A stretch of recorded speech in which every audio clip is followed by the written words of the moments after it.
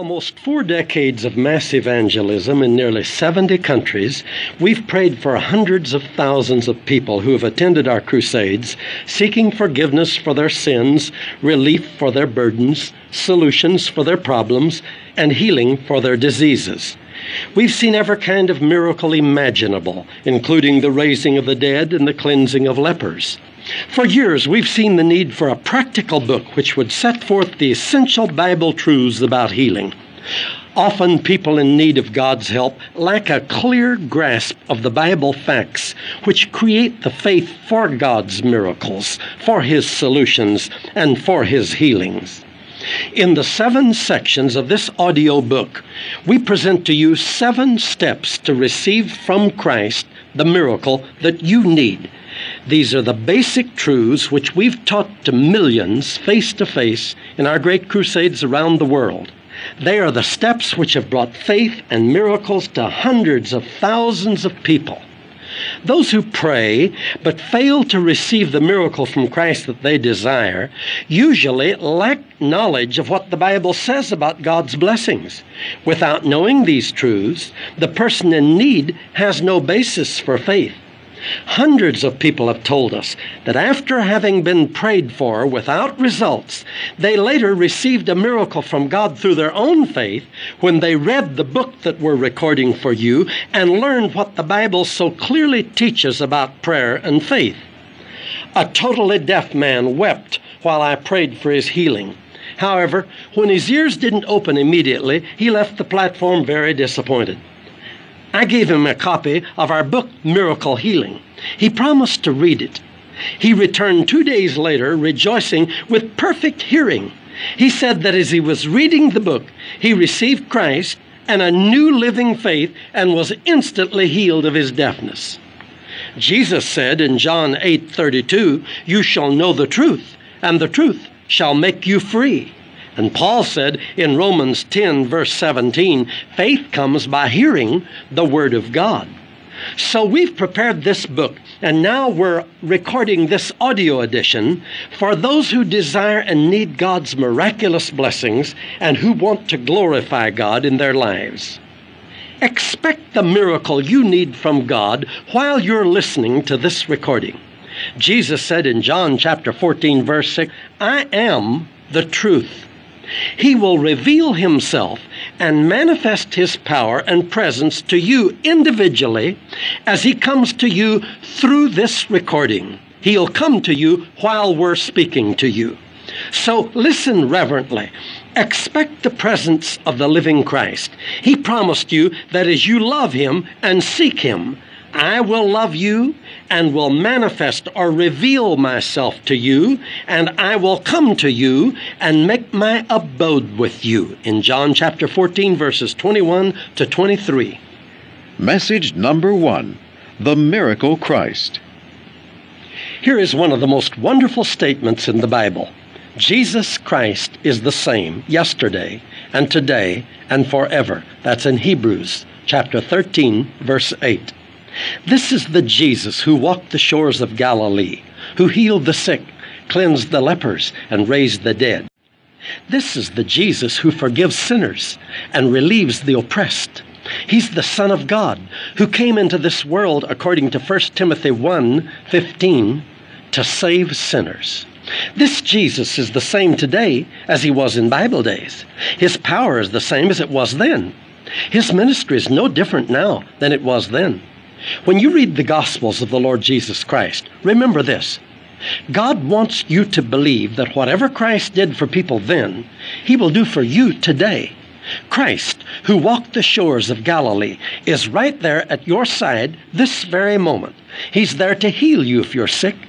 He's there to save you if you're a sinner. He's there to relieve you if you're oppressed. He's there to help you if you're in need. Jesus, who healed the sick and gave sight to the blind, still has compassion for those who suffer today. He who blessed the poor and forgave sinners then is still the Savior now. People then, people today.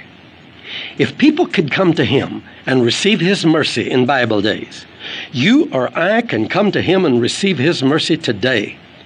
If God's promises were good in Bible days, His promises are just as good today. If the leper could fall down before him and receive healing then, a leper can fall down before him and be miraculously cleansed today. If paralytics could rise and be made whole at his command then, paralytics can be instantly healed through the power of his word today. If unbelievers could be saved, forgiven of their sins, and reborn to a new life then, they can be changed by his power today. How glad I am to know that Jesus Christ, the Son of God, has not changed. We've seen him do miracles and wonders. We've been present when he raised paralytics up and they walked and ran and jumped. We've witnessed the marvelous miracle of the opening of blind eyes so very many times. We've beheld the wonder of him unstopping deaf ears and loosing dumb tongues. Jesus said, All power in heaven and in earth is given unto me. And his word says, If we shall ask anything in his name, he will do it. The Bible says, Heaven and earth shall pass away, but my word shall never pass away. Jesus Christ really is the same yesterday and today and forever. We've seen the Lord do these miracles with our own eyes hundreds, even thousands of times during nearly four decades of gospel crusades in nearly 70 nations. Therefore, no one can tell me that Jesus Christ is dead or that he has changed. People change, traditions and religions change, nations and governments change, churches and ecclesiastical systems change. But Jesus Christ is the same yesterday and today and forever. The healing Christ. The Bible says he went about all Galilee, teaching in their synagogues and preaching the gospel of the kingdom and healing all manner of sickness and all manner of disease among the people. The Bible says in Acts chapter 10, verse 38, God anointed Jesus of Nazareth with the Holy Ghost and with power, who went about doing good and healing all that were oppressed of the devil. Isn't that terrific? Thank God he's still doing those same miracles of mercy and compassion today. The Bible gives an account of one of the meetings where Jesus was preaching and ministering. It's in the 11th chapter of the Gospel of Matthew. It says, The blind receive their sight, and the lame walk. The lepers are cleansed, and the deaf hear. The dead are raised up, and the poor have the gospel preached to them. If he did those things then, he'll do those things today. What did the people do when Jesus was visibly among them? If we want Christ to do what he did for the people in Bible days, then we must do what the people did. We must come to him like they came to him, hear his word like they heard, believe on him like they believed on him, call on him like they called on him, follow him like the people followed him then. The Bible says that the people ran through the whole region round about and began to carry about in beds those that were sick where they heard he was. And they laid the sick in the streets and besought him that they might touch, if it were, but the border of his garment. And as many as touched him were made whole. That's in Mark chapter 6, verses 55 and 56. My friend, that can happen today the same as it happened then. As many as touch him today will be made whole, just the same as they touched him then and were made whole. Death could not stop him. During three years, Jesus walked among people here on earth. He was always healing, blessing, and forgiving humanity. Multitudes flocked after him, and he always blessed them. But in spite of his mercy, his love, and his miracles of compassion, he was despised by religious people, rejected, and finally crucified. But after they put him in the sepulchre, three days later, God raised Jesus from the dead according to the scriptures. After his resurrection, Jesus appeared to his disciples as they were together, and he commanded them with these words in Mark 16, verse 15 Go into all the world and preach the gospel to every creature. And then he promised, You that believe and are baptized will be saved. And then he warned, You that believe not will be damned. And then in Mark chapter 16, he made this wonderful promise These signs shall follow them that believe. In my name you shall cast out devils. You shall lay hands on the sick, and they shall recover. And then he promised, Lo, I am with you always, even unto the end of the world. That's in Matthew chapter 28, verse 20. A terrific promise. What a terrific promise. That means that the Lord is with me as I speak to you right now, and He's with you as you listen right there where you are at this moment. Lo, I am with you always, even unto the end of the world. The Bible says in Mark chapter 16, verses 19 and 20, after the Lord had spoken to them, he was received up into heaven, sat on the right hand of God, and then his followers went forth and preached everywhere. Listen to this the Lord working with them and confirming the word with signs following. That same Lord Jesus Christ is right there with you now to confirm his gospel to you, just the same as he was with his disciples after his resurrection, confirming the word with signs following. He said in Mark chapter 9, verse 23 If you can only believe, all things are possible to those that believe. He's there with you right now in His Spirit to confirm His promise to you if you can only believe. And you can. Whatever He promised in His Word, if you'll earnestly ask Him to do it and believe in your heart that He's heard and answered your prayer, He'll confirm His promise by His power, and you'll receive the answer to your prayer. Christ has not changed. A blind man came to one of our meetings, and when he walked on the ground where we were proclaiming the gospel, he suddenly had a vision. He saw a light brighter than the sun, and in that light the Lord Jesus appeared to him. The blind man fell to the ground, and the people thought he'd died. But after a while, he opened his eyes, and he was weeping as he told them how the Lord had appeared to him. His blindness was gone, he had recovered his sight. The same Jesus who appeared to that man is right there with you at this moment to confirm his promises to you if you'll only believe. We were preaching the gospel in India. A man full of unbelief came to the meeting. He listened, but he didn't believe. After the message, we prayed for the great multitude of people there, and suddenly this man saw Jesus standing right before him. The Lord stretched out his hands toward him and said, Behold my hands, I am Jesus. This unbelieving man saw the nail pierced hands of the Lord Jesus and fell down before him, crying out for mercy. He received Jesus Christ into his heart right there on the spot, and he accepted him as his personal Savior. We've witnessed miracles like this around the world, and the Lord is ready to do a miracle for you right there where you are if you'll only believe. Whatever you need from the Lord, if you'll ask Him to do it, and believe that He hears and answers your prayer, He'll do it for you. Jesus Christ is alive. He's never changed. He's there with you to confirm His word and to bless you. You may not see Him, but He's there just the same. He said, If you can only believe, all things are possible, and you can believe. I ask you right now to draw near to the Lord in your heart, and as you listen, Let's call on the name of the Lord in prayer and welcome His presence so that as you continue to listen to this audio recording of this book, He'll be right there to reveal His truth to you and to manifest His power by a miracle in your life. That's what He wants to do for you. Jesus said, If you shall ask anything in my name, I will do it. What do you want Jesus Christ to do for you right now? Reverence his name and believe on him with all of your heart. Just believe on the Lord Jesus Christ, as the Bible says, and you shall be saved. Prayer by Mr. Osborn for you. I want to pray for you right now before we continue the rest of this audio edition of this book. Oh, Father in heaven, I pray for the person who is listening right now to this audio edition of this book, Miracle Healing. I ask that Jesus Christ, your Son, will come to this person who's joined with me in prayer right now.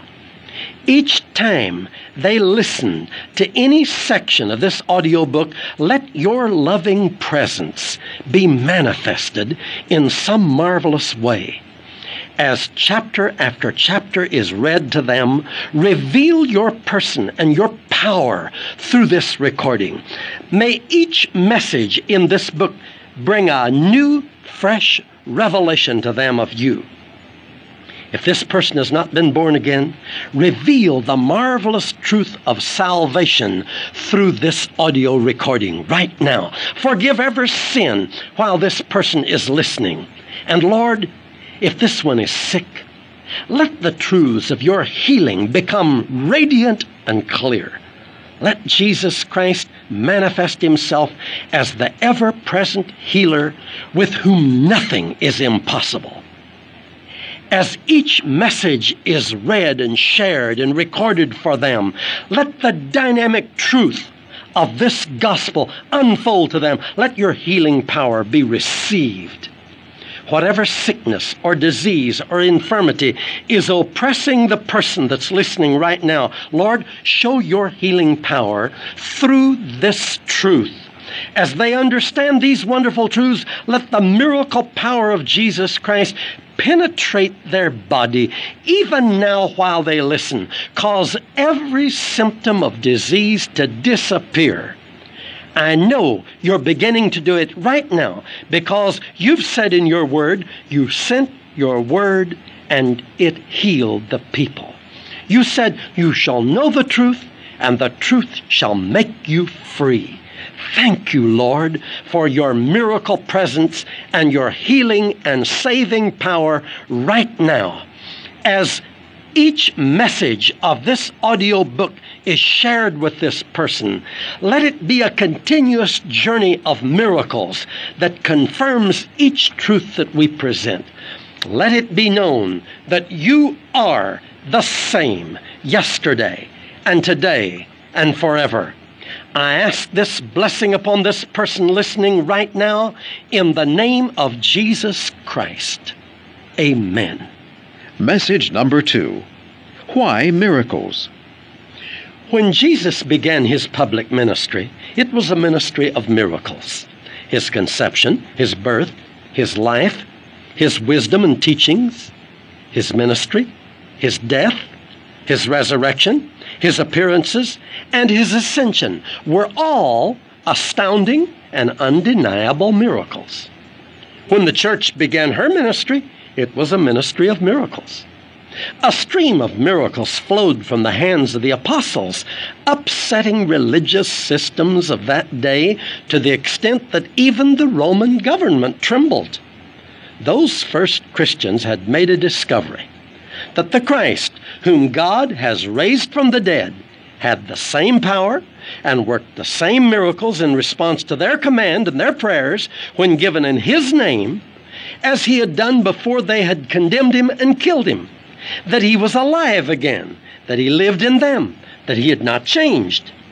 The sick were healed, the dead were raised, demons were cast out. Christianity, the miracle life. Those first years of the early church history, recorded in the Acts of the Apostles, were example years for the acts of the church, for the acts of all believers until the return of Jesus Christ. This is authentic Christianity. If we do not have the supernatural in Christianity, we have nothing but another religion. And true Christianity is not a religion, it's a life. Religion's a form, a ceremonial observance. But Christianity is a life. Christianity is the heart and nature of Jesus Christ being manifested in human beings. Christianity is the miracle life. It began in miracles. It's based on a succession of miracles. It's propagated by miracles. It's the only life which will satisfy the heart hunger of humanity worldwide. The Bible's a miracle book, a record of divine happenings. Beginning with Abraham, many of the major characters of the Old Testament history were miracle workers, or rather, God wrought miracles in response to their daring and active faith. The purpose of these miracles was to prove to the people the difference between the dead gods of the heathen and the true and living God, who's the creator of heaven and earth, and to convert unbelievers to worship the living God. When miracles ended, the people lapsed into the worship of dead gods.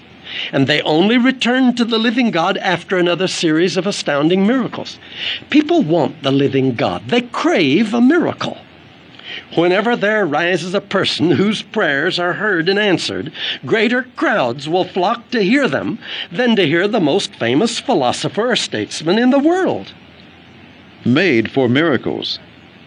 This love of the miraculous is not a mark of ignorance, but rather reveals humanity's intense desire to know the unseen God. In fact, God's purpose and plan for humanity from the beginning was for people to have supernatural ability and authority. Human beings were created with these aspirations.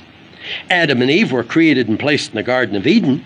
Made in God's own image, they were destined to live and plan and work with God, carrying out His divine plan on earth. Created in God's image, man and woman are God's kind of being. They can never find full satisfaction without Him. Human beings instinctively seek God, whether or not they admit it or are even conscious of it. Human life has divine purpose, and until that divine purpose is discovered, there's a vacuum, an emptiness. Being the offspring of the miraculous God, people have an inborn hunger to experience miracles. Education does not eliminate the desire for the miraculous. Some assert that education has taken the place of miracles, that we no longer need the supernatural proof of God. One mighty miracle today in the name of Jesus Christ is worth more than a lifetime of theological theory. People want to see God in action if He's alive and real. Every real spiritual awakening that has honored Christ and His Word has been accompanied by miracles of physical healing. It's impossible to properly honor God's Word and not witness miracles. All human beings crave the supernatural. They long to see a manifestation of the power of God. Even an atheistic professor who denies any existence of God will edge into the crowd to watch a miracle if he thinks it might happen cultured people will listen to an uneducated preacher if there's evidence of faith in the living God and if that preacher prays and gets an answer. A dead religion has no resurrection power in it, no miracle working force behind it. This yearning for the miraculous is deep seated in each human being, regardless of nationality or background, because we are the offspring of the miracle God men and women need the miracle touch of Jesus Christ now as much as ever. Christ is as much a miracle worker today as he ever was. The Bible says that he's the same yesterday and today and forever. Christ must be allowed to live in us, in his power and in his life. That alone is true Christianity. All else is ecclesiastical routine, offering little more than rituals and symbolic ceremonies.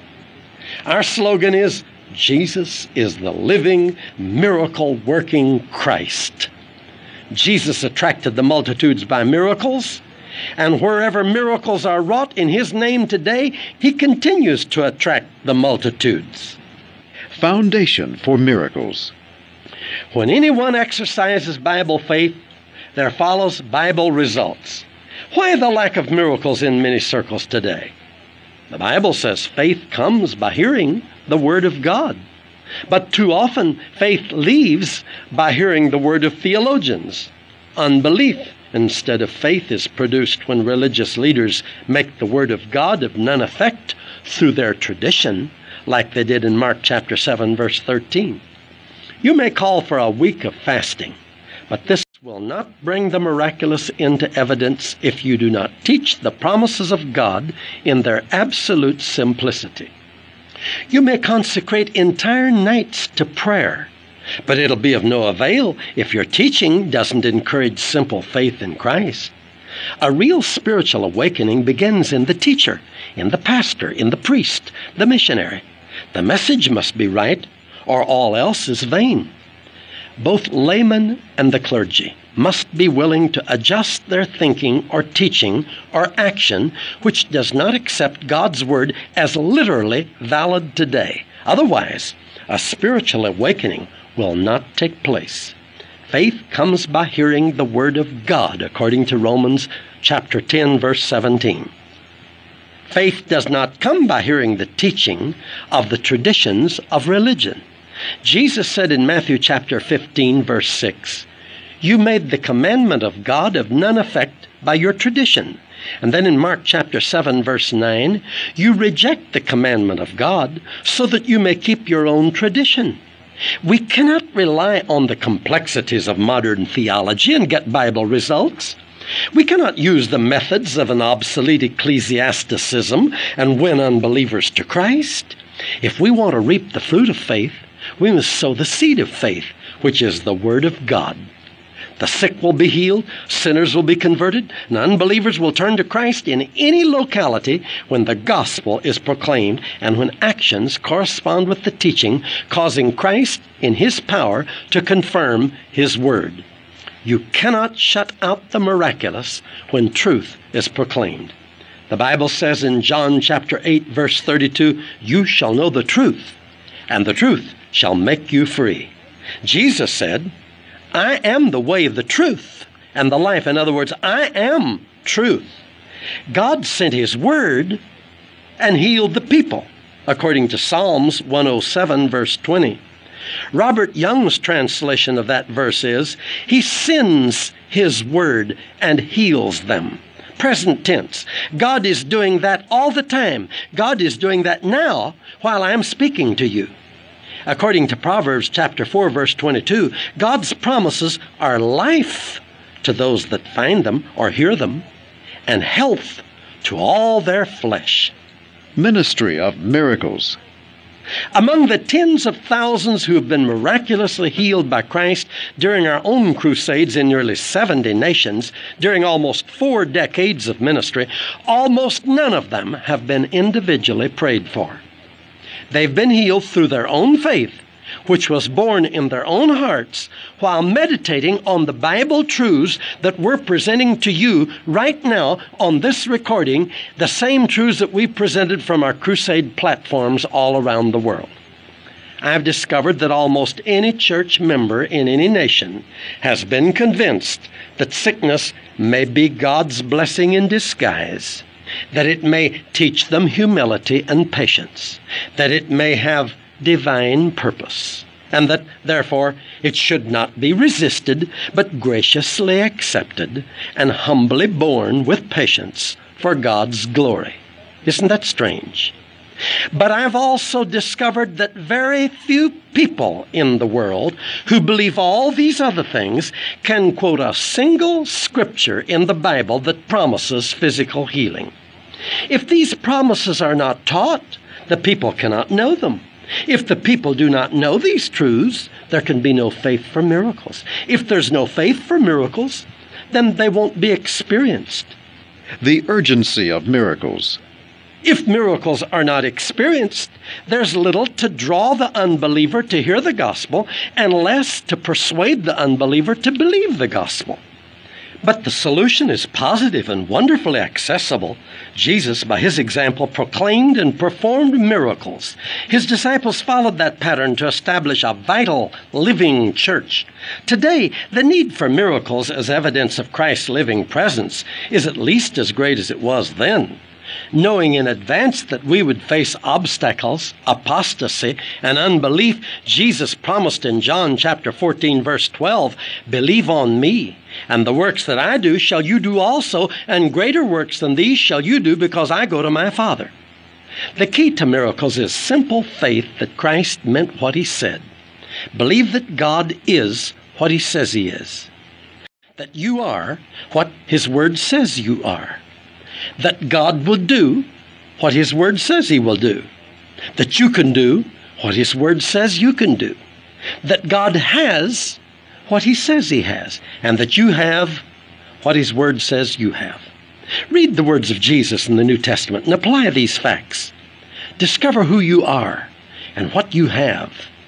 See what God will do in your life whenever and wherever people accept the promises of God and the teachings of Jesus Christ on the basis of the above facts, great spiritual awakenings accompanied by signs and wonders and miracles are bound to take place sooner or later. Miracles in this century are as valuable and indispensable to authentic Christianity as they ever were in any century. Malachi chapter 3 verse 6 says, I am the Lord I change not. Matthew 24, verse 35, Jesus said, Heaven and earth shall pass away, but my word shall never pass away. We've put God's promise to the test in nation after nation. He's proven to be the same in this century as he was in Bible days. Jesus, the miracle worker. The world was shocked by the immense crowds and the astonishing miracles that took place in our Holland crusade. Over a hundred thousand people gathered day after day on the great Malieveld grounds in The Hague, the capital, to listen to the gospel as we presented it to that field of people. Our theme was basic Hebrews chapter 13, verse 8 Jesus Christ the same yesterday and today and forever. That verse from the Bible has been the theme of every crusade we've conducted throughout decades of miracle ministry in nearly 70 nations. I believe that people need to know that Jesus is as real today as he was before he was crucified. He promised in the last chapter of Matthew, Lo, I am with you always. He's here to do the same miracles today for you that he did in Bible days. His promises have never changed. His power and ministry are unchanged. He is as merciful and compassionate as he ever was. He loves you right there where you're listening right now. And I believe a new miracle is beginning in you right now as new fresh faith is being born. My wife Daisy and I are very fortunate people. We accepted Jesus as our Savior when we were very young. We dedicated our lives to share the good news of the gospel with others, and we've witnessed powerful miracles all over the world through active faith in God's promises. I had a vision of Jesus. He appeared in my room. I saw him with my own eyes that Jesus Christ, God's Son, is alive. From that day, we dedicated ourselves to obey him and to go into all the world and preach the gospel to every creature. I knew that he had promised, These signs shall follow them that believe. In my name they shall cast out devils, they shall lay hands on the sick, and they shall recover. And lo, I am with you even to the end of the world. Miracles around the world. In every nation where we've journeyed, great crowds have assembled. Thousands have repented of their sins and have found new faith to follow Jesus. All kinds of miracles have been done by God as we've prayed in Jesus' name. The Bible says the disciples went forth and preached everywhere, the Lord working with them, confirming the word with signs following. This has been our testimony for decades. God is real. The Bible is God's word. Every word is true, and you can trust it. God wants us to put His Word to the test for miracles today because this generation needs miracle proof that Jesus Christ is as real as He was in any other generation. So act on His promises in the Bible and claim His miracle for you and your house today. His Word cannot fail. Now, Dr. Osborn is ready to share with you part one of this audio book, Receive Miracle Healing. The two vital messages in this first part deal with the subject, the healer. The author says the first step to receive miracle healing is to know that the age of miracles has not passed and that physical healing is part of Christ's ministry today. Now here's Dr. T.L. Osborn with his message number three Healing for Today. In Bible days, the sick were healed, the blind received their sight, the deaf were made to hear, cripples walked, lepers were cleansed, and all manner of sick and suffering people were made whole by God's power. These miracles are as much for today as they ever were. There are five basic reasons why we can know this. Let me give them to you in brief, then repeat them. Number one, God is a healer. Number two, Jesus Christ healed the sick. Number three, he commanded his disciples to heal the sick. Number four, the early church ministered to the sick. Number five, Jesus commissioned all believers to heal the sick. Now let's go over those again. Number one, God is a healer. Exodus 15, 26. And he's never changed. He said in Malachi 3, 6, I am the Lord, I change not. Number two, Jesus Christ healed the sick, and he's never changed. Hebrews 13 and 8 says Jesus Christ is the same yesterday and today and forever. Number three, Jesus commanded his disciples to heal the sick, and a true disciple of Christ is the same today as then. John 8, verse 31, he said, If you continue in my word, then are you my disciples indeed. Number four, miracles of healing were manifested in the ministry of the early church, and the true church has never changed. The work and ministry of the early apostles is the example and pattern for the true church to the end of the world. And number five, Jesus commissioned all believers among all nations to the end of the world to lay their hands on the sick, promising that they shall recover. Mark chapter 16. And certainly, true believers have never changed because Jesus said, If you believe believe on me, the works that I do shall you do also. That's in John chapter 14, verse 12. Miracle healing was administered first through the spoken word of Jehovah God, then through the ministry of the Lord Jesus Christ, next through the disciples who acted on his word and followed his example. Later, by the power of the resurrected Christ and of the Holy Spirit being manifested through the early church. And finally, by the same risen Christ and the power of the same Holy Spirit functioning through the lives of all believers in all the world. Therefore, the age of miracles has not passed, and physical healing is as much a part of Christ's ministry today as it ever was. And what he has done for so many tens of thousands of others, it is his will to do for you. Message number four 100 Facts About Healing. Many believe that God sometimes heals the sick, but they have no personal knowledge of Jesus as the indwelling, ever present healer. They know nothing about the many facts which prove that physical health is part of everyone's salvation. They see others healed, but they question whether healing is God's will for them. They are waiting for a special revelation of the will of God concerning their case. In the meantime, they're doing all within the power of human skill to get well with the use of natural means, whether it's God's will for them to be healed or not. If it is not God's will for you to be well, it would be wrong for you to seek recovery even through natural means.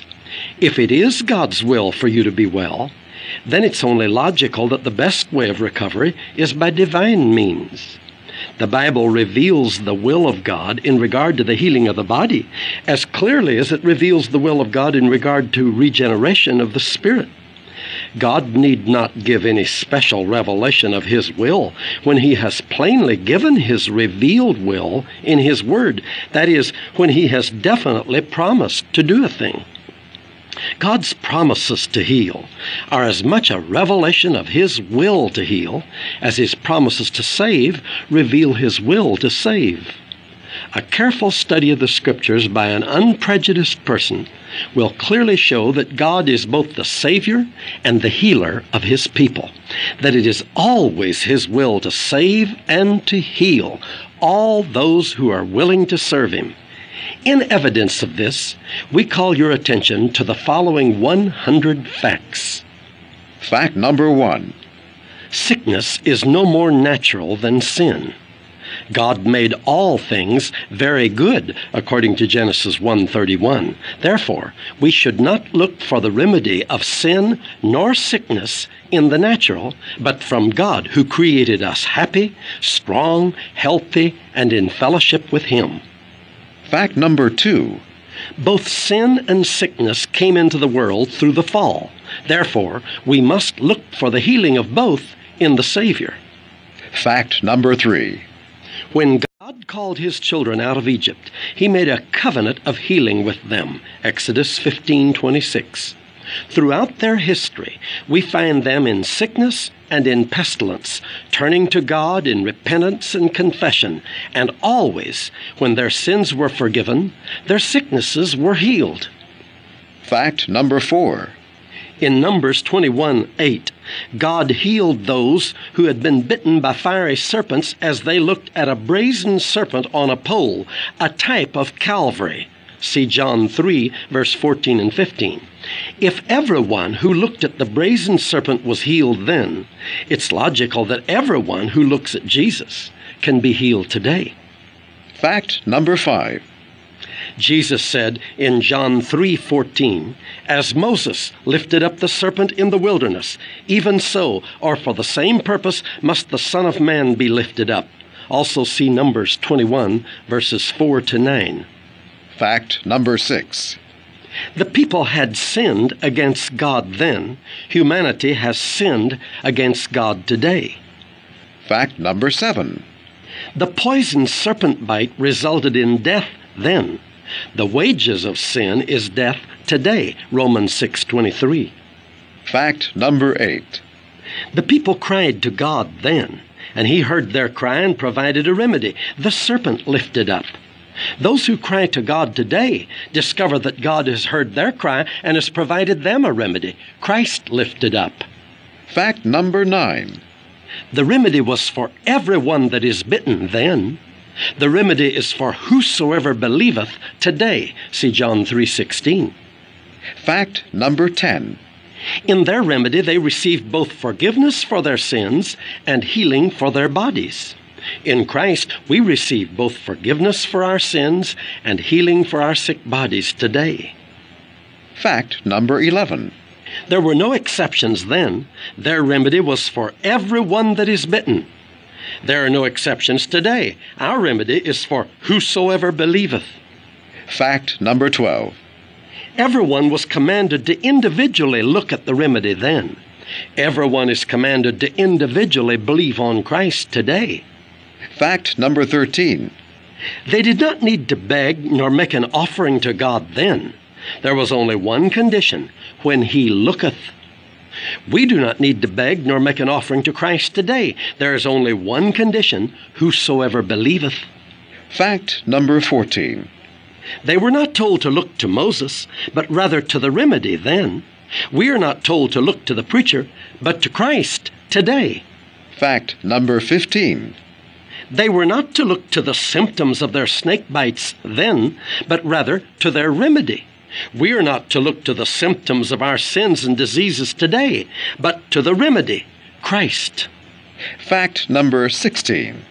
Every one that is bitten, when he looketh upon it, shall live, was the promise to all then, without exception. Whosoever believeth in him should not perish, but have everlasting life, is the promise to all today, without exception. Fact number 17. Since their curse was removed by lifting up of the type of Christ, our curse was certainly removed by lifting up Christ himself. See Galatians 3:13. Fact number 18. The type of Christ could not mean more to those Israelites then than Christ means to us today.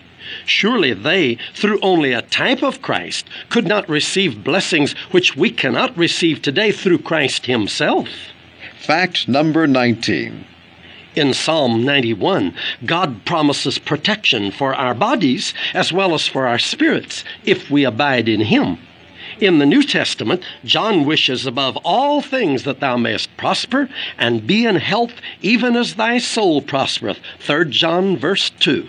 Both scriptures show that God's will is that we be as healthy in our bodies as we are in our spirits. It's never God's will for our spirits to be sick. It's never God's will for our bodies to be sick. Fact number 20. In 2 Chronicles chapter 16, Asa died in his sickness because he sought not to the Lord but to the physicians.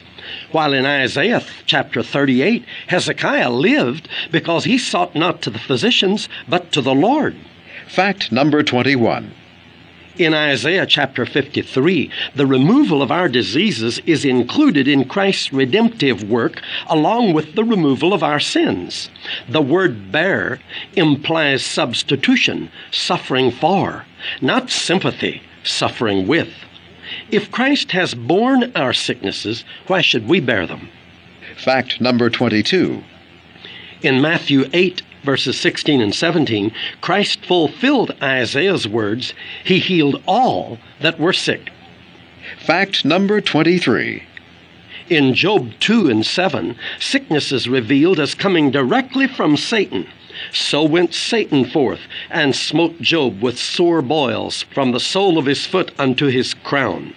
Job maintained steadfast faith as he cried out to God for deliverance, and he was healed. See Job 42, verses 10 to 12. Fact number 24. In Luke chapter 13, verse 16, Christ declared that the infirm woman was bound by Satan and ought to be loosed. He cast out the spirit of infirmity, and she was healed. Fact number 25. In Matthew chapter 12, verse 22, a devil which possessed a man was the cause of his being both blind and dumb. When the devil was cast out, he could both see and talk. Fact number 26. In Mark chapter 9, verses 17 through 27, a demon was the cause of a boy being deaf and dumb, and also the cause of his convulsions.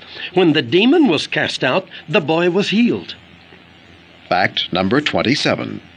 In Acts chapter 10, verse 38, it's written, Jesus of Nazareth went about doing good, healing all that were oppressed of the devil. This scripture shows that sickness is Satan's oppression. Fact number 28. In 1 John 3 and 8, we are told, The Son of God was manifested that he might destroy the works of the devil. Sickness is part of Satan's works. Christ, in his earthly ministry, always treated sin, diseases, and devils the same. They were all hateful in his sight. He rebuked them all. He was manifested to destroy them all. Fact number 29. He does not want the works of the devil to continue in our physical bodies. He was manifested to destroy them. He does not want a cancer, a plague, a curse, the works of the devil to exist in his own members. 1 Corinthians 6:15 says, "Know ye not that your bodies are the members of Christ?" Fact number 30. Jesus said in Luke chapter 9, verse 56, The Son of Man is not come to destroy men's lives, but to save them. Sickness destroys. Therefore, it's not from God. Christ came to save us. That word save is translated from the Greek word sozo, meaning to deliver us, to save and preserve us, to heal us, to give us life, to make us whole, but never to destroy us. Fact number 31. Jesus said in John 10 and 10, The thief, speaking of Satan, cometh not but for to steal, and to kill, and to destroy. But he said, I am come, that they might have life, and that they might have it more abundantly. Satan is a killer. His diseases are the destroyers of life. His sicknesses are the thieves of happiness, health, money, time, and effort. Christ came to give us abundant life in our spirits and in our bodies. Fact number 33. In 2 Corinthians chapter 4 verses 10 and 11, we are promised the life of Jesus in our mortal flesh. Fact number 34. In Romans 8 and 11, we are taught that the Spirit's work is to quicken our mortal bodies in this life. Fact number 35. Satan's work is to kill. Christ's work is to give life. Fact number 36. Satan is bad. God is good. Bad things come from Satan. Good things come from God. Fact number 37. Sickness is therefore from Satan. Health is therefore from God. Fact number 38. In Matthew 10 and 1, in Mark 16 and 17, and in Luke 10 19, all authority and power over all devils and diseases was given to every disciple of Christ. Since Jesus said in John 8:31, "If ye continue in my word, then are ye my disciples indeed." These scriptures apply to you today. That is, if you continue in or act in his word. Fact number 39. In John 14, verses 13 and 14, the right to pray and receive the answer is given to every believer. If ye shall ask anything in my name, I will do it. This logically includes asking for healing if you are sick. Fact number 40. In Matthew 7, verses 7 to 11, the promise is, Every one that asketh receiveth.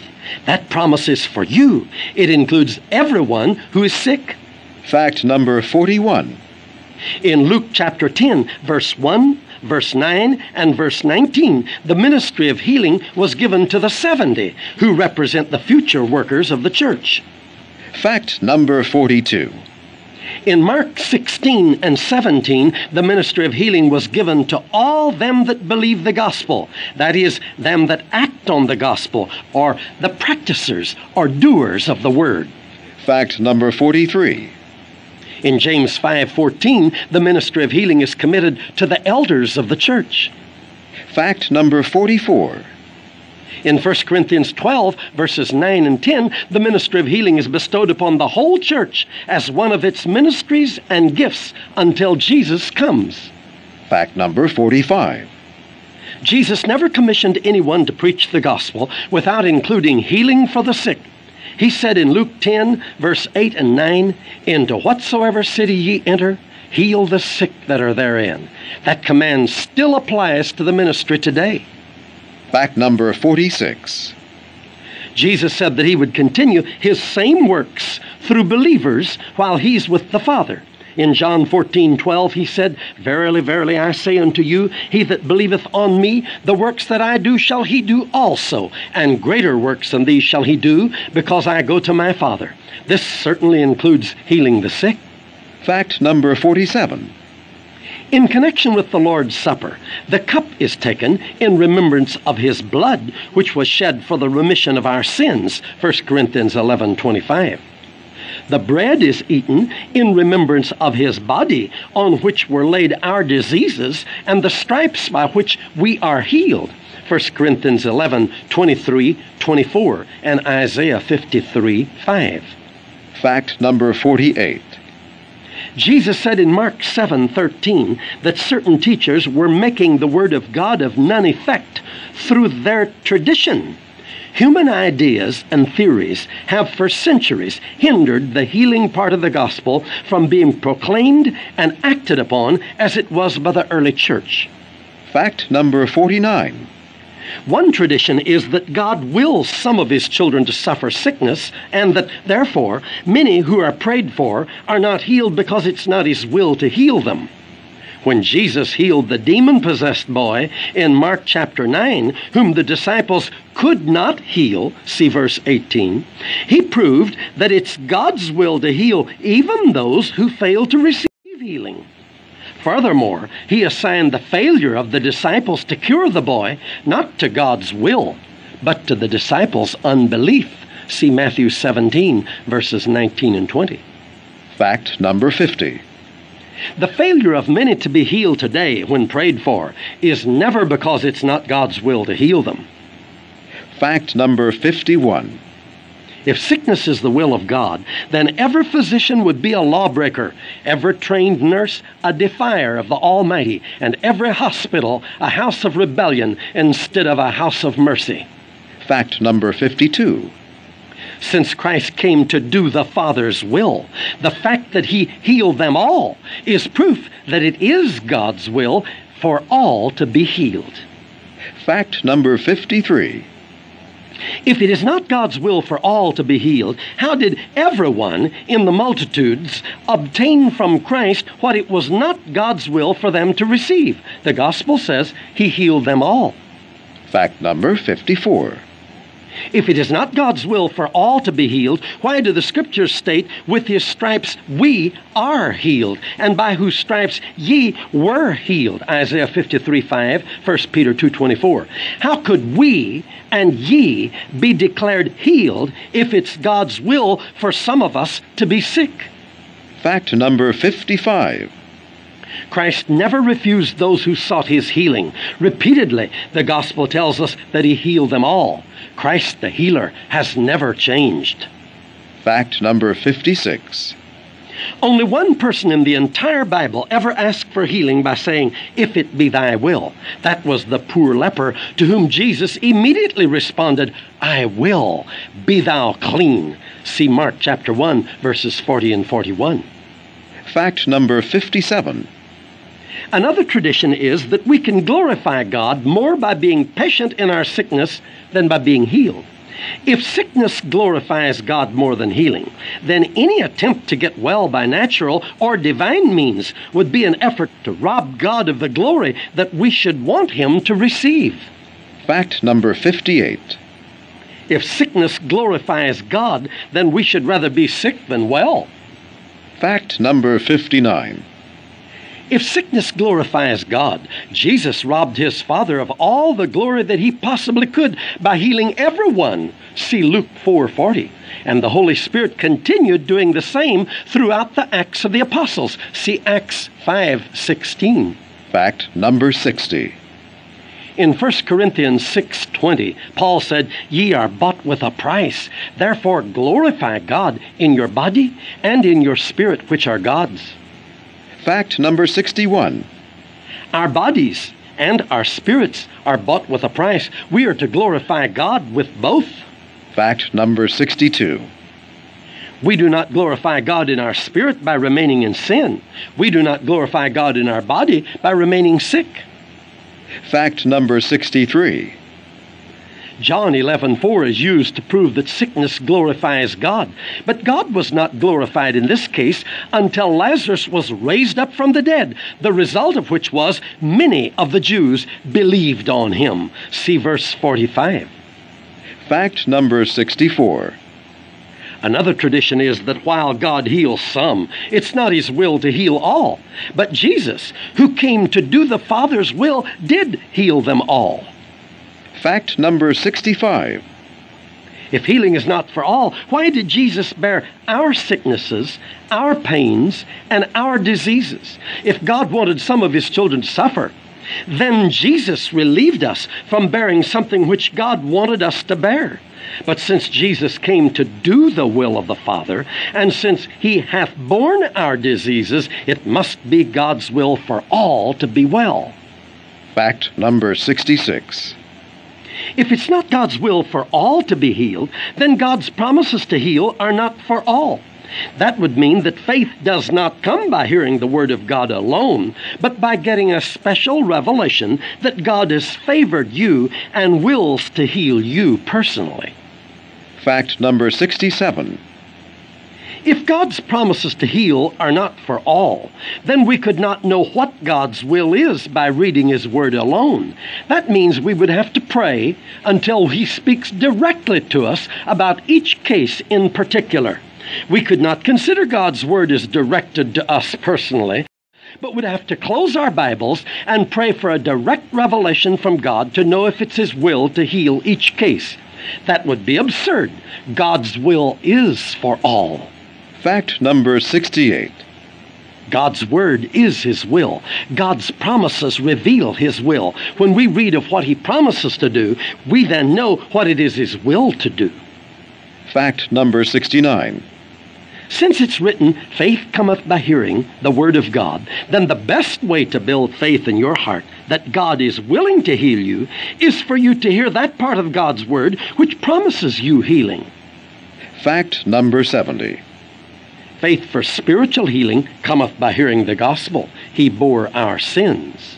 Faith for physical healing cometh by hearing the gospel. He bore our diseases. Fact number 71. We are to preach the gospel that he bore our sins to every creature. We are to preach the gospel that he bore our sicknesses to every creature. Fact number 72. In John 14, verses 12 to 14, Christ emphasized his promise if ye shall ask anything in my name, I will do it. He repeated it twice. He did not exclude healing from this promise. Anything includes healing. This promise is for all. Fact number 73. If healing is not for all, Christ should have qualified his promise in Mark 11:24 accordingly and said, "What things soever ye desire, except healing, when you pray, believe that you receive them and ye shall have them." But he did not. Healing therefore is included in the what things soever. This promise is made to you. Fact number 74. If it's not God's will to heal all, the promise in John 15, 7 would not be dependable, where Christ said, If ye abide in me, and my words abide in you, ye shall ask what ye will, and it shall be done unto you. Fact number 75. James 5, verses 14 and 15 says, Is any sick among you? Let him call for the elders of the church, and let them pray over him, anointing him with oil in the name of the Lord. And the prayer of faith shall save the sick, and the Lord shall raise him up. This promise is for all, including you, if you are sick. Fact number 76. If God today has abandoned healing in answer to prayer in favor of healing only by medical science, as modern theology speculates, that would mean that He requires us to use a less successful method during a better dispensation. He healed them all then, but today many diseases are incurable by medical science. Fact number 77. Paul tells us that God would have us prepared unto every good work, 2 Timothy 2:21. Thoroughly furnished unto all good works, 2 Timothy 3:17. And that we may abound to every good work, 2 Corinthians 9 and 8. A sick person cannot measure up to these scriptures. These conditions would be impossible if healing is not for all. Either healing is for all, or these scriptures do not apply to all. Fact number 78. Bodily healing in the New Testament was called a mercy, and it was God's mercy which always moved him to heal all the sick. His promise is that he is plenteous in mercy unto all that call upon him. Psalms 86 5. That includes you today. Fact number 79. The correct translation of Isaiah 53 4 is Certainly or surely he hath borne our sicknesses and carried our pains, to prove that our sicknesses were carried away by Christ, just like our sins were carried away. The same Hebrew verb for borne and carried is used to describe both sickness and sin. See verses 11 and 12. Fact number 80. Christ was made to be sin for us 2 Corinthians 5:21 when he bare our sins.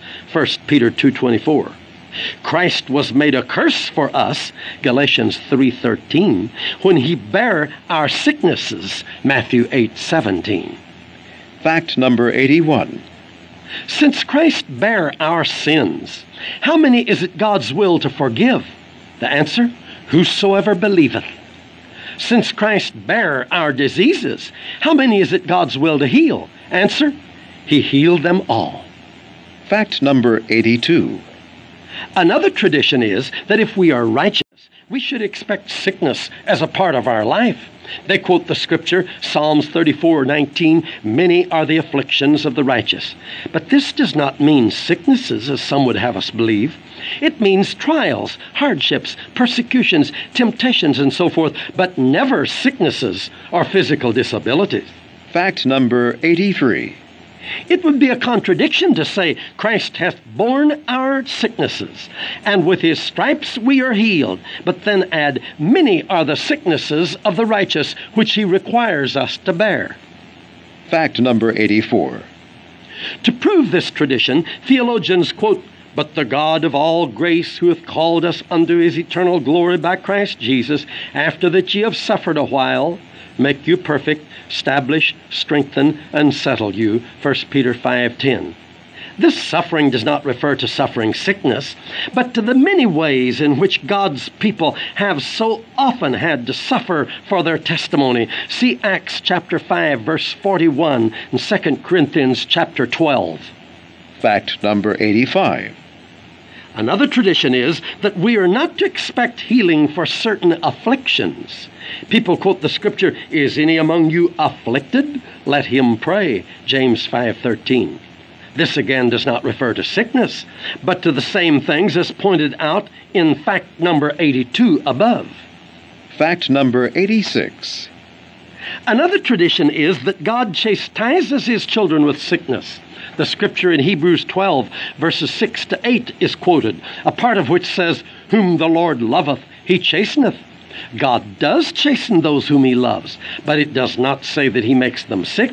The word chasten here means to instruct, train, discipline, teach, or educate, like a teacher instructs a pupil, or like a father trains and teaches a child.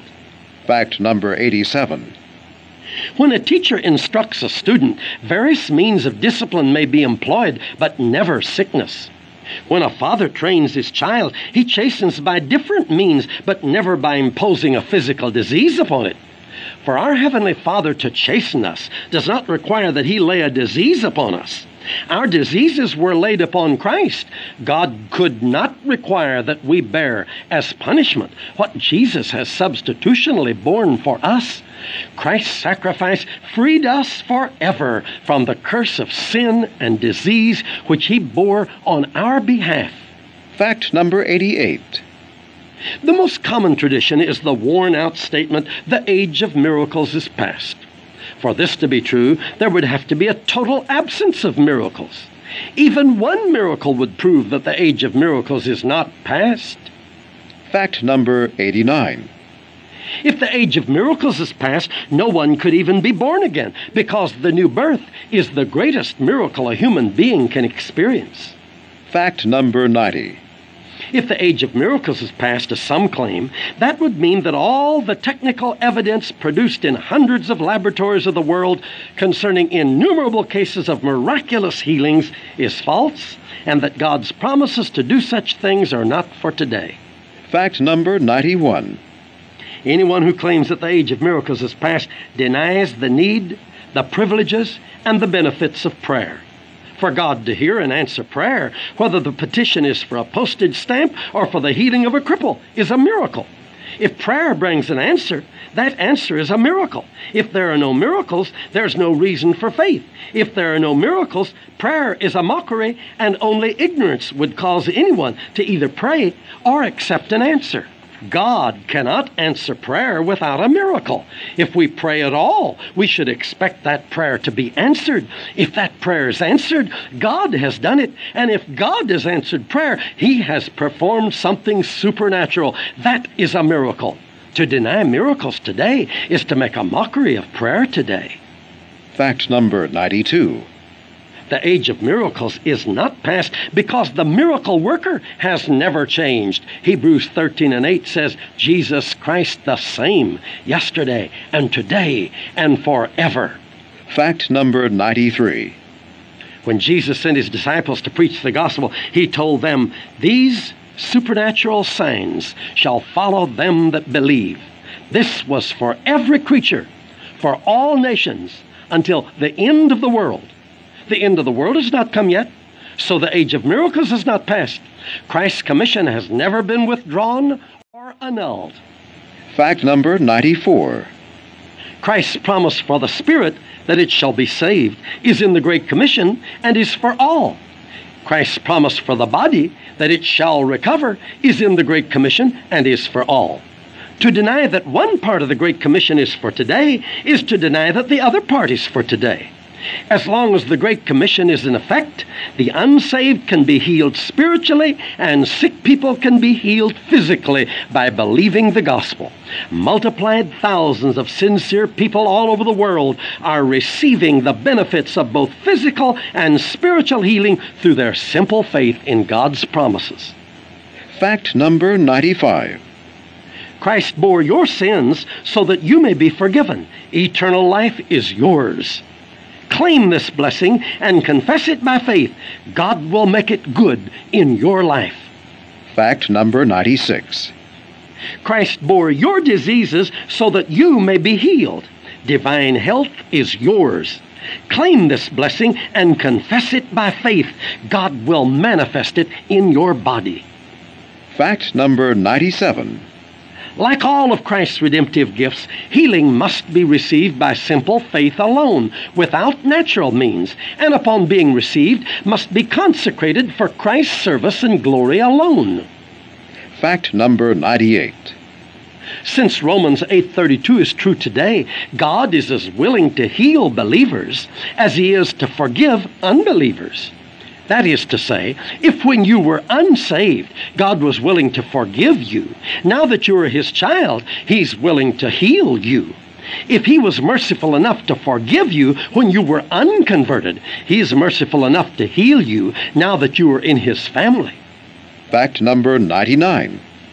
You must accept God's promises as true and believe that you are forgiven before you can experience the joy of spiritual healing. You must accept God's promises true and believe that you are healed before you can experience the joy of physical healing. Fact number 100. As many sinners as received him were born of God. John 1 12 and 13. As many sick people as touched him were made whole. Mark 6 56. When we preach, it is always God's will to heal. The question is immediately raised how then could we ever die? God's word says, Thou taketh away their breath, they die and return to their dust. Psalms 104 29. And Job 5:26 says, Thou shalt come to thy grave in a full age, like as a shock of corn cometh in his season. For us to come to our full age and for God to take away our breath does not require the aid of a cancer or any other disease. God's will for your death as His child is that after living a fruitful, full life, fulfilling the number of your days, you simply stop breathing and fall asleep in Christ to awaken on the other side and live forever with Him. 1 Thessalonians 4:17 says, "So shall you ever be with the Lord." Indeed, this is the blessed hope of the righteous. Psalms 91, verses 14 to 16, gives this record of wonderful promises. God says, Because he has set his love upon me, therefore will I deliver him. I will set him on high, because he hath known my name. He shall call upon me, and I will answer him. I will be with him in trouble. I will deliver him and honor him. With long life will I satisfy him and show him my salvation. The author says the second step to receive miracle healing is to know God's promises to heal in the Scriptures and to be convinced that they are for you personally. How God speaks to you. Many times religious teachers do us more harm than good because they make a philosophy or a doctrine of scriptural truth when it's meant to be as though the Lord were here speaking to us. The Word is His voice, it has the same authority. When you read the Bible, remember that you're having a personal conversation with the Lord. The absolute integrity of God's written Word is the only basis for consistent faith. One of the greatest errors committed by people today is in treating the Word of God as though it were an ordinary book. You should give God's Word the same place you'd give Christ if He were physically in your presence. His Word talks to you and tells you the same things He would tell you if He spoke to you audibly. You cannot separate God from His Word. He's not only in it, a part of it, but He's back of it, and He continually watches over it to confirm it, to see that not one word fails. In Jeremiah chapter 1 verse 12 he says I watch over my word to perform it. In 1 Kings 8:56 there's not failed one word of all of his good promises which he hath promised. In Matthew 24:35 heaven and earth shall pass away but my word shall never pass away. The angel said in Luke 1:37, "No word from God is void of power." Another translation says, "No promise from God will be impossible of fulfillment." I like that. He is speaking to you. An old man lay dying in his shack in the jungle. A Christian woman read to him, For God so loved the world that he gave his only begotten Son, that whosoever believes in him should not perish, but have everlasting life. The old man opened his eyes and looked at the lady and asked, Is that in the Bible? She said, Yes. He said, Does it mean me? She said, Certainly it means you, sir. He lay there for a while thinking. Then he asked, Has God said anything else to me in that book?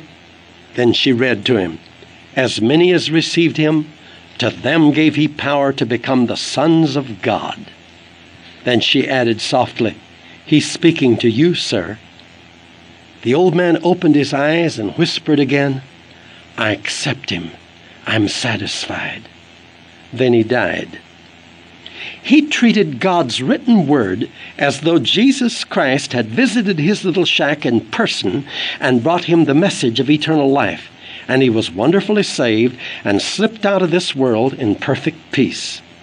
The promises you read in the Bible are God speaking to you personally. They're just as much yours as a check that's drawn on a bank which is made out to you. You can cash that check because it's yours. In the same way, you can claim God's promises in prayer because they are yours. After knowing that healing is a part of Christ's ministry today, you must then know that His promises to heal in the Scriptures are made to you personally. God's Word is personal. A man who had been deaf in one ear for 20 years came to me for prayer. I asked him if he believed God would heal his ear. He replied that he didn't know. I asked him, Do you know that God has promised to heal you? He said, No, I don't know that. I said, Do you believe that God's good enough to fulfill a promise He's made? He said, Yes, sir, I sure do. I said, If I can show you in the Bible where God's promised to heal you personally, do you believe He'll do it? He said, Yes, I do. I looked right in his eyes and quoted these promises I am the Lord that heals you. And I asked him, Who does you mean? Then I quoted, By whose stripes you were healed. And I asked him, Who does you mean? And then I quoted, Who heals all your diseases? And I asked him, Who does your mean? And you know, he began to weep as he responded, Now I believe. I see that God's promised to heal me. I believe He'll do it. Faith came to that man by hearing God's promises. Paul said in Romans 10, verse 17, faith comes by hearing the Word of God. I touched that man's ear in Jesus' name, asking God to open it according to his promise, and it immediately was healed. God's promises are just as much for you as they were for that man. The Bible says, If you shall ask anything in my name, I will do it. Jesus said that. Anything includes healing, and you includes you. The Bible says in James, Is any sick among you? The Lord shall raise him up. Any includes you. The promise, the Lord shall raise them up, is made without exception. It includes everybody. Jesus said, These signs shall follow them that believe. They shall lay hands on the sick, and they shall recover. This is for you, if you believe. They shall recover is Christ's promise to everyone who's sick, without exception, including you. Do you believe God's promises are for you? If so, claim them in sincere prayer, and God will fulfill them. Don't doubt. Believe His word. It's as though He were speaking personally to you. Message number six Why You Can Be Healed. God announces in Exodus 15:26, "I am the Lord who heals you." He is a healer. He wills to heal you.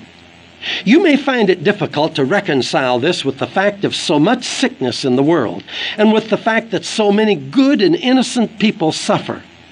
It may also be awkward to reconcile this truth with traditional religious teaching about sickness. But if you comprehend God's word of promise for you, you'll discover that His will is for you to enjoy physical health, spiritual salvation, and material abundance.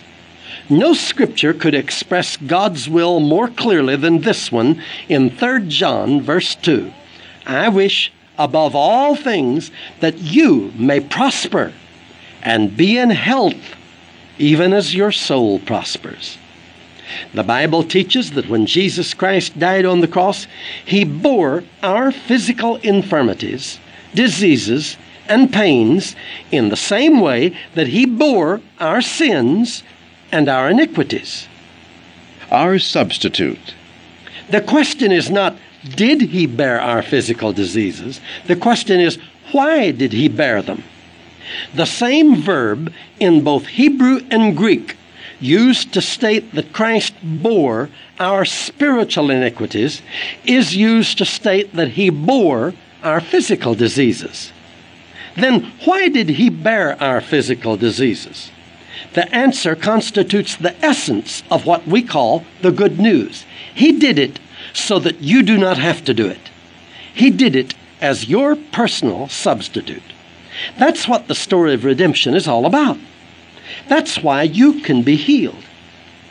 Message number seven Healing for everyone. The life of Christ includes physical health for you. It's God's will for you to be physically healed as well as to be spiritually saved. Psalms 103, verse 3 says, He forgives all your iniquities, He heals all your diseases. Both healing and forgiveness are gifts of God which are to be received by faith. Faith is expecting God to do what He promised to do.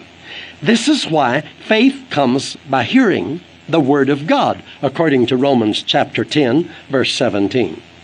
God has given to us His great and abundant promises in order to reveal to us His will. His testament, or His will, or His promise, or His word are all the same. In order to receive any blessing from God, it must come to us by faith. To have faith for any blessing, we must first be convinced that such a blessing is God's will for us.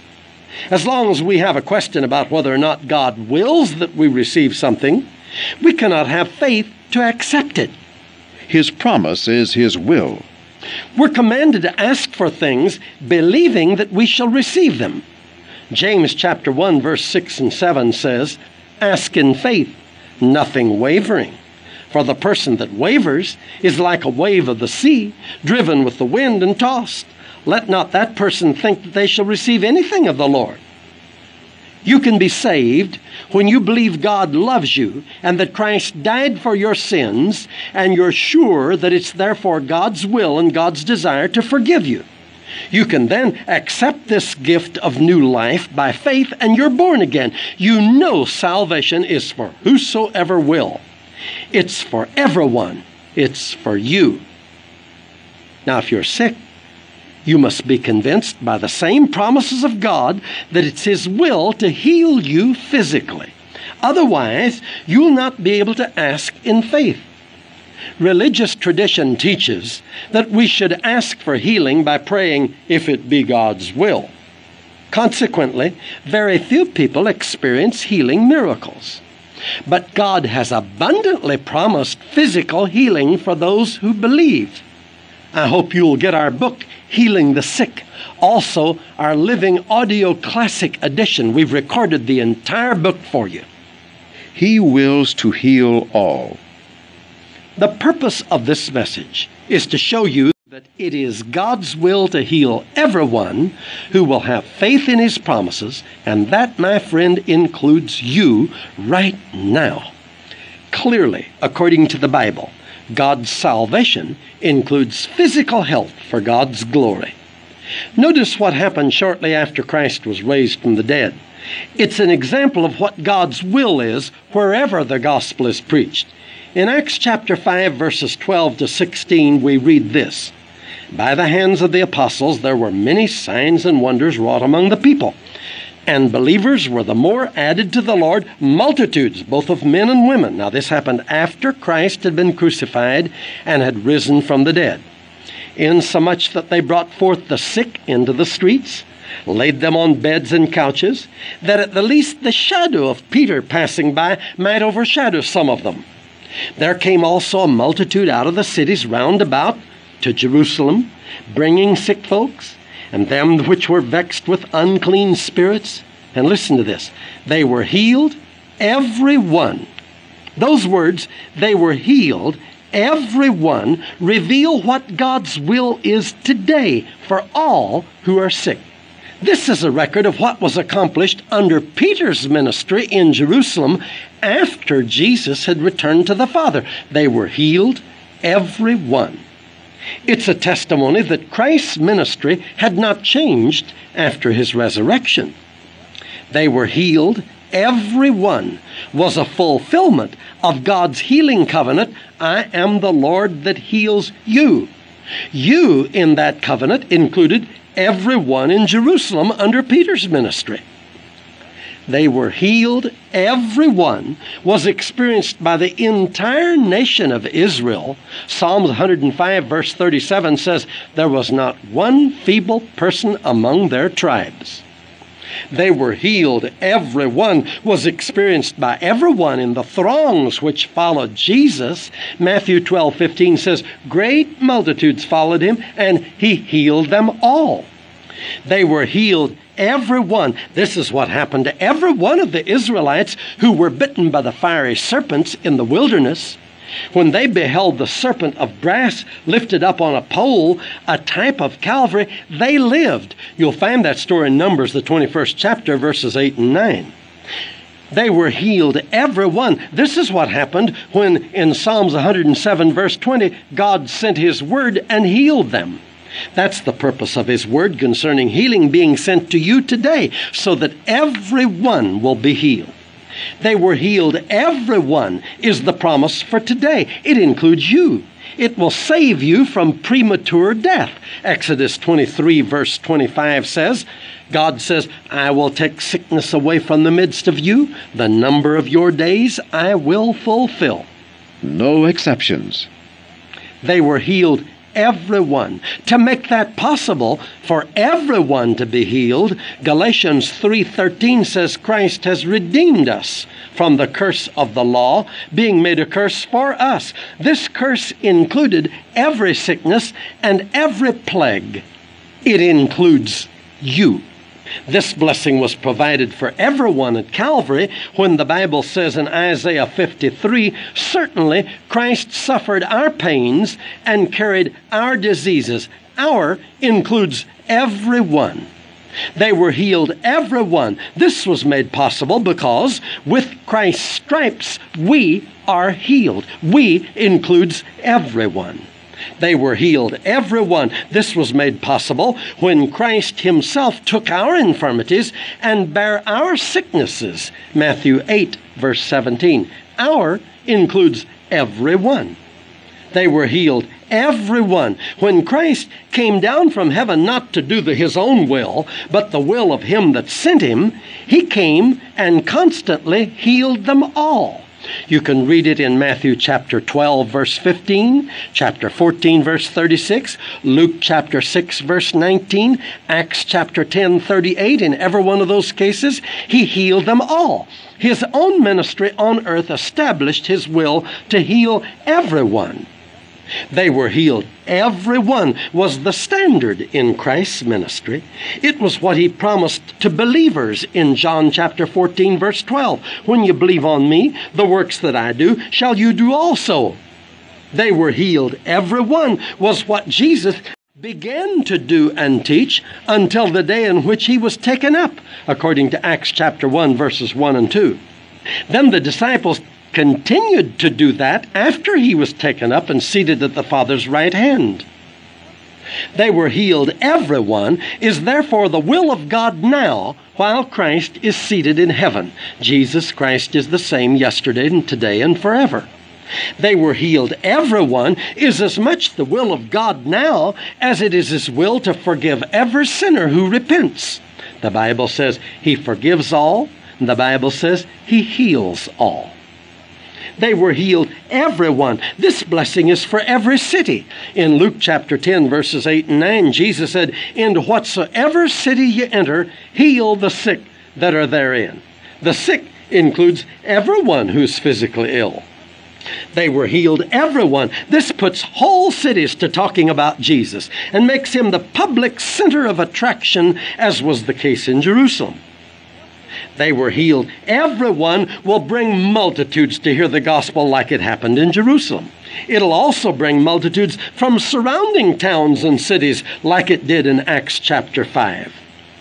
They were healed. Everyone. In this way, multitudes, both of men and women, are added to the Lord, just like in Acts chapter 5, verse 14. The first miracle healing in Acts caused about 5,000 people to believe on Jesus Christ. They were healed, everyone. That's one of the ways in which God bore witness to this great salvation, both with signs and wonders and with divers miracles and gifts of the Holy Ghost, according to Hebrews chapter 2, verses 3 and 4. This is the ministry which has caused multiplied thousands of non Christians to believe the gospel in our crusades in nearly 70 countries of the world. Healing in the Bible.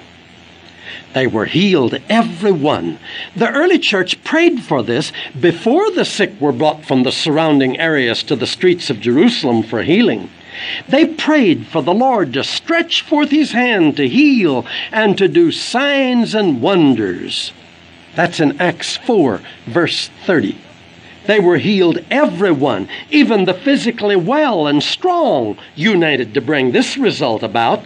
The Bible says in Acts chapter 5, verse 1 they, meaning the well people, the strong people, the happy people, they brought the sick into the streets and laid them on beds and couches.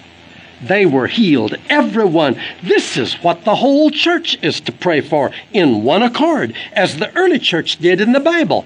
You read in Acts chapter 4, verse 24, they lifted up their voice to God with one accord, and that's what they prayed for, and that's what they got. They were healed, everyone. This was accomplished for all the sick when the sick didn't get as close to Peter as the people got to Jesus. The Bible says in Mark chapter 6, verse 56, that the people laid the sick in the streets and begged him to let them touch the border of his garment, and as many as touched him were made whole. They didn't even get to touch Peter.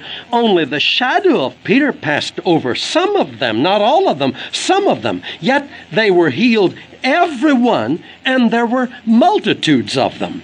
It sounds to me like this same Jesus who healed all the sick before he was crucified kept right on working with the disciples, healing all the sick after he was risen from the dead, because it says they were healed, every one. This is the result. The Holy Spirit interceded for it in Acts chapter 4, verse 24 to 30. And he accomplished it in Acts 5, verses 12 to 16. And then he recorded it so that every creature could hear and read about it and thus have faith for it to be repeated today. For all then, for all now. They were healed. Every one would have included you had you been sick and present there that day. Healing, therefore, is for you today because God's will, which was executed in Jerusalem, has never changed. They were healed, every one. That included all of those who were vexed with unclean spirits then. So the demon possessed are included in God's will for healing today. They were healed, every one. These words could not be used in recording Jesus' ministry at Nazareth. Mark chapter 6, verse 5 and 6 says, He could do there no mighty work, save that he laid his hands on a few sick folks and healed them, and he marveled because of their unbelief. Only a few sick folks were healed in Nazareth when Jesus was there. Now listen, where the individual's attitude was wrong, the result under Jesus' ministry were less than those under Peter's ministry when the individual's attitude was right. They were healed, everyone. This can be the same today when everyone believes the truth about healing.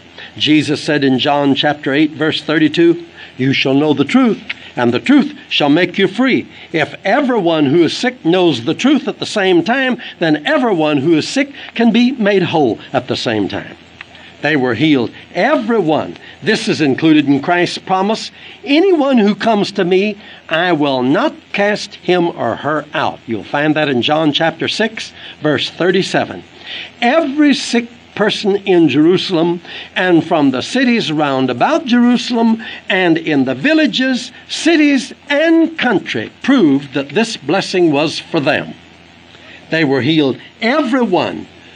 To extend this blessing to you, Christ commands you in Mark 11 22 have faith in God.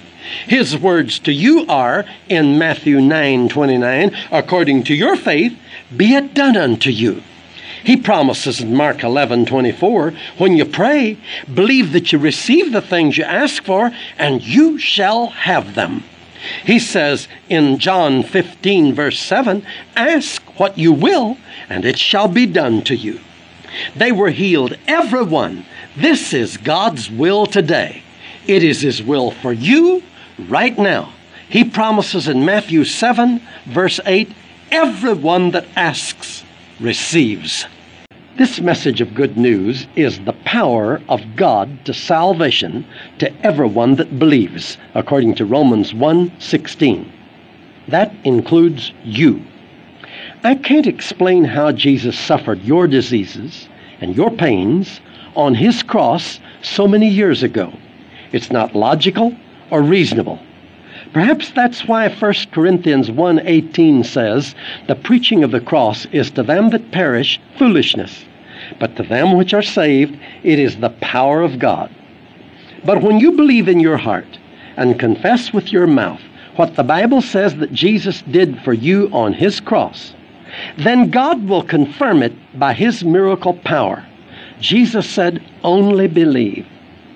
Christ paid for your perfect and complete healing when He died for you in your place. He's the Lord who heals all your diseases. He paid for your healing when, according to Isaiah chapter 53, verses 4 and 5, He carried your diseases and suffered your pains, taking the stripes by which you were healed. Now, on the cross, He said, It's finished. Your health is paid for. Your diseases were laid on him. He took them away forever. Healing belongs to you now. It's a gift. It's yours. Satan has no right to lay on you what God laid on Jesus at the cross. What Christ bore, we need never bear. Isaiah 53, verse 6 says, The Lord has laid on him the iniquity of us all. Verse 8 says, For the transgression of my people was Jesus stricken. Verse 10 says, It pleased the Lord to bruise him and to make his soul an offering for our sin. Verse 11, For he shall bear their iniquities, our iniquities. Hebrews 9:28 says, He bore the sins of many, or in other words, he bore our sins.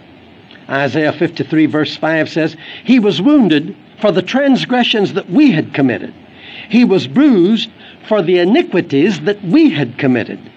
The chastisement or punishment for our transgressions and our iniquities was put upon him. The chastisement of our peace was upon him. The Bible says in Isaiah 53, verse 4 Certainly he bore our sicknesses and carried our pains. Verse 5 says, With his stripes we are healed. Naturally, if he suffered our suffering, then we don't have to suffer because he did it in our place and we are free. The crux of the gospel message is that what he did on the cross as our substitute, he did in our name, in our place, so that we are free and we never have to suffer what he suffered for us. Matthew chapter 8, verse 17. Himself took our infirmities and bare our sicknesses. Why? So that we don't have to do it, so that we can be healed and enjoy His help and His happiness. 1 Peter 2:24, who his own self bare our sins in his own body on the tree. Why? So that we, being dead to sins, should live to righteousness. We're dead to sins because he took our sins. Our sins have been punished, and you cannot punish a crime twice. Our sins were punished in Jesus. He bore our sins, our punishment, so by his stripes we were healed spiritually, mentally, and physically. When sin entered the human family, sickness logically followed. Medical science emphasizes the profound influence which the human spirit and the mental attitude have on the physical body and the nervous system. The devastation of deceit and evil, the decadence of lust and envy, the destruction of hatred and vengeance, the corruption of sin and rebellion all impose their destructive toll on the human body. it's constantly poisoned by the fountain of negative and depraved attitudes. Salvation and healing are free gifts from God to rescue and heal you, not only from the evil and sin of your heart and spirit, but from their terrifying physical effects upon your entire body. That's why the Bible says, who his own self bare our own sins. Why? So that we may be saved. That's why the Bible says, Himself took our infirmities and bore our sicknesses. Why? So that we may be healed and be made whole. Forgiveness of sins and physical healing are both part of our great salvation. Spiritual and physical healing, according to God's Word, are both to be received together. Salvation includes both. The spirit and the body need healing. Jesus always healed both, and He does it now for you. Physical and spiritual healing. Psalms 103, verse 3. He forgives all your iniquities.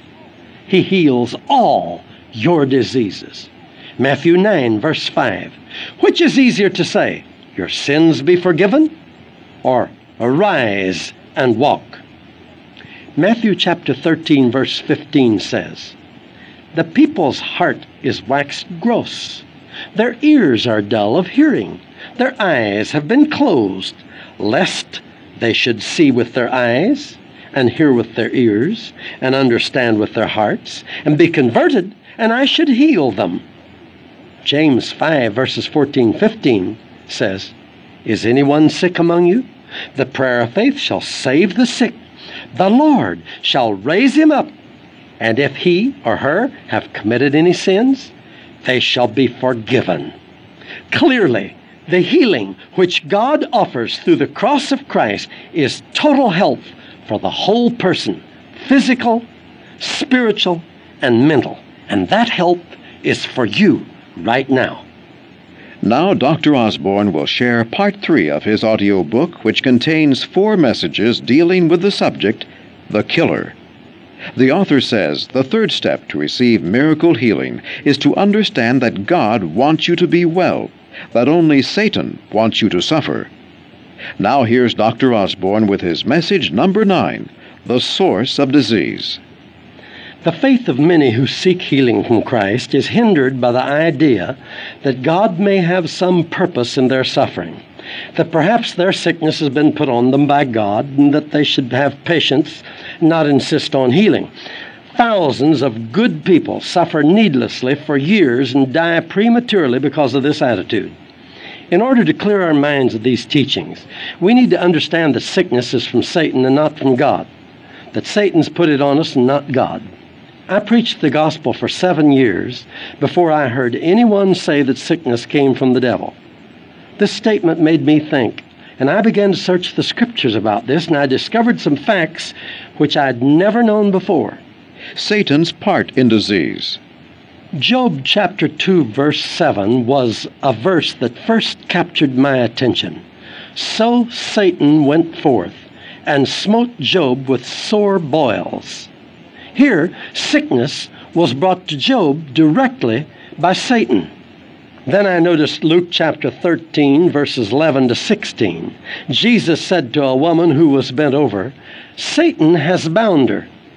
And he said that she had a spirit of infirmity.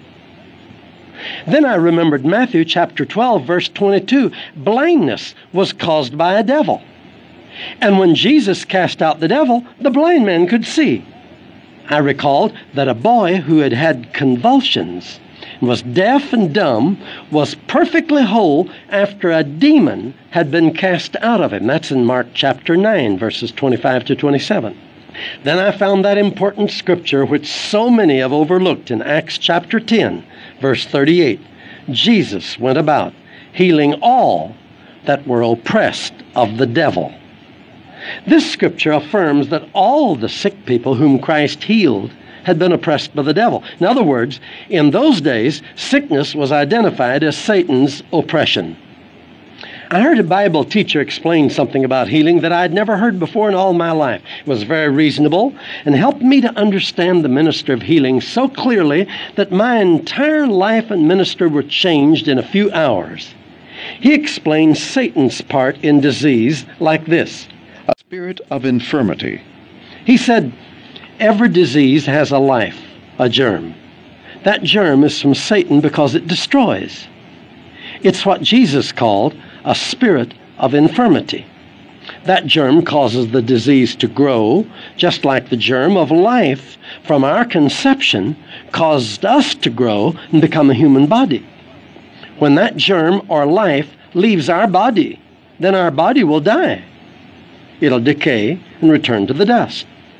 Likewise, when the spirit of a disease leaves, the disease dies and it'll decay and disappear.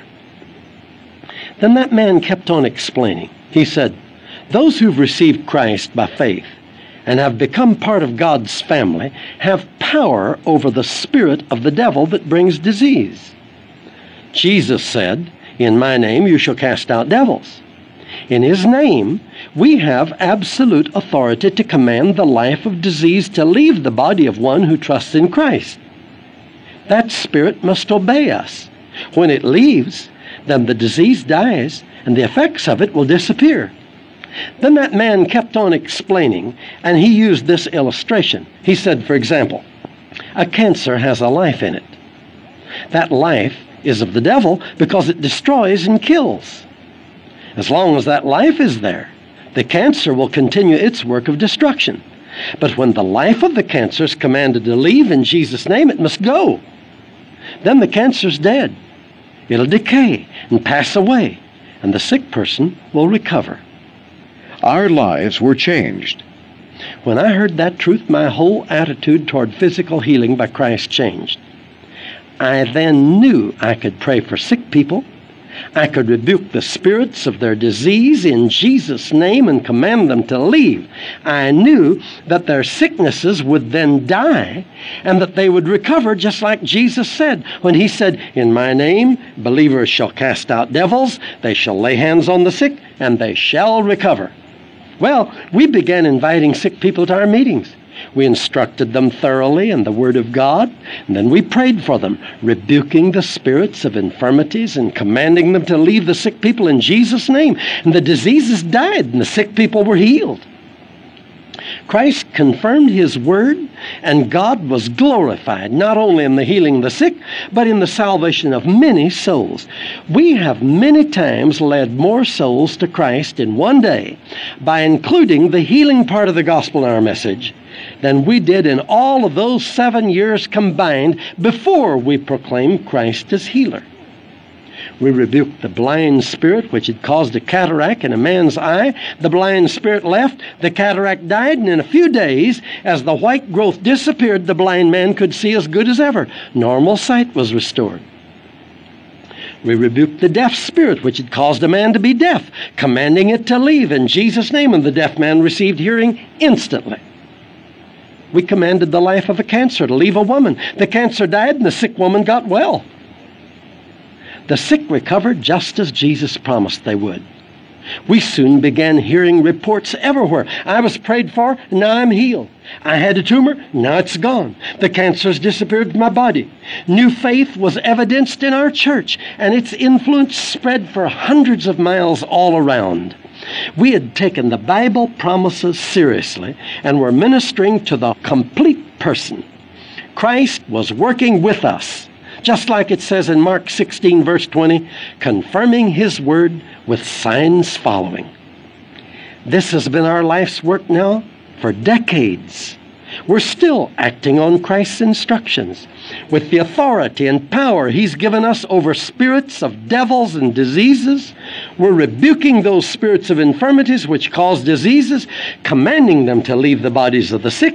The sick people are recovering, and thousands of souls are accepting the gospel and receiving Christ as Savior in every mass crusade we conduct. We say these things to show that the miraculous power of Christ, when manifested today in the healing of the sick, causes thousands of souls to believe on Christ as Savior, just as it did in Bible days. The Bible says in Acts chapter 5, verse 14, believers were added to the Lord, multitudes, both of men and women.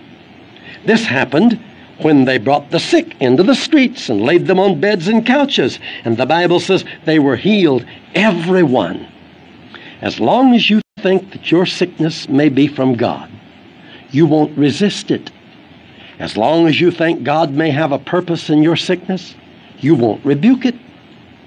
But when you understand what the scriptures clearly teach, that sickness is from Satan, you'll resist it and rebuke it and refuse it, and it'll leave you as you trust in Jesus Christ. The source of sickness. Doctors may call the disease which stiffens the joints arthritis or rheumatism, but an oppressing spirit of the devil is the scriptural cause. The proper medical term for deafness may be dead ear nerves. But from God's point of view, the real trouble is a spirit of deafness. Medical science may diagnose the case of a lad who can't talk, undeveloped vocal cords, but the Bible term is a dumb spirit. The specialist may say glaucoma or cataracts are the cause of a person's blindness, but Jesus called it a blind spirit. A totally blind lady was brought to us for prayer. The doctor said her optical nerves were dead, and from a medical standpoint, they were right. For 15 years, she had walked in total blindness with a seeing eye dog. We rebuked the spirit of blindness which had destroyed her sight in Jesus Christ's name. It left her, and the lady screamed with joy. Oh, now I see, I'm healed. That woman's sight was restored instantly. In Jamaica, a woman was hauled to our meeting in an old wheelbarrow by three other women. She had suffered, according to the doctors, a complete stroke of paralysis. She had lain lifeless for four days and nights without even swallowing water or food. Her eyes were rolled back in her head, and her body appeared to be dead, except for the faint pulse of her heart. We rebuked the spirit that had paralyzed her and commanded it to leave her. Then I called in a loud voice, Vida, open your eyes and be made whole in Jesus' name. She was instantly healed. In a few minutes, she was on her feet and walked home, sound and well. The cause of her illness was a spirit of infirmity, which had been sent by Satan to kill and destroy her life, like the Bible says in John chapter 10, verse 10. But God healed her by the life of Jesus Christ. Cutting the lifeline. On the farm, we used to chop a deep groove around a tree to kill it. Though the leaves didn't wither instantly, we knew that we had dealt the death blow to the tree and that it would die, and it always did. So it is with disease. Jesus gave us power and authority over all disease, according to Mark chapter 3, verse 14 and 15, and many other verses.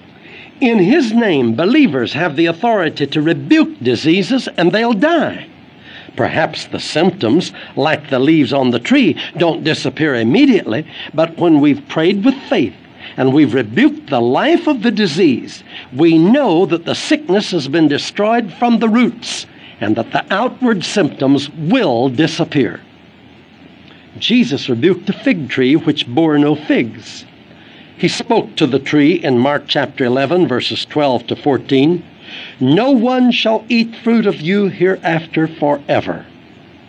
He knew the life of the tree died at that moment and that the tree would wither.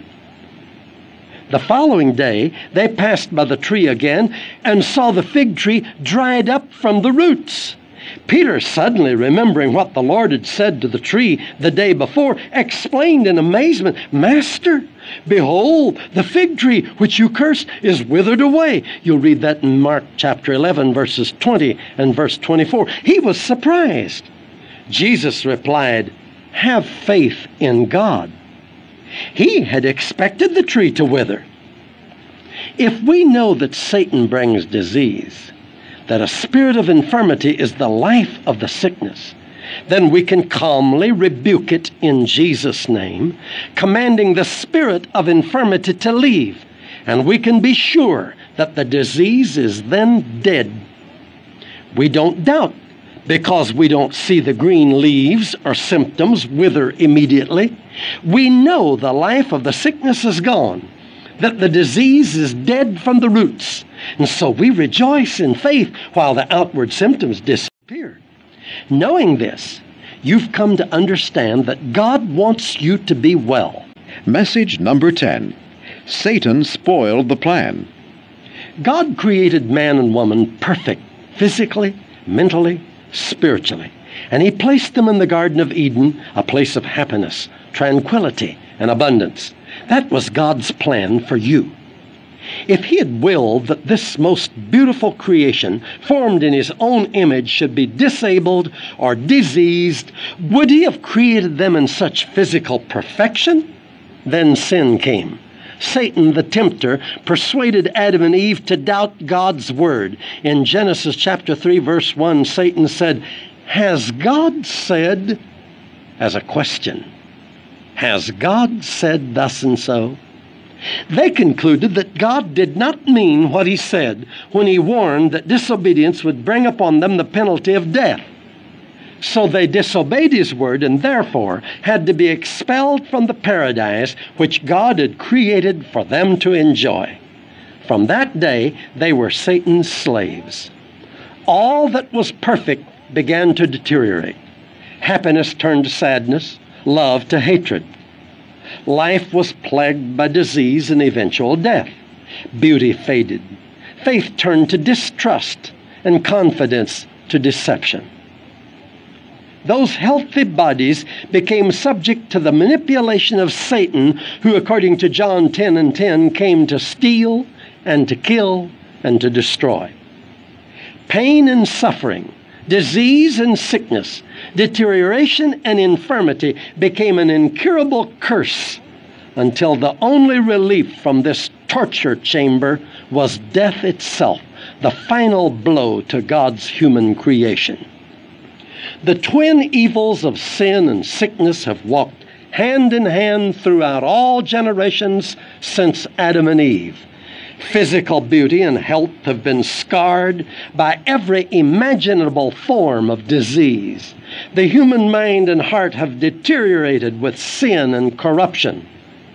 In spite of the golden triumphs of medical science and the almost prodigious achievements of modern surgical procedures, human beings are still menaced by the vicious prospect of diseases for which there's still no cure. Message number 11 Harvest of Suffering. It was never God's plan for humankind, whom He created in perfection, to be sick or weak or to suffer. The problem of sickness and physical weakness came when temptation came to Adam and Eve, and they yielded to it sin was conceived. They were driven out from God's presence. The seeds of sin grew and produced evil in their hearts.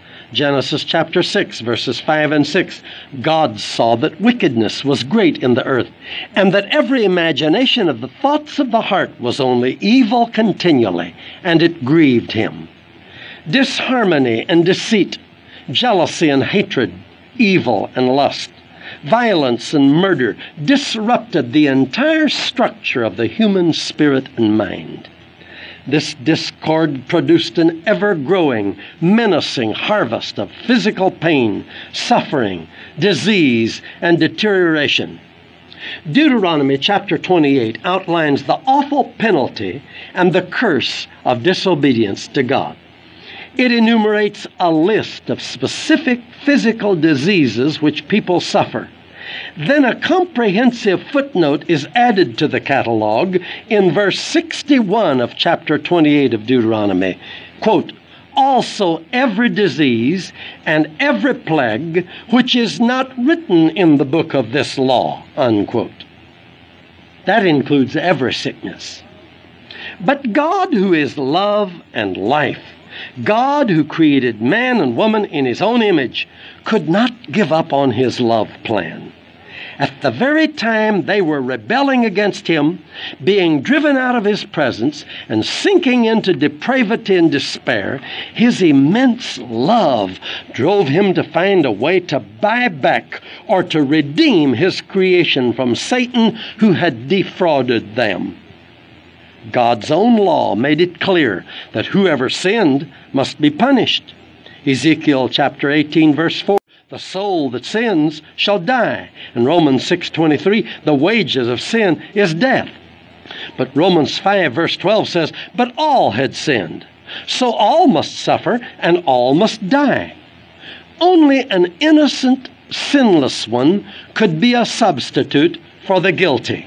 Therefore, God loves you so much that he gave his only begotten Son as a ransom for you. Jesus Christ, the innocent one, suffered the penalty which the guilty deserved to suffer. Message number 12 The Good News. The gospel is good news. What good news? It's the good news of what Jesus did for you on the cross. He bore the punishment for your sins. Why? So that you don't need to be punished.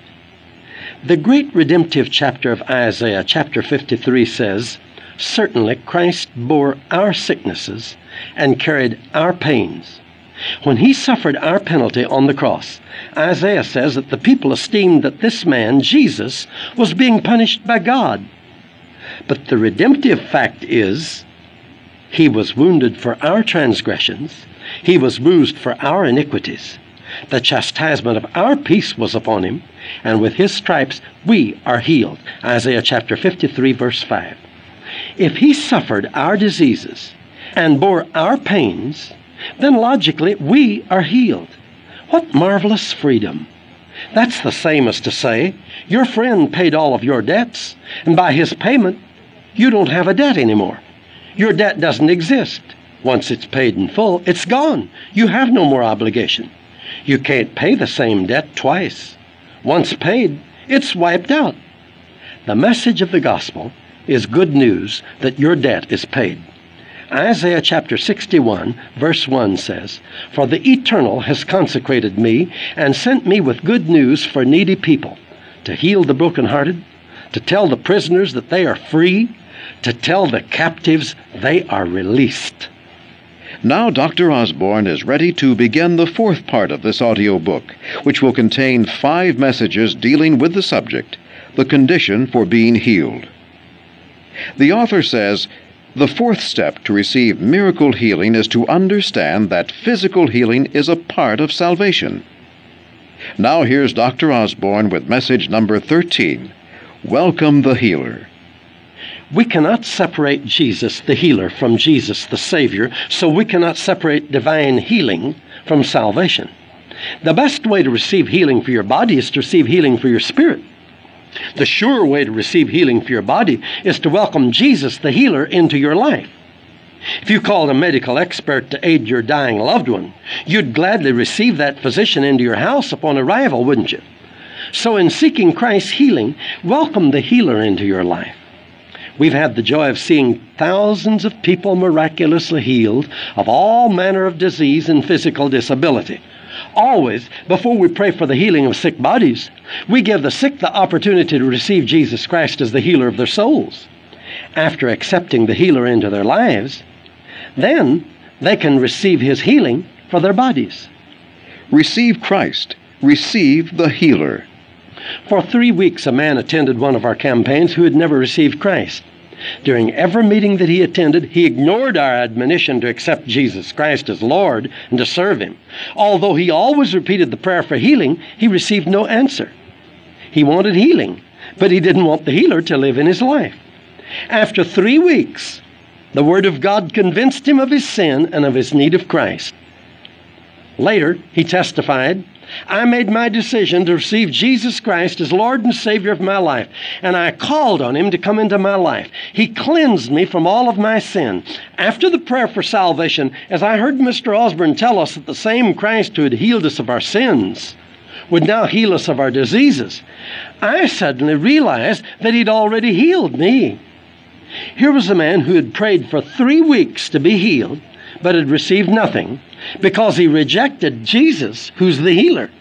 When he finally decided to receive Jesus as his Lord and Savior, Christ healed him completely even before he had a chance to ask. I've seen this happen thousands of times. Another man came to accept Christ, and he had two ruptures and one deaf ear. While he was thanking God for healing his soul and for forgiving his sins, Christ the healer, who had entered his life, healed his body completely even before he asked him for healing. He was saved. His blindness left. An old man in Central America who repented of his sins and received Christ into his heart and life was instantly healed of total blindness at the moment the healer entered his life. When he testified to what Christ had done for him, he explained, Christ has come in. He's right here in my heart. Then he continued, he pounded his chest. He said, Lay your hand right here. You can feel him. He's here. I can see everything. He's opened my eyes. I'm saved. I'm healed. God's order for blessing our lives is who forgives all your iniquities, who heals all your diseases. Forgiveness for our sins comes first. Then healing for our diseases follows. The first blessing Christ pronounced upon the paralytic in Mark chapter 2 was, Your sins are forgiven you. Then he said, Arise, take up your bed, and go your way into your house. It was forgiveness first, and then physical healing. God's condition for his healing covenant is in Exodus 23, verse 25. You shall serve the Lord your God. Then he adds, And I will take sickness away from the midst of you. Healing comes from the healer. He heals from within. Receive him, and you'll receive his healing, which is part of his abundant life. You could never receive healing while rejecting the healer. A man asked me, Will you pray for me to be healed? Sure, I said. And then I asked him, Have you accepted Jesus Christ as Savior and Lord of your life? He shocked me, emphatically said no. Well, I asked, Why do you ask God to heal you when you don't love Him enough to serve Him? Why should you ask God for more strength to serve the devil? Then I said to him, If you'll serve God, He'll heal your body. But if you refuse to serve Him by refusing to receive Christ into your life, you shouldn't expect Him to heal your body. The man thought this over intelligently, made his decision. Would you believe? Accepted Christ as Lord and Savior, was joyfully converted, and instantly healed. You may be one who desires healing for your body, yet maybe you've never had a definite experience of receiving Jesus Christ into your life, of being reborn, being saved. If so, now's the time to be saved. 2 Corinthians 6 2 says, Now is accepted time. Behold, now is the day of salvation. The new birth miracle. If you've never accepted Jesus Christ by a definite act of faith, at a definite time, remember that the Bible says in Romans 3, verse 23, all have sinned and come short of the glory of God. And Luke chapter 13, verse 5, Jesus said, Except you repent, you shall all likewise perish. Isaiah 59, verse 2 says, Your iniquities have separated between you and your God, and your sins have hid his face from you that he will not hear you. But I've got good news for you.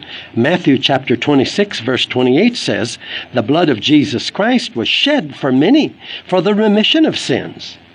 And Matthew chapter 1 verse 21 says, You shall call his name Jesus, for he shall save you from your sins. And 1 John 1 and 9 says, If you confess your sins to him, he's faithful and just to forgive you of your sins and to cleanse you from all unrighteousness. You see, according to these scriptures, if we've not accepted Christ's forgiveness for our sins, we're separated from God and He'll not hear us. But through His shed blood, we have remission and cleansing for our sins if we'll humble ourselves, confess our sins to Him, and accept Him now by faith into our lives.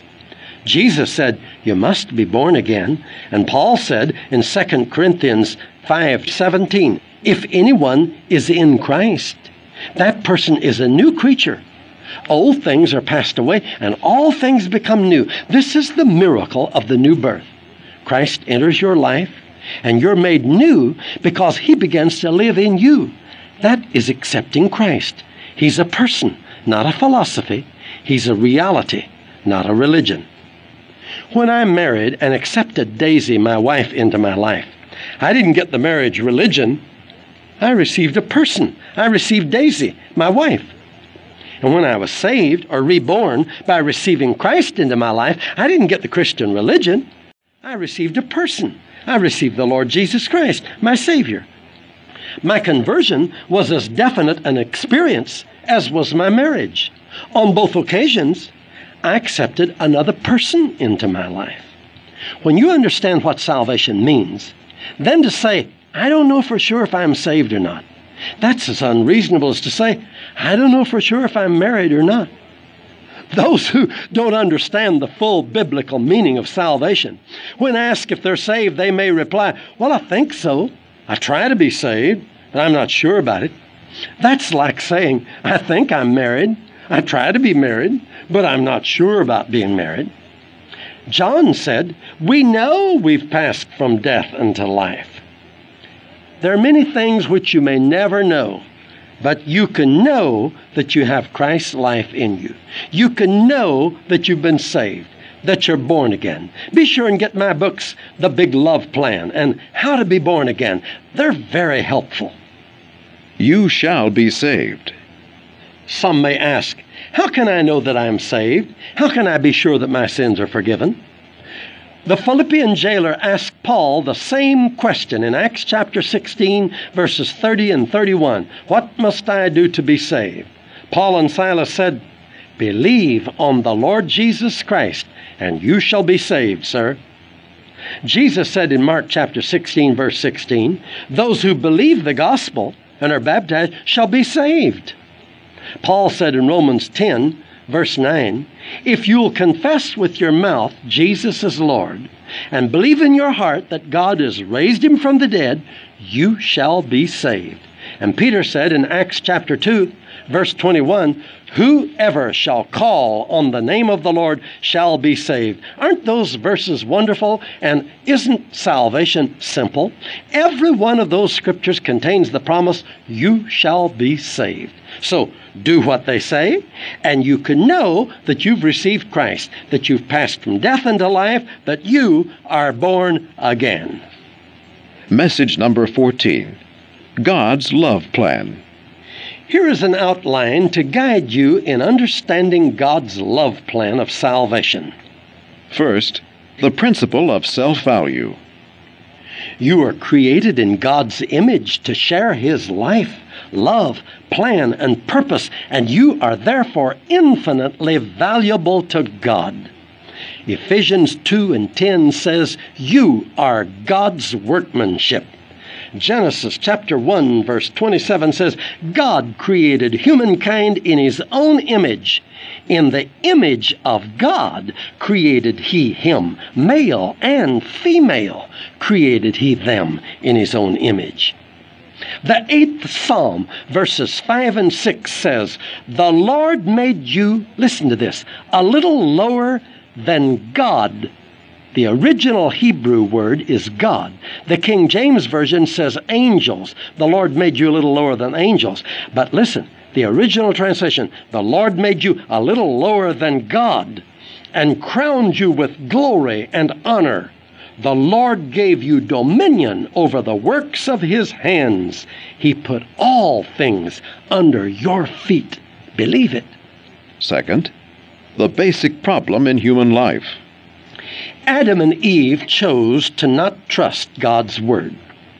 Genesis chapter 2, verses 16 17, and the Lord commanded, Of every tree of the garden you may freely eat, but of the tree of the knowledge of good and evil you shall not eat of it, for in the day that you eat of it you will surely die. Satan influenced them to distrust God's word. He contradicted God by saying in Genesis chapter 3 verse 4, "You will not surely die." Now in Genesis 3 verse 6, the Bible says, Eve took of the fruit and ate it, and gave some to her husband with her, and he ate it. That was the original sin distrusting God's Word. Third, the negative power of unbelief. To question God's integrity produces deterioration and death in human nature. Genesis 2, verse 17 God said, In the day that you disavow my instructions and eat the fruit I forbade, you will surely die. Romans 6:23 says, "The wages of sin or disavowing the integrity of God's word is death." Romans 5:12 says, "Whereas by one person sin entered into the world, and death by sin, so death passed upon all persons, for that all have sinned." Fourth, the love plan of God for you. God loved and valued you too much to let you die. He gave Jesus to be judged and condemned in your place to exempt you from all guilt. 2 Peter 3 and 9 says, God was not willing that any should perish, but that all should come to repentance. John 3:16 says God so loved you, the world, you, that he gave his only begotten Son for you, that whosoever, including you, that believes in him will not perish, but will have everlasting life.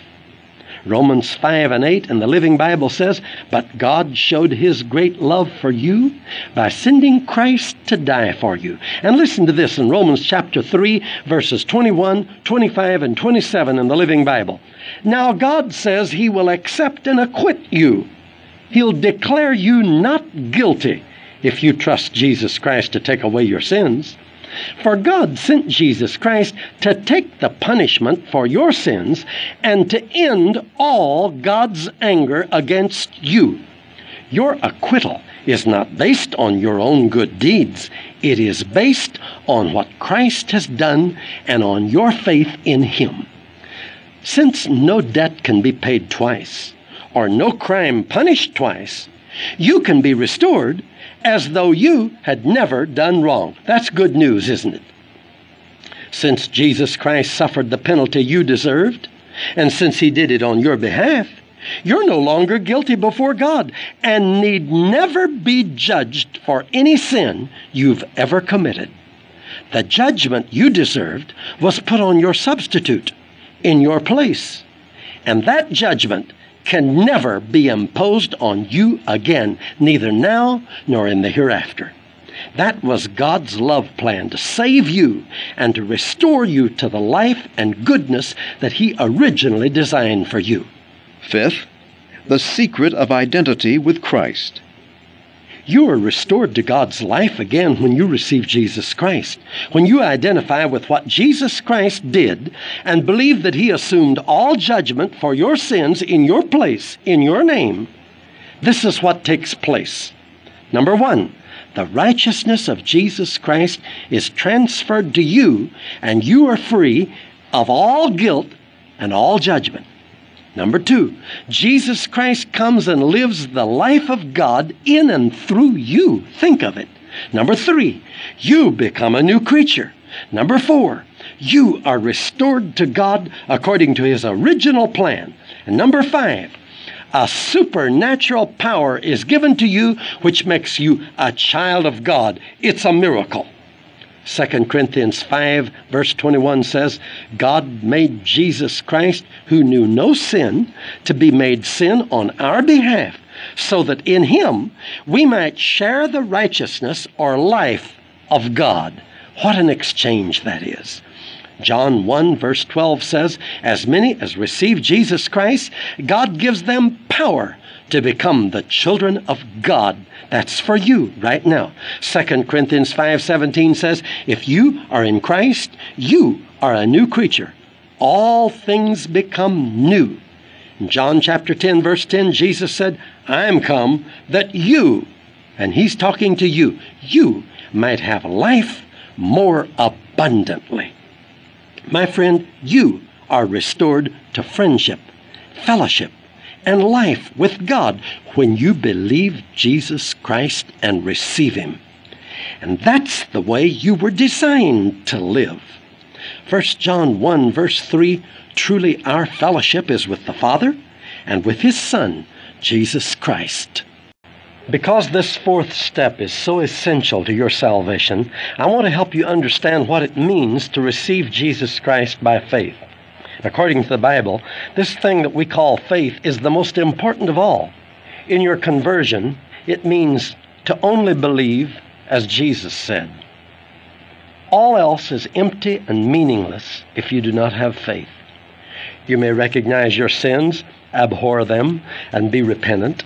You may ask forgiveness and make endless consecrations for Christian living, and even say with your lips that you've accepted Christ.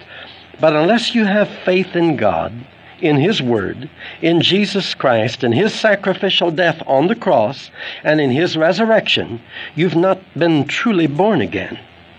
Romans 1:16 says the gospel is the power of God to salvation to everyone that believes. Ephesians chapter 2 verses 8 and 9 says by grace or unmerited favor or the goodwill of God that you cannot earn by grace are you saved through faith and that not of yourselves it is the gift of God not of works lest anyone should boast Hebrews 11, verse 6 says, For they that come to God must believe that He is, and then that He's a rewarder of them that diligently seek Him. For without faith, it's impossible to please God. The Bible promises, Whosoever shall call upon the name of the Lord shall be saved. But this salvation must be accepted by faith. What faith means? Faith is believing that what God said is true. Faith means you expect God to do what He promised to do. That's why faith comes by hearing the Word of God. You must know what God promised to do before you can expect Him to do it.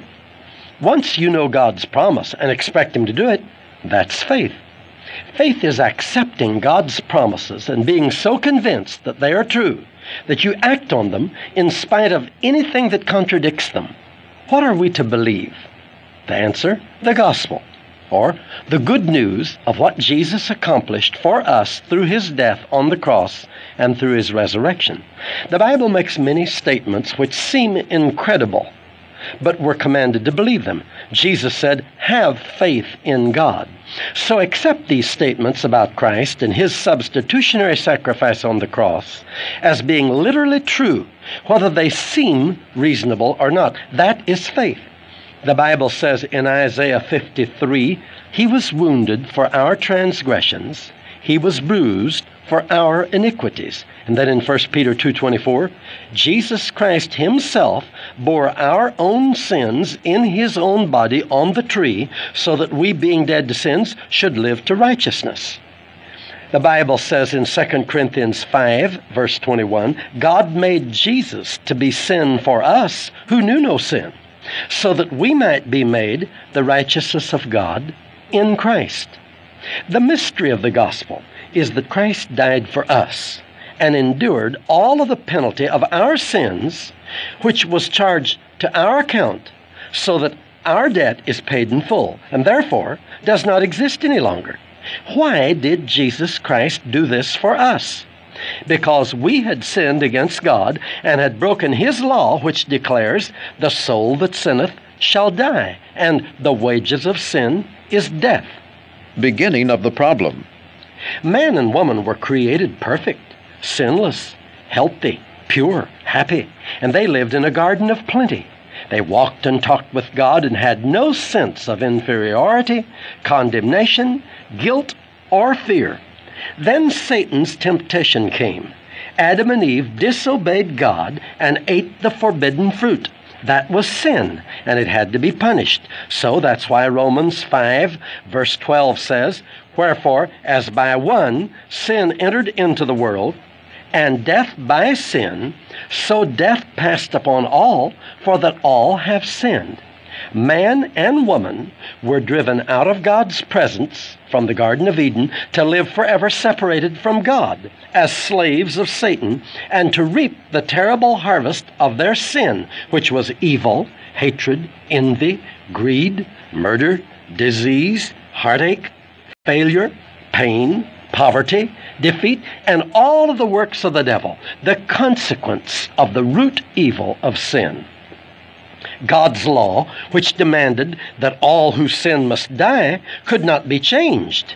Yet, 2 Peter 3, verse 9 says, God was not willing, which means he didn't want anyone to perish, but that all should come to repentance. Ezekiel chapter 18, verse 32 says, God has no pleasure in the death of them that dies. So that's why John 3:16 says God so loved us that he gave his only begotten son for us who was perfect to die in our place in our name and bear our punishment so that whoever believes in Jesus or whoever believes that Jesus took their place and died for their sins would not perish but would have everlasting life. Jesus came down to our level and lived as a man, but without sin, so he was perfect. Being without sin, he became our substitute and suffered the penalty of our sins. We couldn't pay for our own sins and live because the penalty is death. All had sinned, so all had to die. That's why Jesus came. He had not sinned, he was conceived by a miracle of the Holy Ghost in which a divine seed was planted in the womb of the virgin named Mary. That's in Luke chapter 1, verses 28 to 32, and also verse 35. The man without sin. So, Jesus was not born of human seed, but of God's seed. Since the blood comes from the Father's seed, Jesus was divine. Since the life of the flesh is in the blood, according to the Bible, the life of Jesus was divine. He was God in the flesh. That's why Matthew chapter 1 verse 23, the angel said, "Call his name Emmanuel," which being interpreted is God with us. That's why John pointed to him and said in John chapter 1 verse 29, "Behold the Lamb of God that takes away the sin of the world."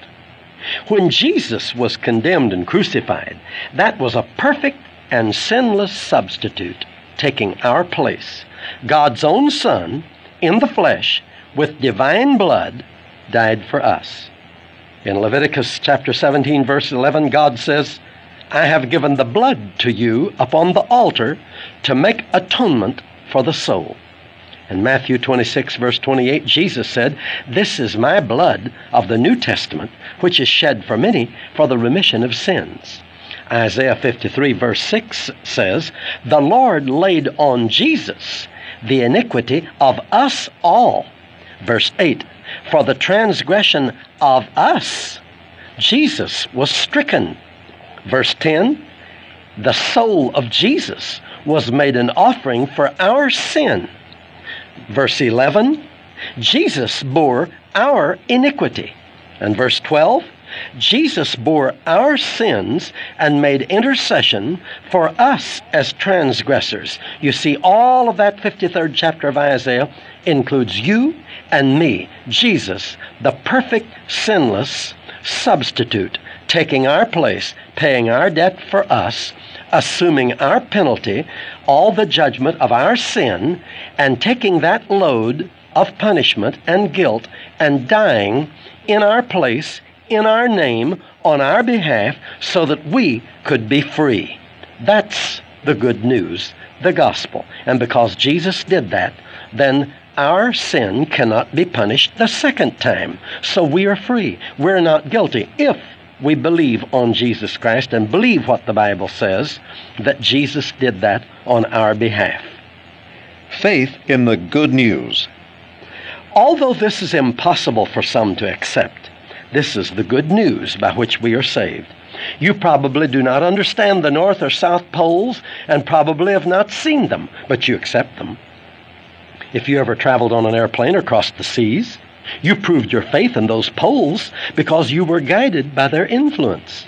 You probably don't understand your radio, telephone, electricity, or television, but you use them. They work for you. You rely on them. In the same way, you must believe the good news of Jesus Christ and believe that He took your place, suffered your sins, and bore the penalty of your guilt. On that cross, as He was dying, He said, It is finished. That means your debt cannot be paid twice. Your penalty cannot be suffered twice. Jesus did it in your name, on your behalf, for you, and now your salvation is complete. You are not guilty any longer from the minute that you tell the Lord that you believe the good news of what He did for you. So, when you believe the gospel, it means that you have faith in what Jesus did for you in His substitutionary death. The real issue trust. Now comes the real issue. Do you believe the gospel message? Do you have faith in what Jesus did for you? How can you prove your faith in Him? The answer is in one simple word trust. Trust Him. I say to you what I say to thousands who accept Christ in our mass crusades trust in the finished work of Christ for your spirit. Trust what He did for you. What else are you going to trust? I say, trust that He suffered enough for you and all of the sins that you ever committed. I said, enough. Trust that He suffered enough for you. Jesus paid the full and supreme price. No more needs to be paid. Trust that He did enough for you. Trust that He was perfect, that His blood was sinless. Trust that He was innocent and that He could take your place as your substitute. Trust that His blood was enough to wash away every sin of yours. Trust that nothing else needs to be done. No further price needs to be paid. No further penalty needs to be suffered. No good works or offerings or merits or sacrifices or penance needs to be added to what Christ did to redeem you. Trust that He did enough. Rest your faith forever on the foundation of what the Bible says that Jesus did for you. Once you've heard and believed the good news, once you've recognized your sins and repented of them, once you've confessed and turned your back on them, once you've come to God repenting of your sin and having asked His pardon, having expressed your faith in what Jesus did for you, once you've accepted Jesus Christ into your heart by faith and decided to live for Him and have purposed to strive to please Him in all that you think and say and do, then never again do anything or make any sacrifice or effort or pay any price or take any step ever to be saved. Trust Jesus Christ. Trust that He did enough at the cross. Trust His sacrifice. Trust that He paid your debt. Trust that He suffered enough. Trust His payment for your sin.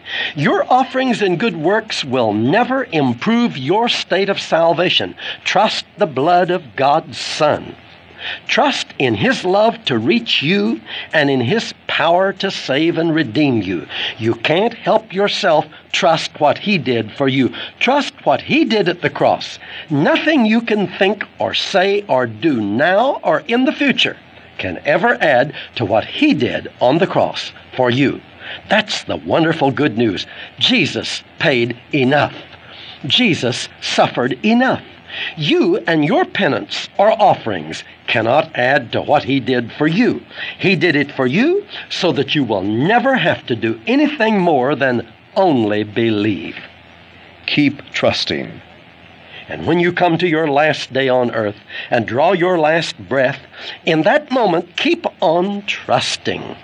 Don't try to think or say or do anything to improve your salvation at that hour, because what Jesus did nearly 2,000 years ago was enough. Trust what He did, and you will be saved. That is what the Bible means by faith. As long as we try to improve our salvation by good works, offerings, suffering, penance, or any other thing, we are not believing the gospel. We are not trusting Christ. When I think of leaving this life and of standing before God, I shall not contemplate the value of anything I ever thought or said or did in life. It is all so insignificant so often flawed by mistakes, I could not dare count on my goodness for any merit before God. But when I stand before Him, I shall depend only on what Jesus Christ did for me in my name on the cross. I shall remember only that He was perfect and that He died in my place. I shall think only of his sinless blood. God cannot reject the blood and life of his own Son.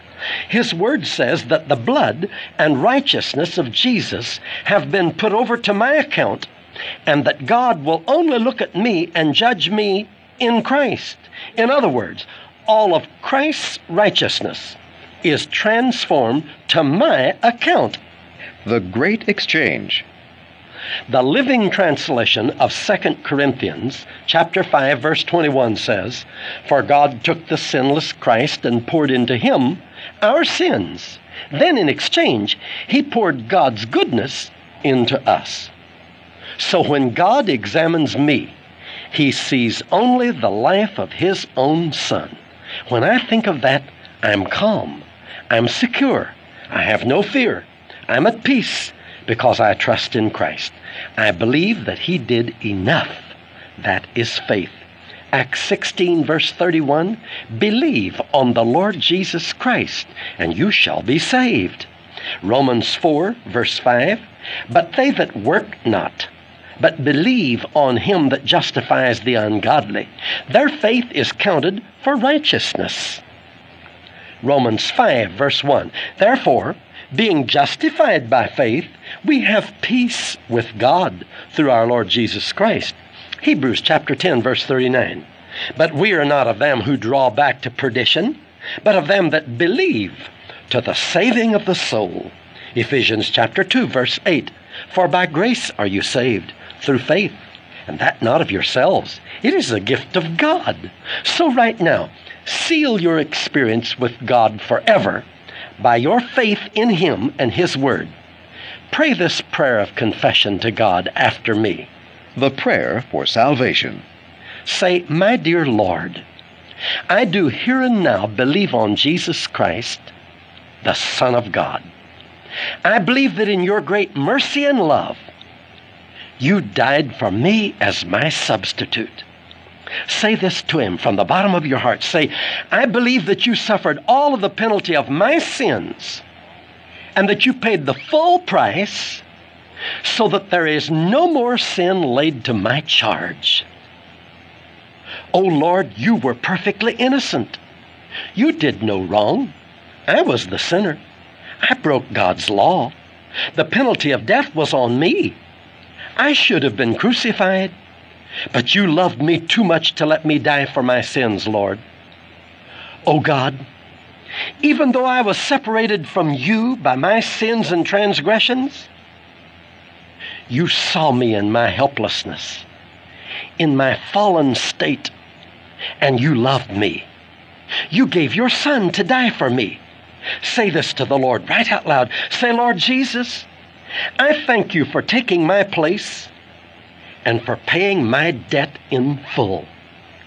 Your precious blood was sinless and divine, yet it was shed for the remission of my sins. When you suffered my penalty, I was free. There remains no sins to condemn me. So there is now no reason for me to be guilty before you. Thank you, Lord I can never be judged or sentenced for the sins that you died to pardon. They were judged in you, O oh my Lord. All of my sins and my old nature were put on your account, and you paid it all for me. Say it to him right out loud after me. Say, Now all of your spotless righteousness is put to my account so that I am now redeemed and saved. Lord, I believe on Jesus Christ. I believe the good news of the cross. I thank you that I have received you into my life. I have accepted you today. I have accepted your righteousness. I have received your free gift of love and mercy and grace. I have accepted you as a person in me. Now I am a new creature. I am reborn from above with the divine life of Jesus. I trust in the blood of Jesus that it blots out every sin and transgression from my life. I trust that you did enough for me, Lord, that you paid the full price, that there can never be any further price for me to pay. Lord, you paid it all. I shall never make another effort or claim any merit or pay any price or offer any good works, nor shall I ever, as long as I live, I shall never think, I shall never say, I shall never do anything more to have my past sins forgiven or to try to be saved. Oh Lord, you did enough. Nearly 2,000 years ago, you paid it all. You paid the full price for all of my sins and for my salvation forever. So from this day, O Lord, I trust in what you did for me at the cross. It is enough. I am saved because of what you did for me. Nothing can ever improve my salvation. Your blood cleanses me now. I have your life now. I am saved now. From this moment, I shall strive to follow you and to share the good life with others so that they too can receive your life, O Lord. Thank you, Lord, for my full salvation. In Jesus' name I pray. Amen. Message number 16 A New Creature. Now you are a new creature. Jesus Christ has come into your heart. You now have His new life. You have received the greatest miracle that any person can ever experience. Your sins have been punished at the cross. Jesus suffered in your place. He paid the full price. Your sins can never condemn you again. They're gone, like an old debt that never needs to be paid the second time. From this moment, never do anything else to try to be saved. Jesus did enough when he died on the cross for your sins in your place. Isn't that wonderful? You're not saved because of anything you've done or anything that you ever can do. Ephesians 2, verses 8 and 9 says, By grace, by unmerited favor, are you saved through faith, through trusting what he did, see not of yourselves. It is a gift of God, not of good works, lest you should boast about it. The way to keep faith. If you ever question your salvation, listen to this message again. Memorize each verse of Scripture that we've given to you and treasure them in your heart. The Bible says in Revelation chapter 12, verse 11, they overcame the adversary by the blood of the Lamb and the word of their testimonies. In other words, when you're tempted by the enemy, remember first that only through the blood of Jesus are you saved. And second, remember that it's the scriptures which told you about your salvation. So you overcome the devil by the blood of the Lamb and by the word of your testimony. Memorize some of those verses of scripture and remember them and quote them in your testimony of Jesus Christ. Now that you're recreated, reborn by the life of Jesus Christ, He actually lives in you. So this benediction from Jude, verse 24, certainly applies to you. It says these words, and I pronounce them to you in the name of Jesus. Now unto him that is able to keep you from failing, and to present you faultless before the presence of his glory with exceeding joy. To the only wise God our Savior be glory and majesty, dominion and power, both now and forever.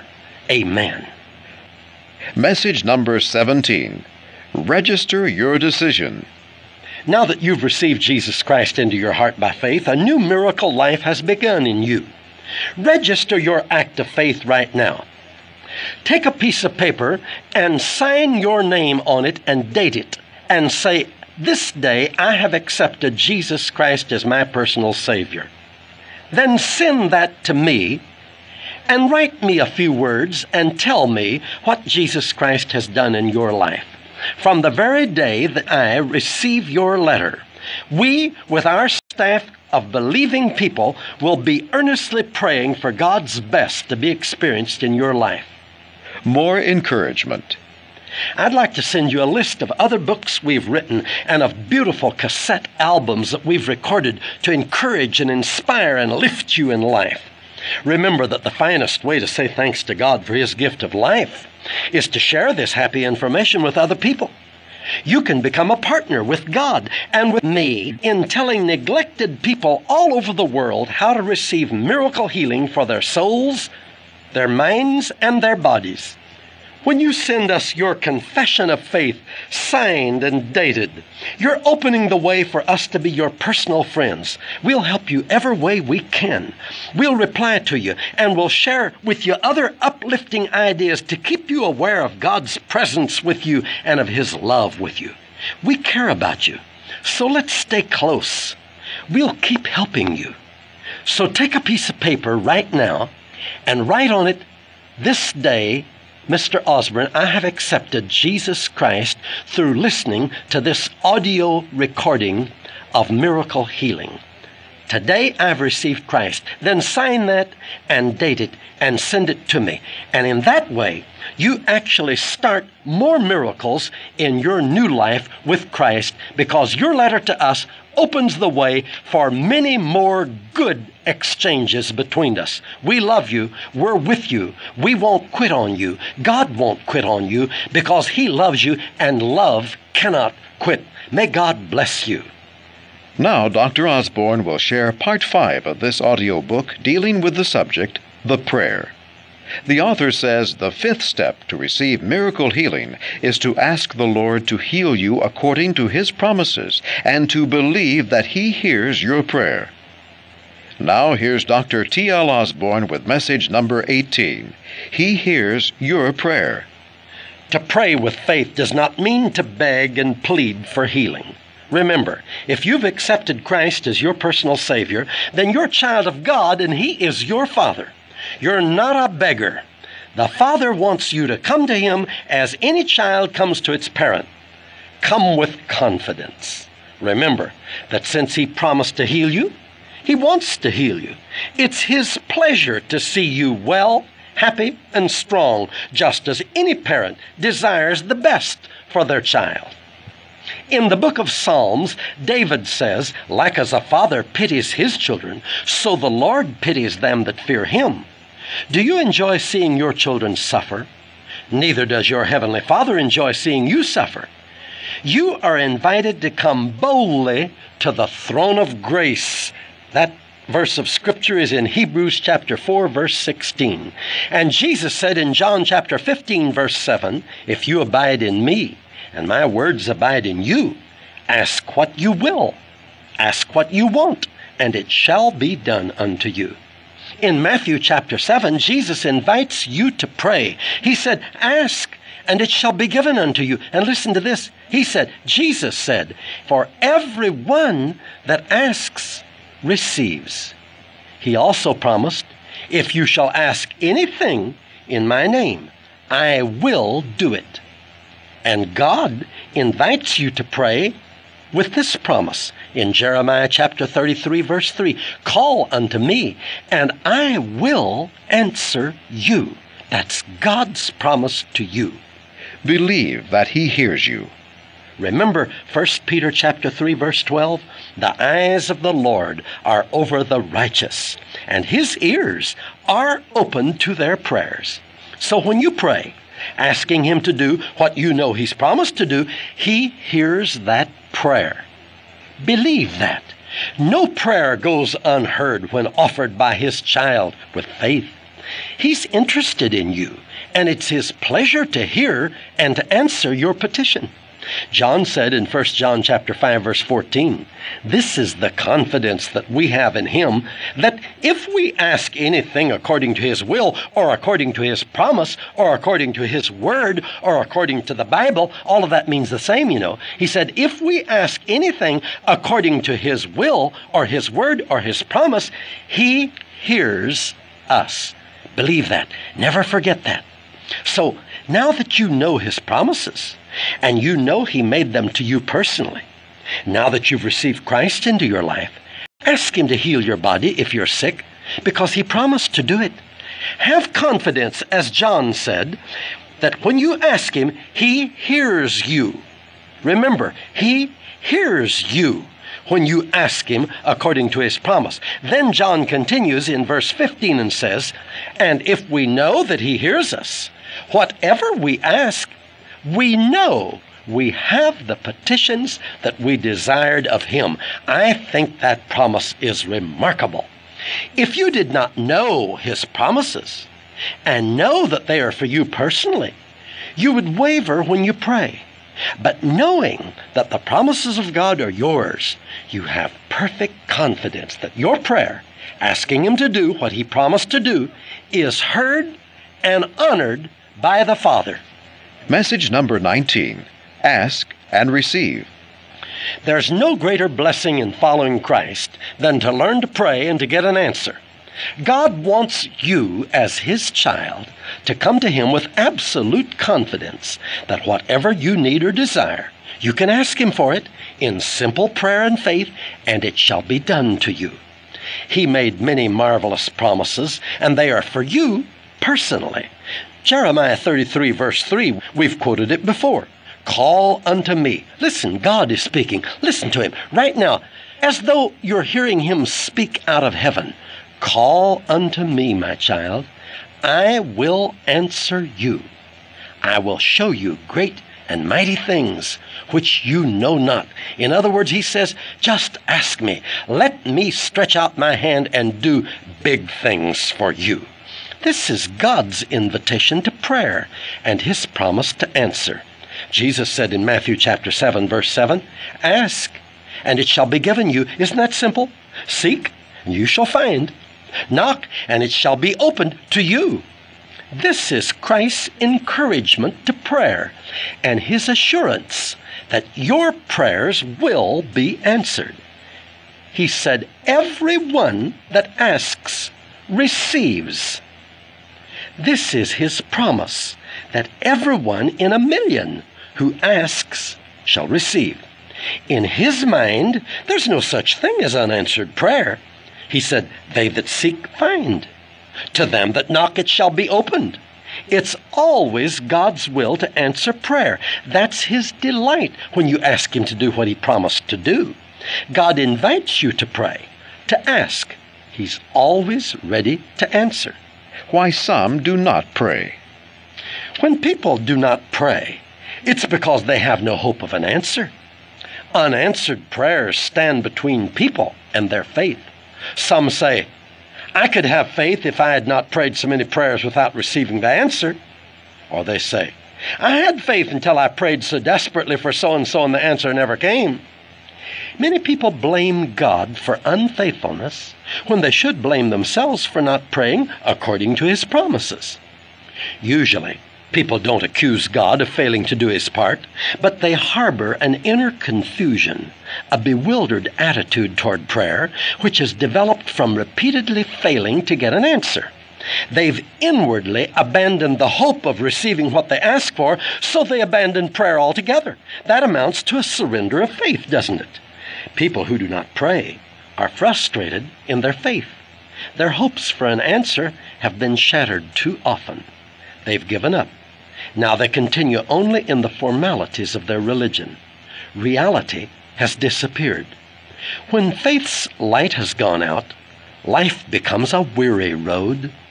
Abandon your faith, and you must walk your road alone, for God cannot keep company with unbelief. Fear and insecurity dominate the life where faith has been surrendered. You need not lose hope and conclude that prayer is useless. You can pray and receive the answer. The marvel of prayer. One of the most marvelous communions any person can enjoy with the Lord is to ask and to receive. It's so wonderful indeed that those who have perhaps only received an answer to their prayers once in a lifetime treasure that memory and that experience as long as they live. An old gentleman may dry the tears from his eyes as he relates the one time in his whole life when he cried out to God in a desperate hour and God heard his prayer and answered. Yet our Heavenly Father invites us to enjoy this blessing every day of our lives. You can enjoy this blessed privilege today and every day throughout the rest of your life. But you must release those unanswered prayers which are stacked away in the closets of your memory. Forget the past. Maybe you failed then. Never mind. A host of other people did the same and a host of them surrendered their future with their past failures. But there's another group who, by an act of their own will, wrote those memories off as bad accounts and began life anew. They succeeded. They found happiness and God's abundance too. The basis for prayer. The foundation for answered prayer is to realize that the only reason you can expect any blessing from God is that Jesus died to provide that blessing. You see, thousands of people pray, but never stop to see if what they ask for is provided by Christ's death.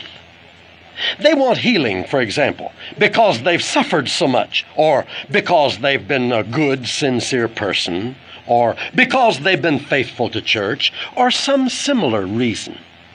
Those reasons are no basis for receiving healing from Christ. Now listen closely. The only worthy foundation on which to base your faith for healing is the Scripture.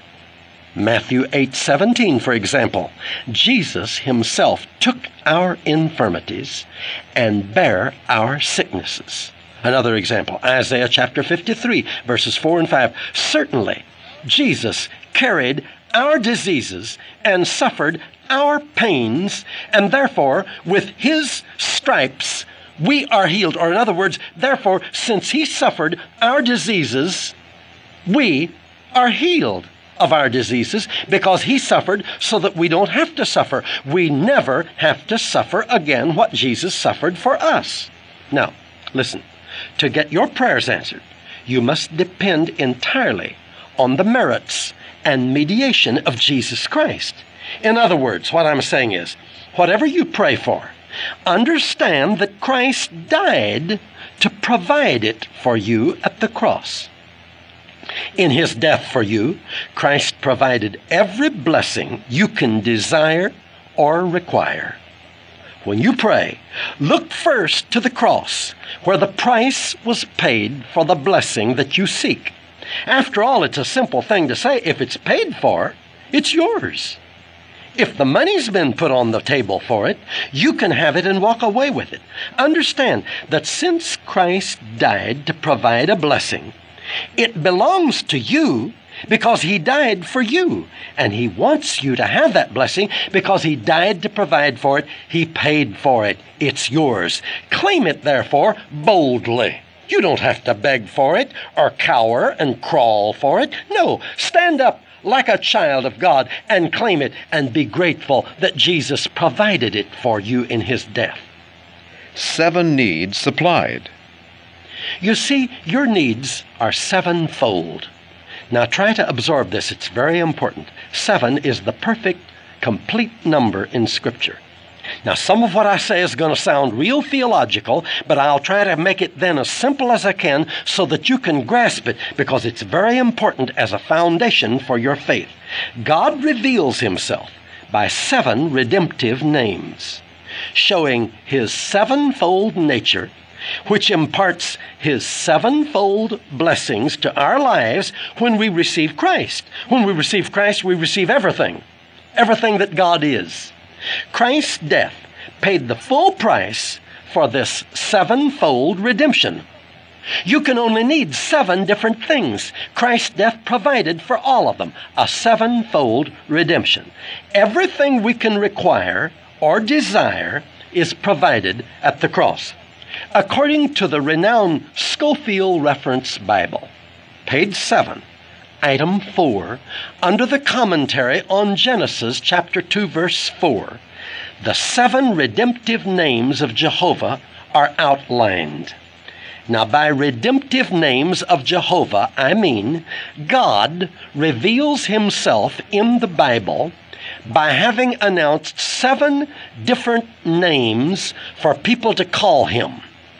They are Hebrew pronounced names. I'll give them to you in a moment. They just sound theological and of no importance because they're in Hebrew. But if you'll absorb this, you'll have a foundation for faith. For example, in Jeremiah chapter 23, verse 6, God is our righteousness. He's called Jehovah Tzidkenu. In Judges chapter 6, verse 23 and 24, God is our peace. He's called Jehovah Shalom. In Psalms 23, verse 1, God is our guide or shepherd. He's called Jehovah Rhea. In Exodus chapter 15, verse 26, God is our physician or healer. He's called Jehovah Rapha.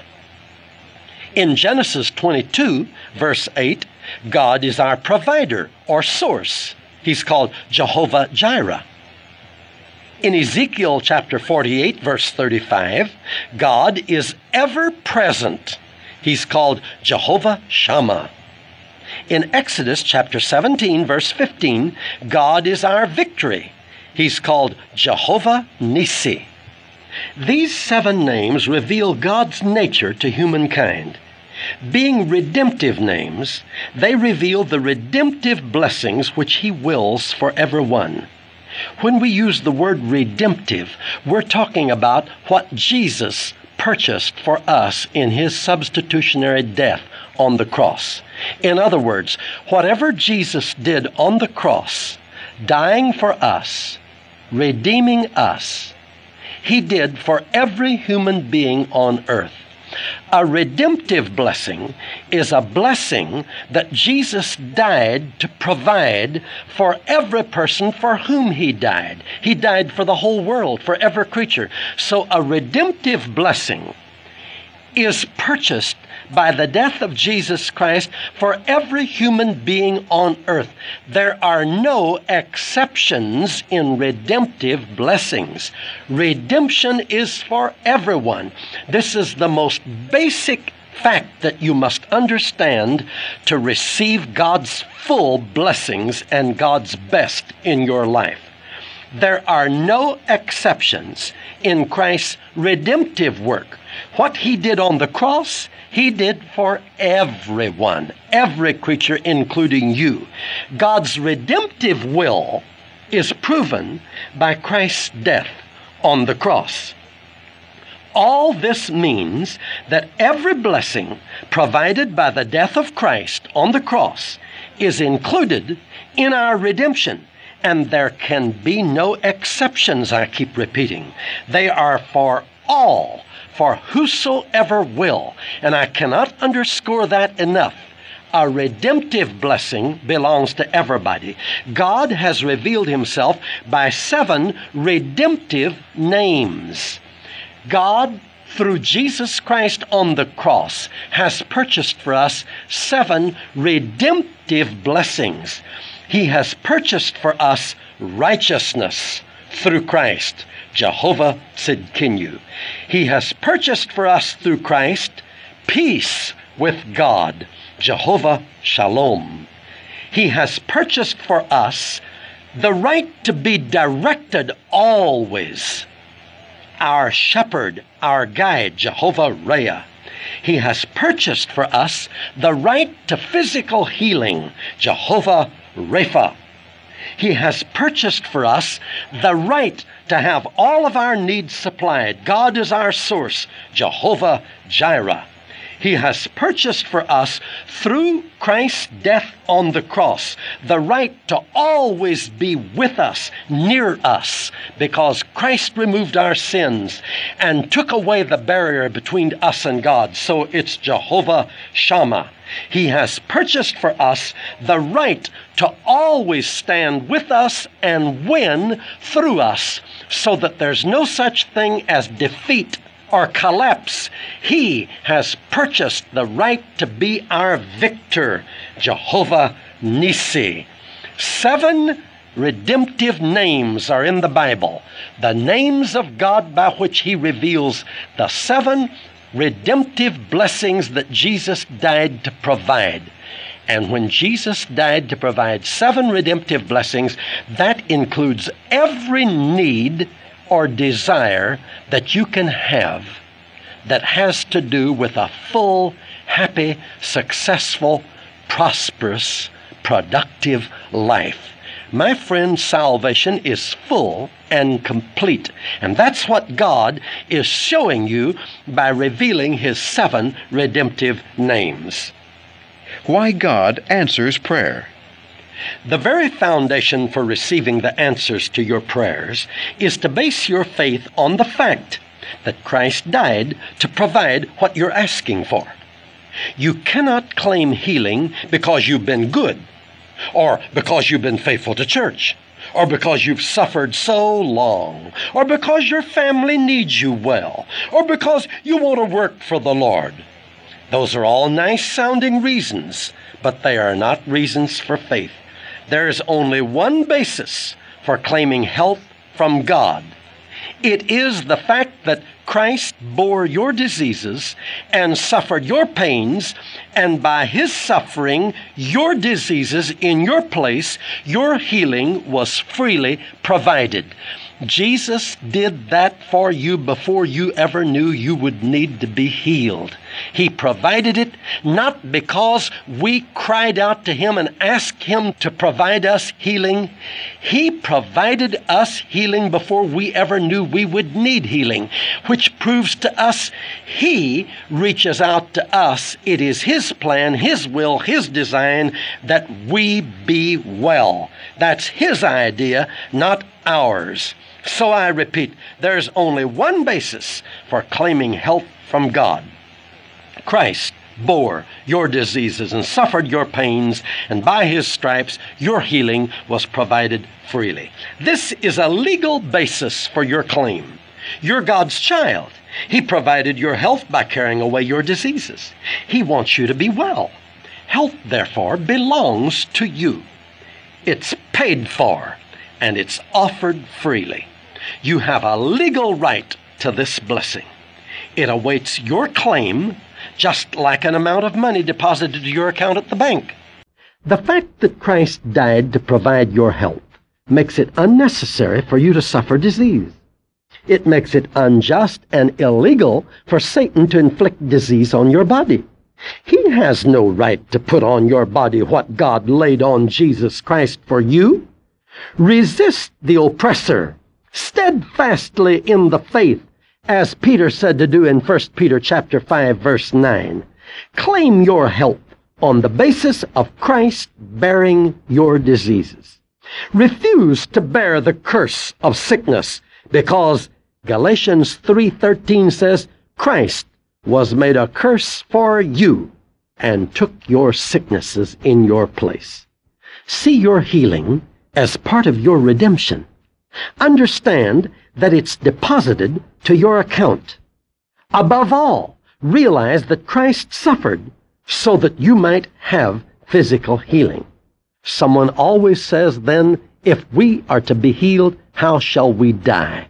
Well, the Bible says God takes away their breath, they die, and return to the dust.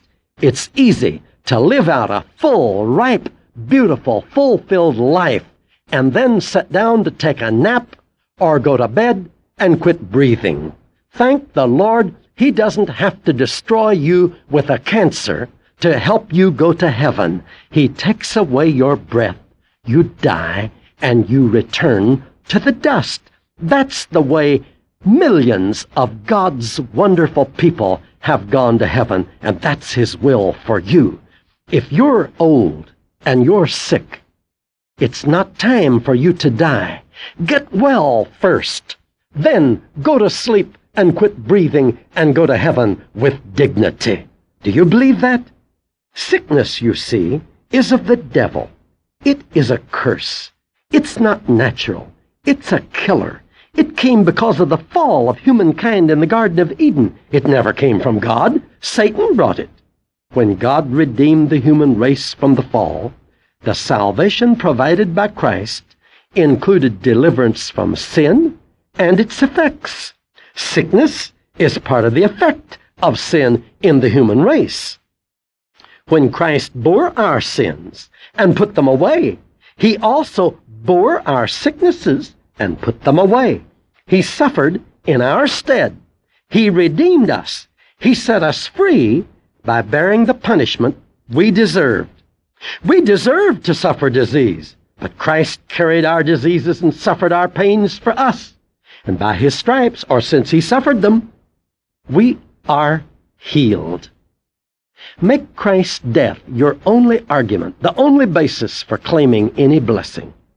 When he paid such a great price to provide the blessings and gifts you need, no other point is worthy of mentioning before him. Tragedy of unanswered prayer. The greatest tragedy among Christians today is that people do not understand the substitutionary fact of Christ's death. He did not die for himself, he died for you. He didn't carry his own sins away. He had no sins. He was perfect. He was sinless. He put your sins away. He didn't conquer and triumph over Satan for himself. He did it for you. He didn't shed his blood so that he could be near God. You are made nigh to God by the blood of Christ. He didn't empty himself in his death on the cross to supply his own needs. He did it for you so that you could enjoy all that God possesses and never suffer lack. He didn't have disease of his own.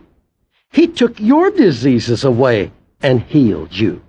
The cross is not heaven's triumph over Satan.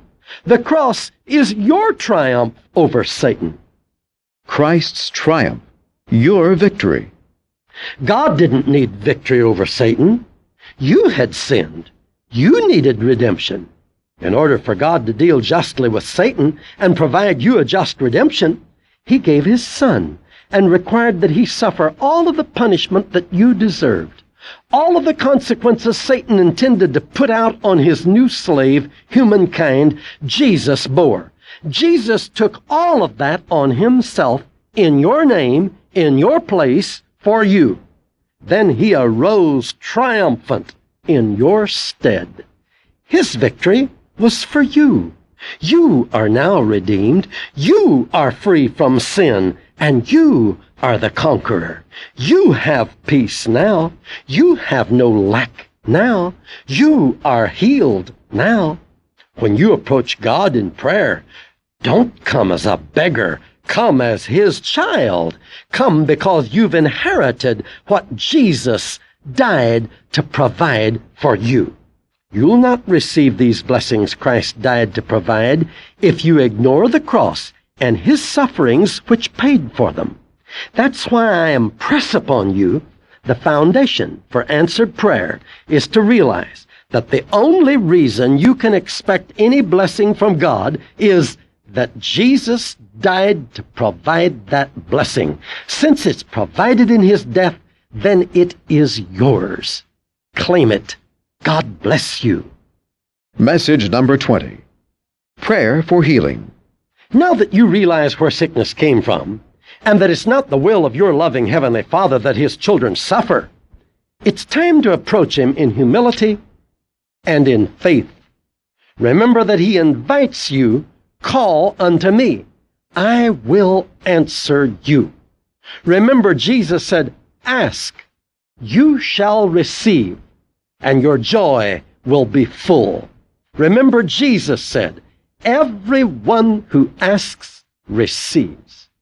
The reason you can call on the Lord right now and be healed of your physical infirmities and diseases is that Jesus Christ Himself suffered all of them in your name, in your place, for you. He did it willingly as your substitute so that you could be healed of them. Jesus took upon Himself all the physical consequences of your sinful nature. He is your healer and your Savior now. So, right now, pray this prayer right out loud to the Lord and mean it. The prayer. Dear Lord Jesus, say it right out loud. I thank you for your announcement that you are the Lord my healer. I am thankful to know that your plan for my redemption includes physical healing I never understood that sickness and disease resulted from the first sin and rebellion of Adam and Eve. I presumed that there was no escape for the threat of physical disease in my life. I knew that in spite of the wonders of medical science, our world is still full of sickness and disease. Now, Lord, I know this is all the outgrowth of sin and evil in the hearts of people. I now understand that our fallen nature is so full of deceit, so full of violence, that it's affected our entire person. Humanity has known nothing but destruction. I marvel that you did not leave us in bondage to Satan. After I had rebelled against you, I deserved to die. Oh, what love you manifested toward me! You sent your Son to be the sacrifice for my sins. Why did you love me so much? There was nothing in my nature that merited your favor. Thank you for your infinite love for me. Sin has taken an awful toll in my life, Lord. My physical body was vulnerable. I was subject to disease and sickness. Now I understand that Jesus suffered my punishment. Now I know He took my diseases. Oh Lord, you suffered my pains. You took my diseases and sufferings. Now I can be completely healed. Your body was tortured. You were beaten beyond recognition. Your back was striped. You were bruised and torn. You suffered my sicknesses so I could be free. Now, Lord, I know that Jesus did this because you loved me.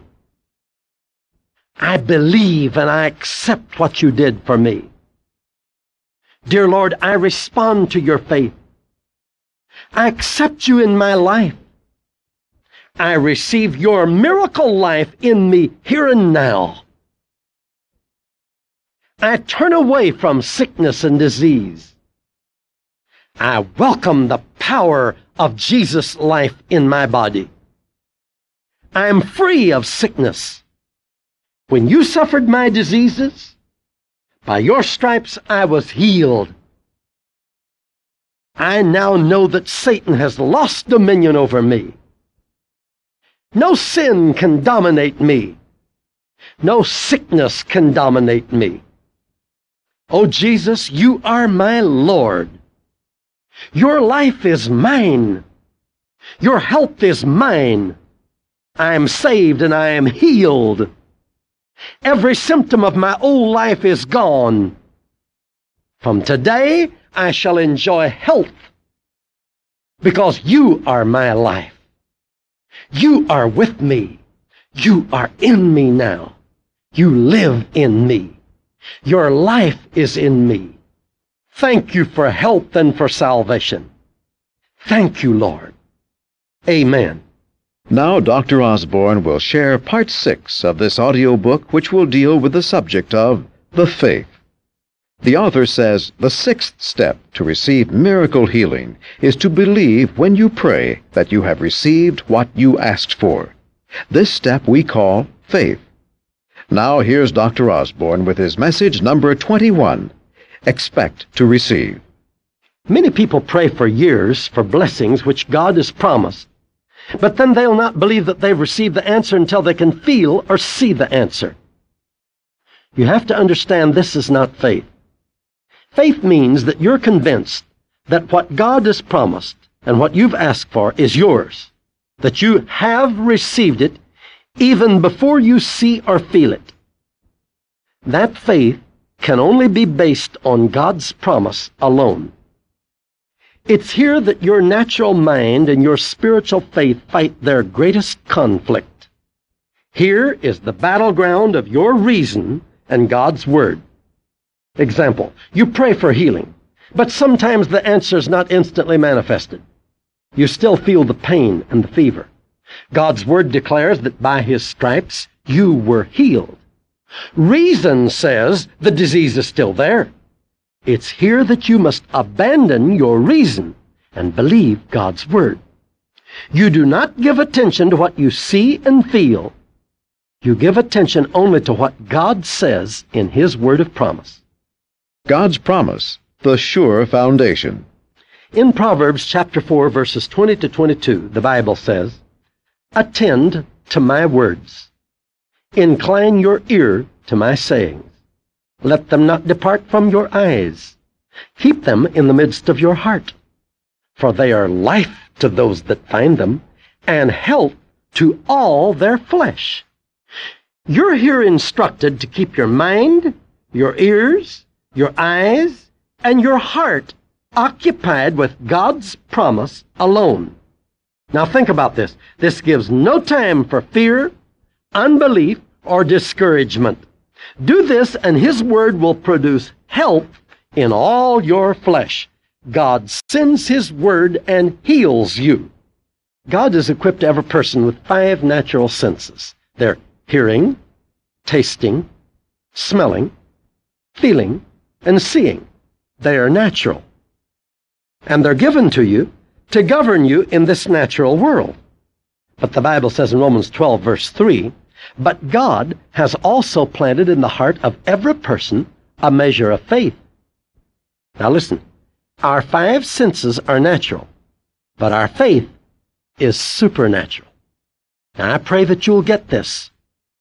There's almost nothing in the Bible more important to receiving the blessings that Christ died to provide than to understand what is faith, how faith is different than feeling. It's through our five senses hearing, smelling, tasting, feeling, seeing through those senses that we gain knowledge. But it's not through our senses that we know God. We know God through our faith. 2 Corinthians chapter 5 verse 7 says we walk by faith, not by sight.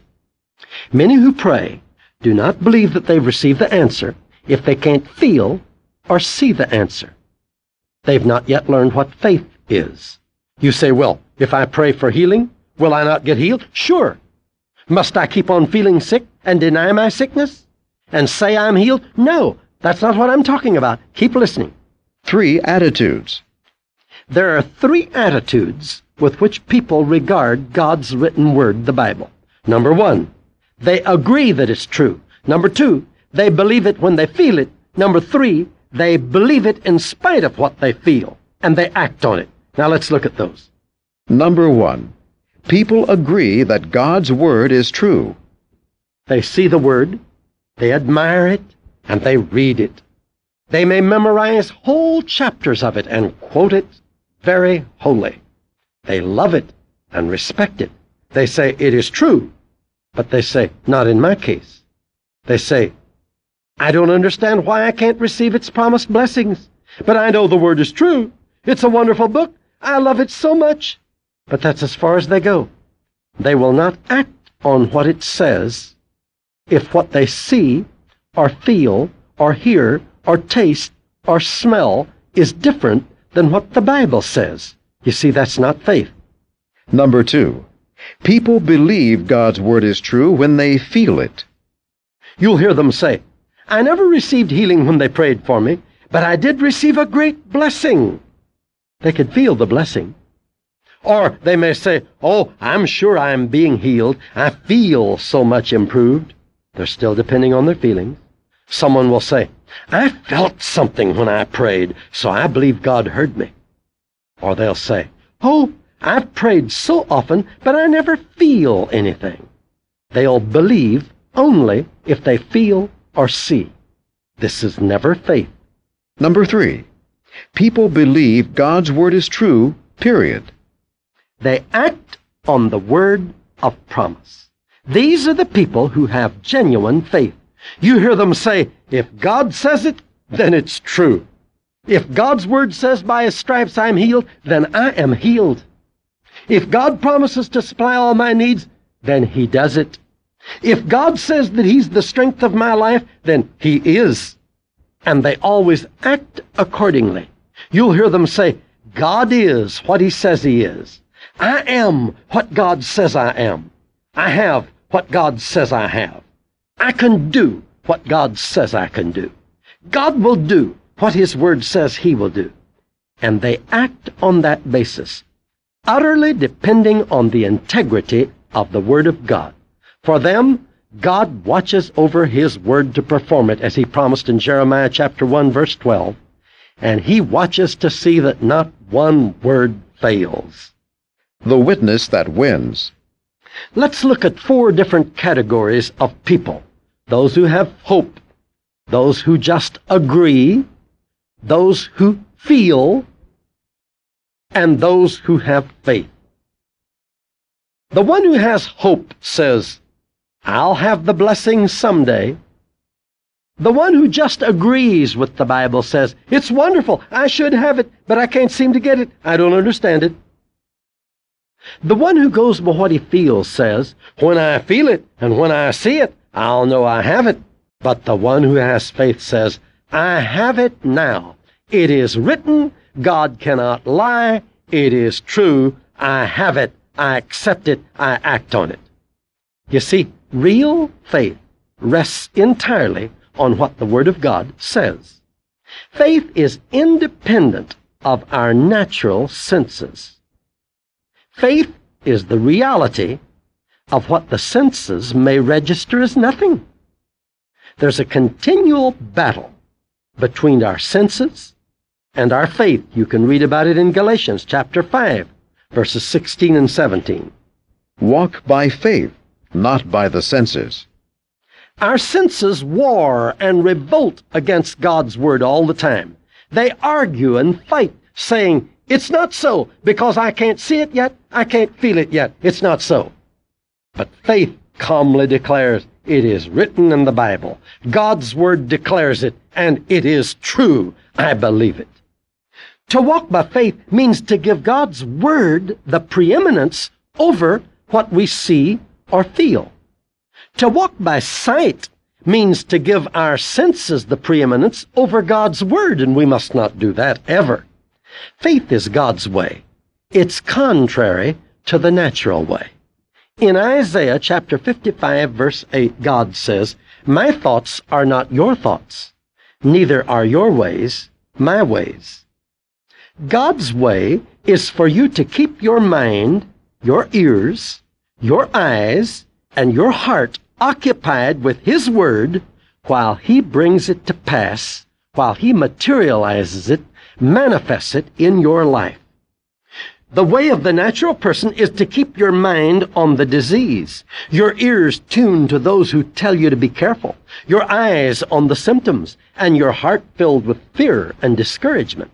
But God's order for making His words health to all your flesh is to give all of your attention to His Word only, to believe what His Word says, to confess it, even when symptoms contradict it. God's very first call to you, if you want to follow Him, is to forsake your ways and your thoughts. Romans chapter 4 verse 17 says, God calls those things which be not as though they were.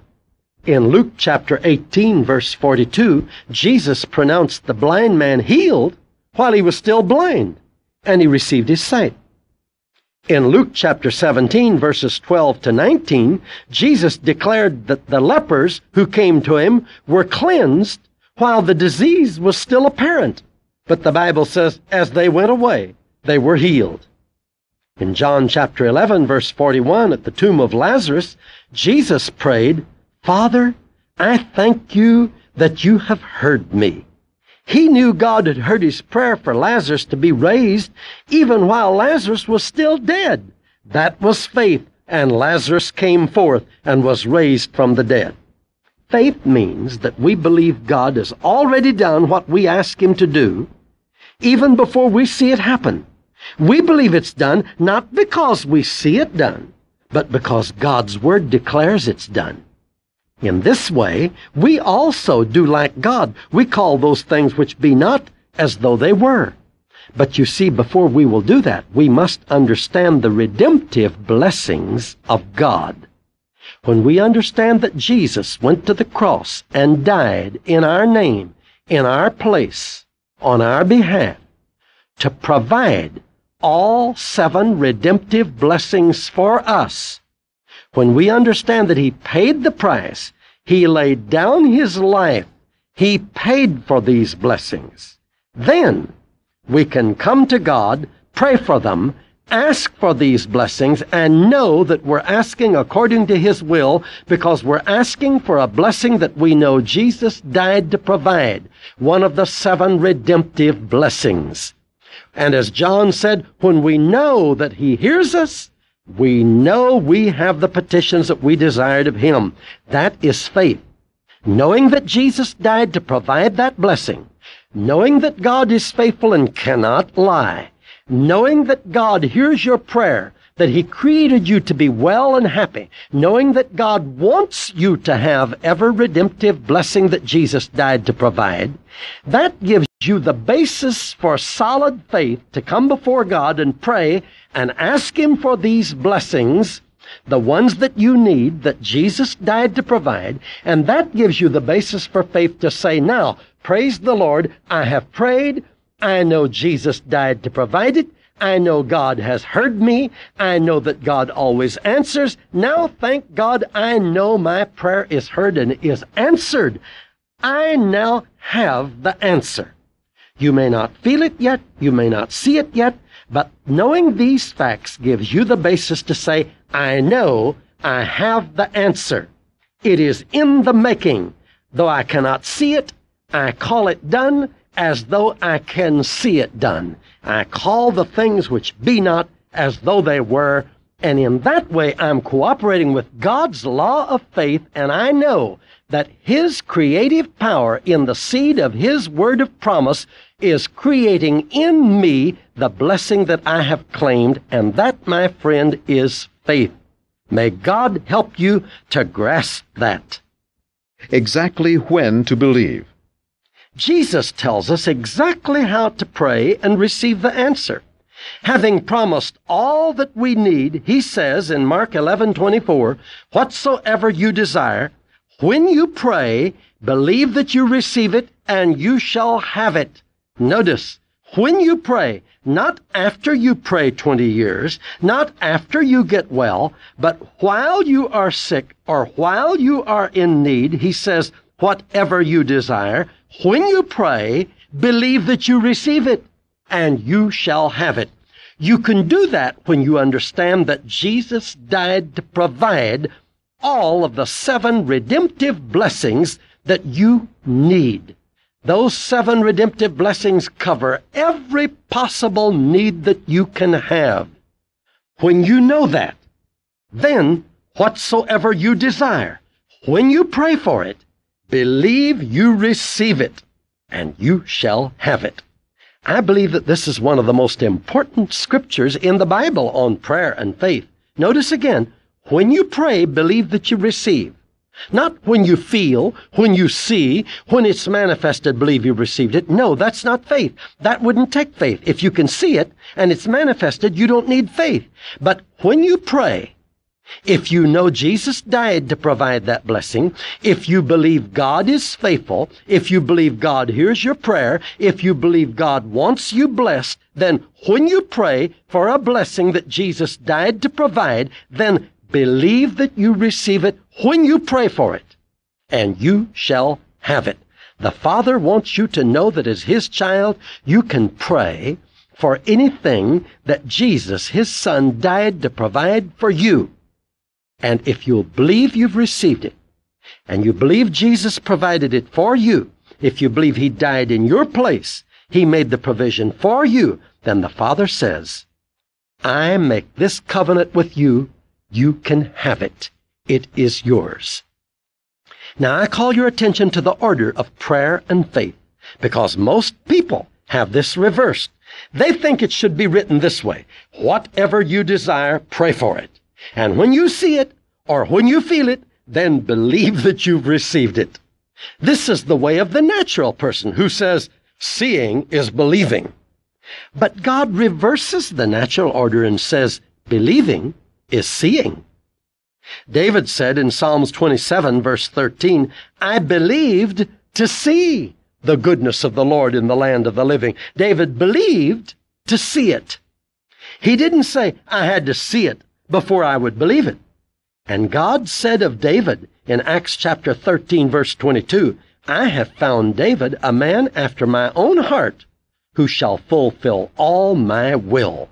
And that way, God proved again what the Bible says in Hebrews chapter 11 verse 6, without faith, it's impossible to please God. But in Hebrews 11 verse 2, with faith, we can obtain a good report before Him. David believed to see the goodness of God, and God said, He's a man after my own heart. He fulfills all my will. Oh, the joy you bring to the Father when you come to Him in prayer, not as a beggar, not crawling, not cowering, but you come to Him as a child and say, Father, I'm in need of this. Thank you that Jesus died to provide it.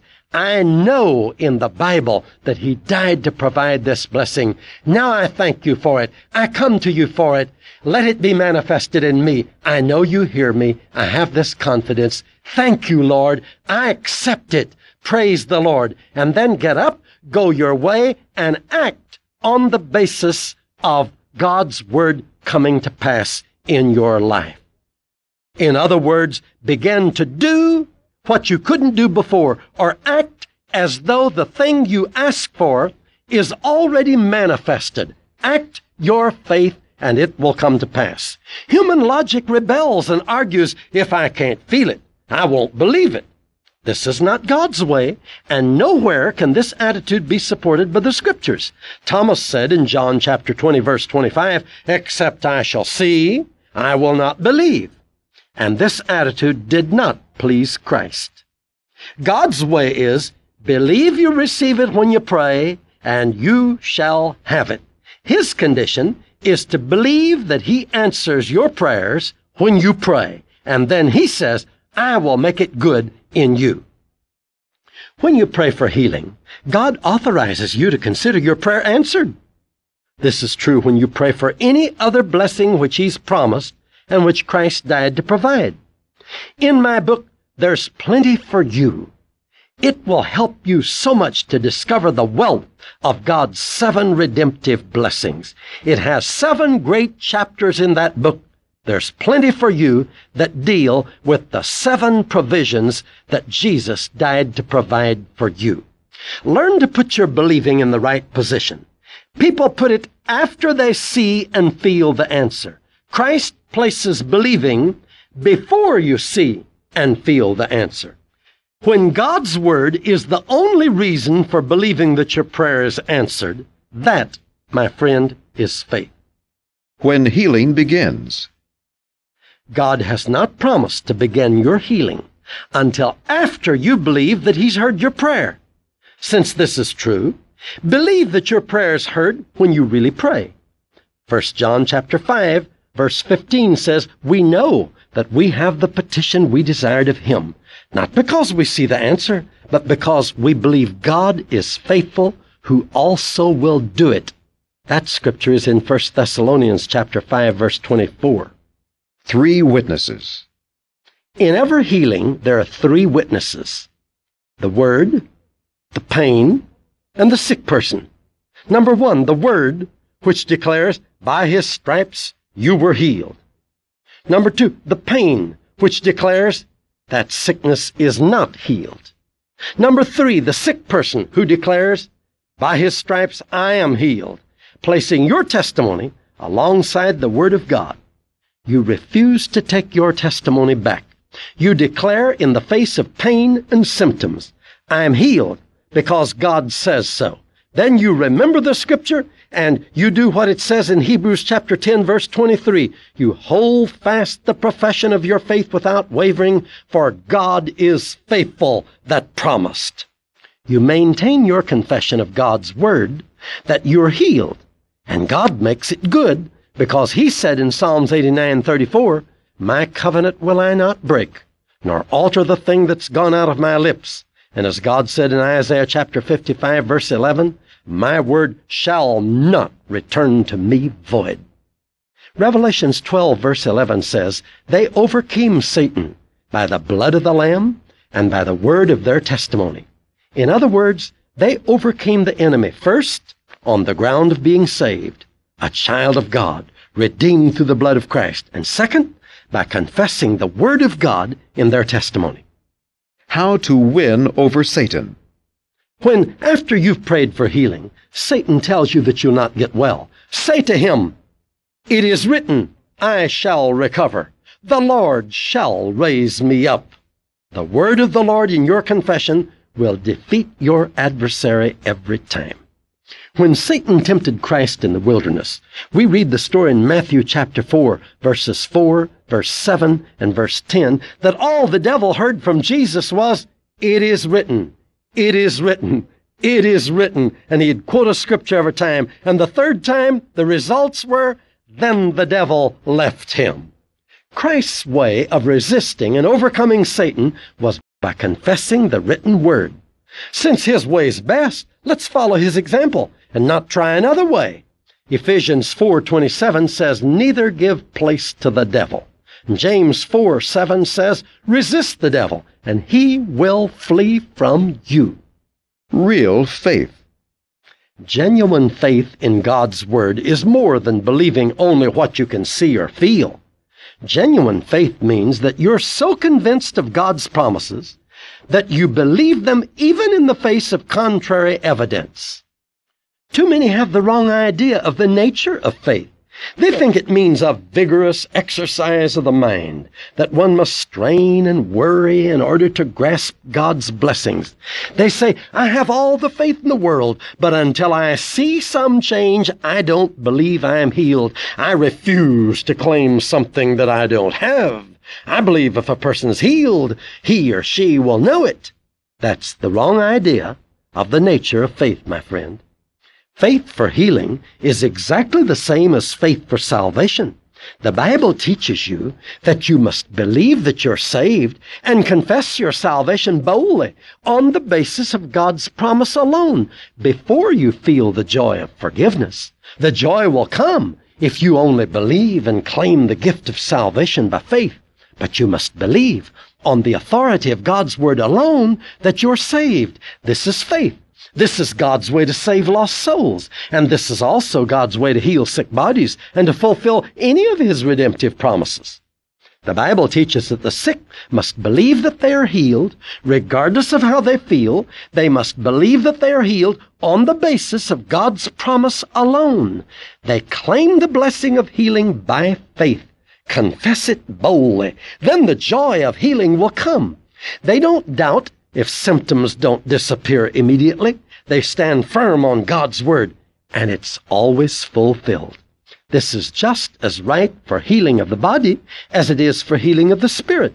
In fact, this is God's way of bringing about the fulfillment of any promise He's ever made for us. The blessing of knowing.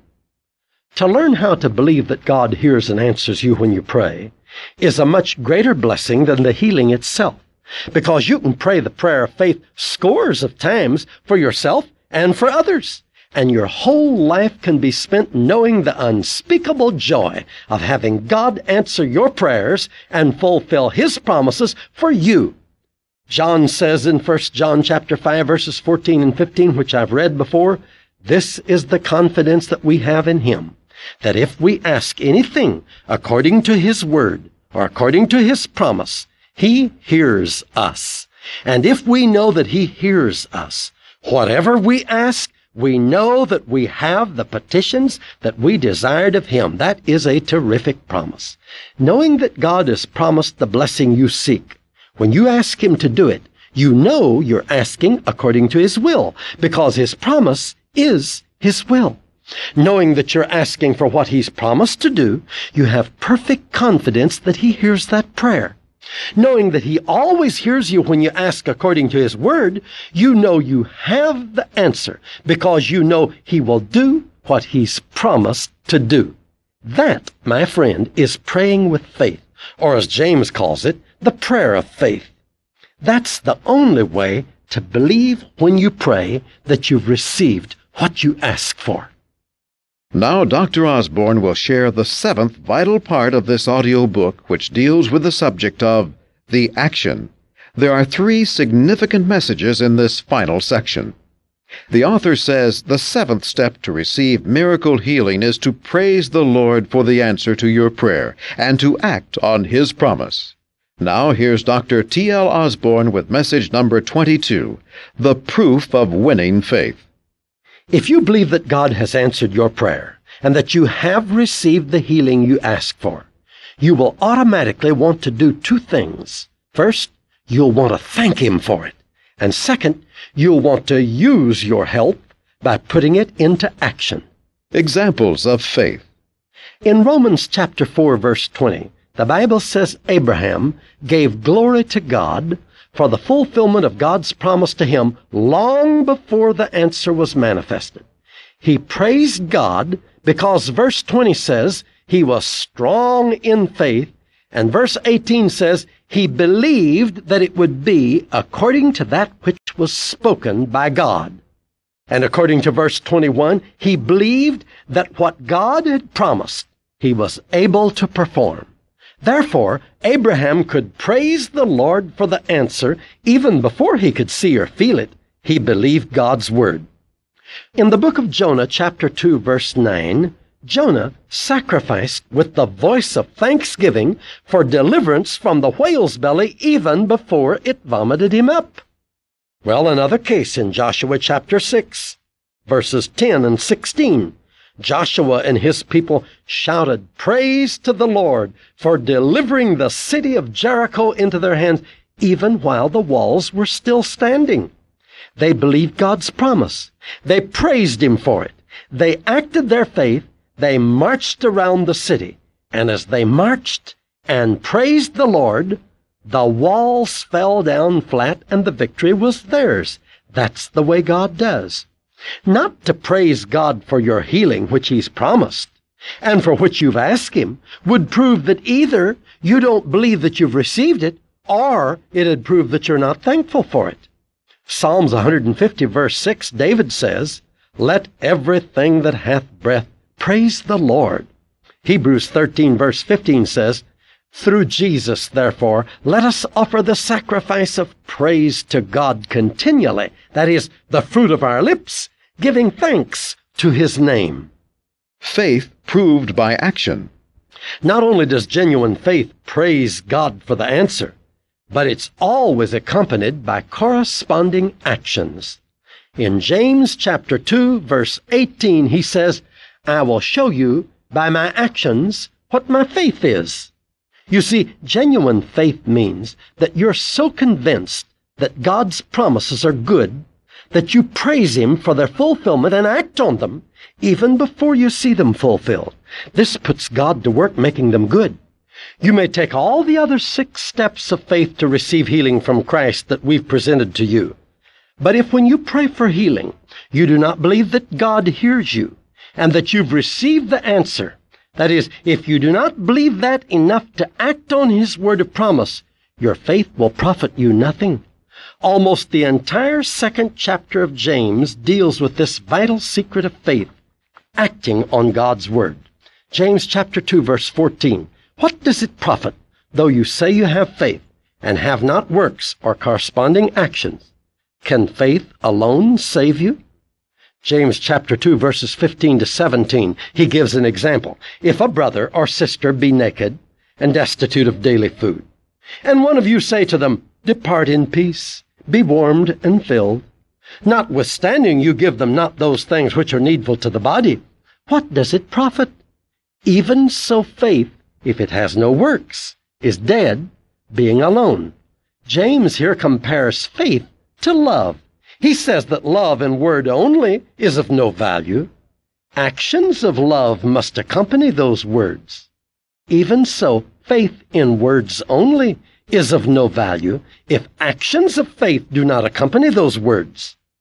God said that I am healed. A lady in New York who had been sent home from a tuberculosis hospital to die was reading the scriptures one afternoon. She was a wonderful Christian, but had not been taught the truth of divine healing.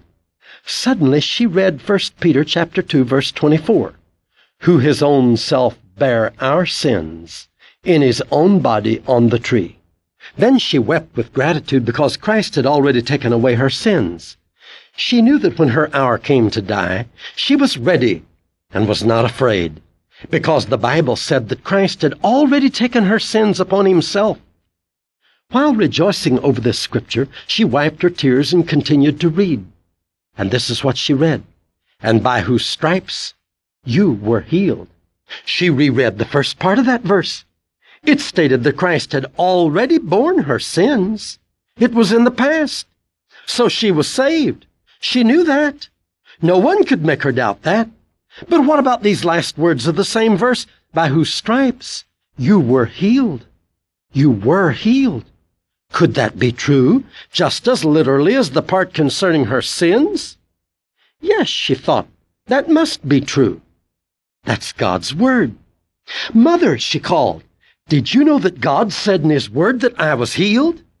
And the mother came rushing and replied and said, Oh dear, what do you mean? The daughter said, Look here, mother, with tears flowing down her cheeks, just listen to this. The Bible says, By whose stripes you were healed. That must mean me. Just look at it, mother. By whose stripes you were healed. Mother, it's already been done. I am healed. Get my clothes, mother. I must get out of this bed. The mother tried to calm her daughter, but to no avail. She insisted, Have you not taught us to believe all the Word of God? If this is God's Word, then it's true, and I am healed, because God does not lie. She arose. She dressed herself. She began praising the Lord as she walked through the house and was completely healed. In less than three weeks, that lady was normal in weight. X-rays showed that her lungs were perfectly sound. What happened? She had believed God's word enough to act on it. It was her actions which proved that she had faith. She could have lain in bed and died of tuberculosis if she had not acted on the word, arisen by faith, claiming what God's word declared that it was hers. She made it hers by her faith accompanied by her actions. Why many die prematurely.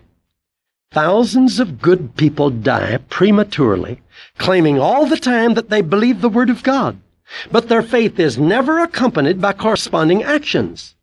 James said in chapter 2 verse 17, faith, if it has not corresponding actions, is dead, being alone. They say that they believe God's Word is true, but at the same time they act just the opposite. They lie in bed, talking about their faith, but at the same time they're afraid to rise by faith, afraid to act on His Word, and to claim their healing.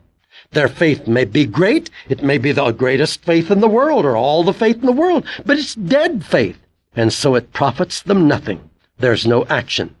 In James chapter 2 verse 18, he said in substance, Try to convince me that you have faith when you never act like it.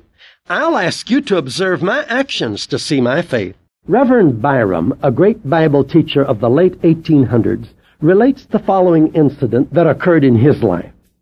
Quote, Shortly after the Lord called me to work for him, I learned a very precious lesson about faith. There was much sickness in our community. Three of our family had been stricken down with fever. I felt the disease taking hold of me and was soon overpowered by it.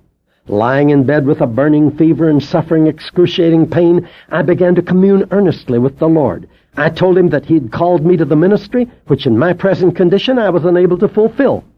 As there were no elders who believed in healing to call upon, I began to refer my case to the Lord and to quote his many wonderful promises, among which was, If you abide in me, and my words abide in you, you shall ask what you will, and it shall be done to you. So I examined my consecration and then asked him to search me. I was willing to do anything for him, and I said, Lord, I'm abiding in you, and your words are abiding in me, so this promise is mine. I give my case entirely into your hands. I pray you with all my heart, heal me. Then Reverend Byrum continues. He says, Then I waited for the work to be done, but no change came. Finally I said, Lord, why am I not healed? And the answer came back at once. Take me at my word and arise. I said, Amen, Lord, I will. and without hesitation I began to get out of bed. It seemed as if my head would burst with pain, but in my weakness I began to dress myself. When half dressed, a slight change came over me, and dropping upon my knees, I thanked the Lord for it. After dressing and giving thanks again, I was much better, and I walked into another room declaring that the Lord had healed me. Within 20 minutes, the fever had entirely left my body. Immediately I went to work and was well from that very hour. I am very sure that had I lain and refused to act boldly on God's word of faith, I would have had to pass through a long siege of sickness caused by that fever. To God be all the glory. It taught me a very valuable lesson in trusting God in His Word. I found that when faith is acted upon, in spite of every contradictory evidence, God will always fulfill His word. End of quote of Dr. Byrum's story. In James chapter 2 verse 26, he says, As the body without the spirit is dead, so faith without works is dead. Dr. Byrum certainly proved that. Action is what counts. All through the Bible, people of faith were people of action. Those who believed God's words were those who acted on His word. Jesus said to the paralytic in Mark chapter 2 verse 11, Arise, take up your bed, go your way into your house. The man did not reason, but Lord, I am paralyzed. He believed Christ's spoken word enough to act on it. His action proved his faith. The Bible says in verse 12, Immediately he arose, took up his bed, and went forth before them all. Jesus commanded a man with a withered hand in Mark chapter 3 verse 5, Stretch forth your hand. The man did not reason, but Lord, my hand is paralyzed. I can't do that. No, he acted on the word of Jesus. He stretched it forth in an act of faith, and it was immediately restored like as the other. At Peter's house, we read the story in Luke chapter 4 verse 39 of how his mother-in-law was in bed sick of a fever. Luke tells us that Jesus rebuked the fever. And then the Gospel of Mark tells us that he took her by the hand and lifted her up, and immediately the fever left her. This is a perfect example of faith in action. First, Jesus rebuked the fever. Second, he made her arise and act her faith. And third, the fever left her. In the book of Acts, chapter 3, Peter commanded a crippled man, In the name of Jesus Christ of Nazareth, rise up and walk. The man acted on the word of Peter, spoken in Jesus' name, and was immediately healed. In Acts chapter 9, Peter told a man who had been paralyzed for eight years, Aeneas, Jesus Christ makes you whole. Arise and make your bed. And he arose immediately. Acting on God's Word. We act on the word of our postman. He tells us that a registered parcel awaits us at the post office. We believe him and go claim the parcel even before we've seen it. We act on the word of the doctor. He tells us to take three pills each day. We believe him and take the pills even before we've felt any results. We act on the word of our banker. He notifies us that a friend has deposited a sum of money to our account. We believe him and begin checking on the money, even though we've not seen the money.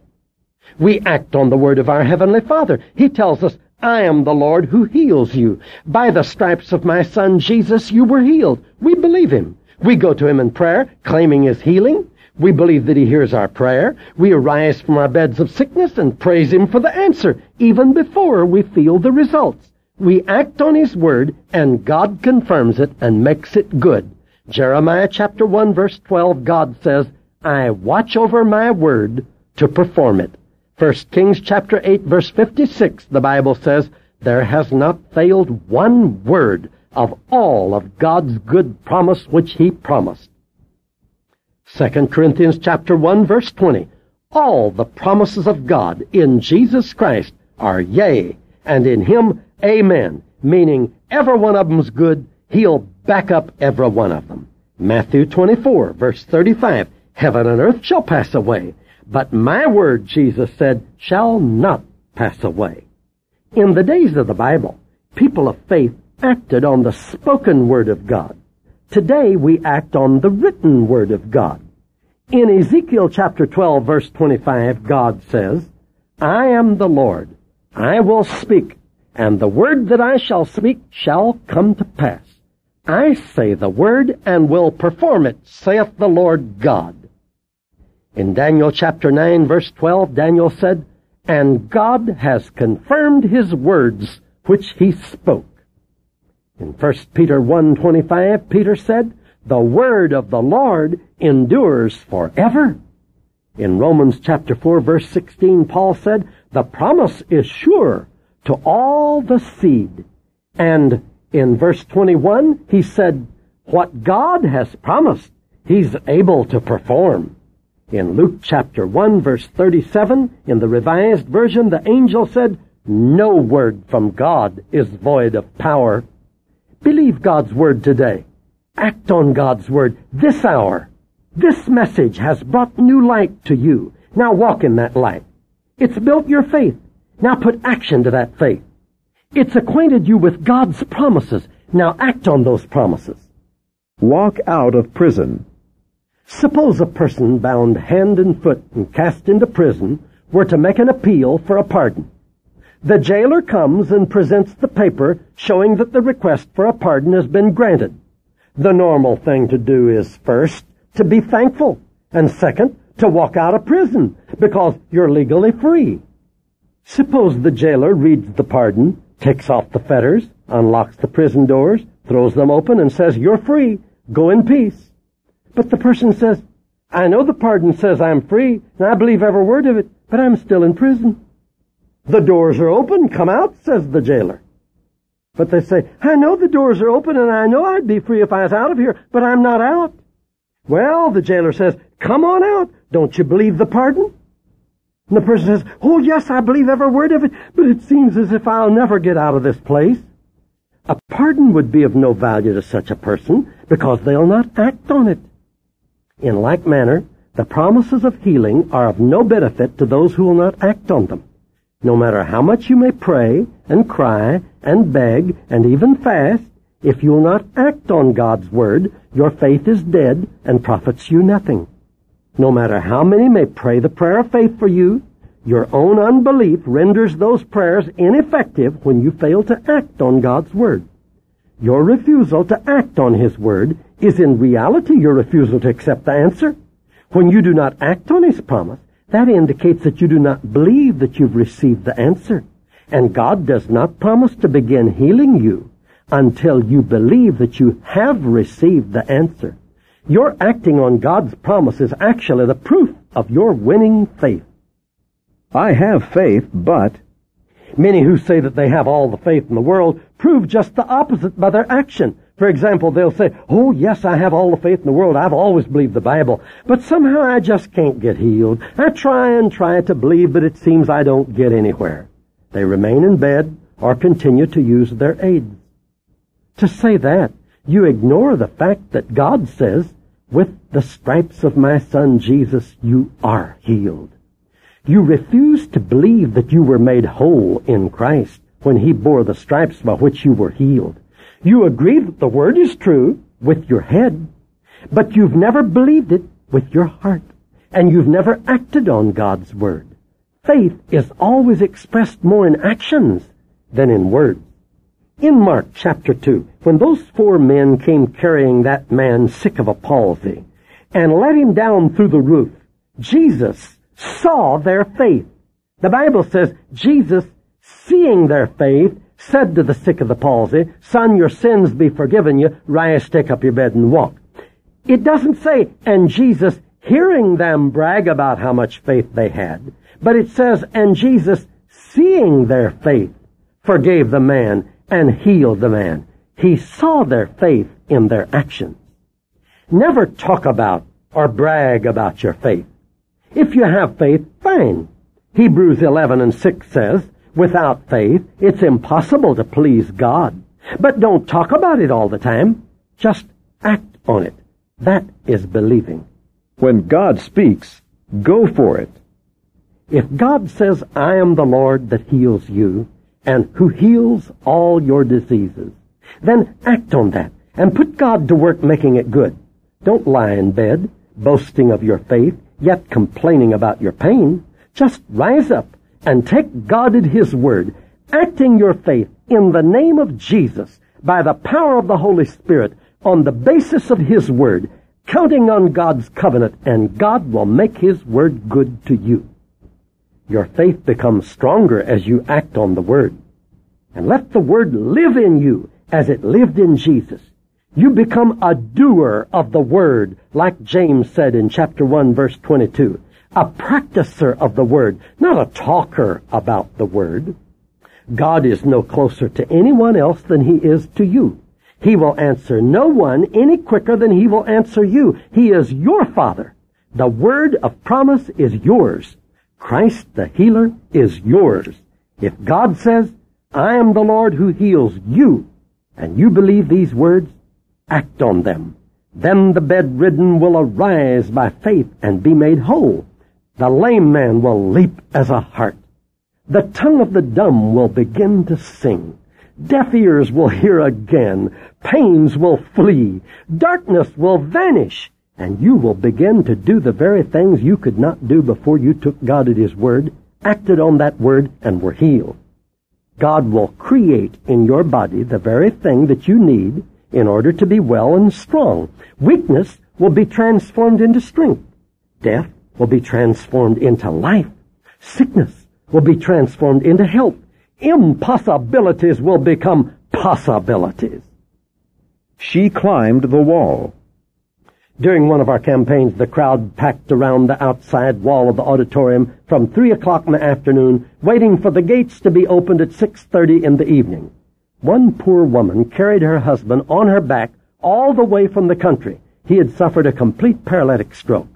Upon reaching the auditorium wall, finding the gates locked, but seeing hundreds of others climbing the walls to gain entrance to the building, she proceeded to shove her husband over the wall, climbed the wall herself, picked him up, and carried him into the building and brought him to me for prayer. She was acting her faith. Needless to say, he walked out, healed by God's power. Faith in action always wins. Never be afraid to believe God and to act upon His Word. Remember that Jesus said to the father of the little girl who was reported by the skeptics to be dead, Be not afraid, only believe. That's Mark chapter 5 verse 36. And in Luke chapter 18 verse 27 he said, the things which are humanly impossible are possible with God. Message number 23.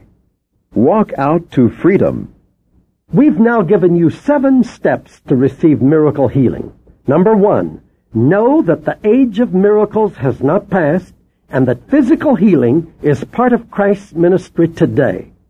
Number two, know God's promises to heal in the scriptures and be firmly convinced that they are made for you personally. Number three, understand that God wants you to be well. Only Satan wants you to suffer. Number four, understand that divine healing or healing from God is a part of your salvation. Number five, Ask God to heal you according to His promises and believe that He hears your prayer. Number six, believe when you pray that you have received what you prayed for. And number seven, praise the Lord for the answer to your prayer and act on His word of promise. Principal steps to success. These same steps of faith will bring about the fulfillment of any promise which God has ever made to you. Carefully following these seven steps of faith will cause God to manifest in your life any blessing which Christ died to provide.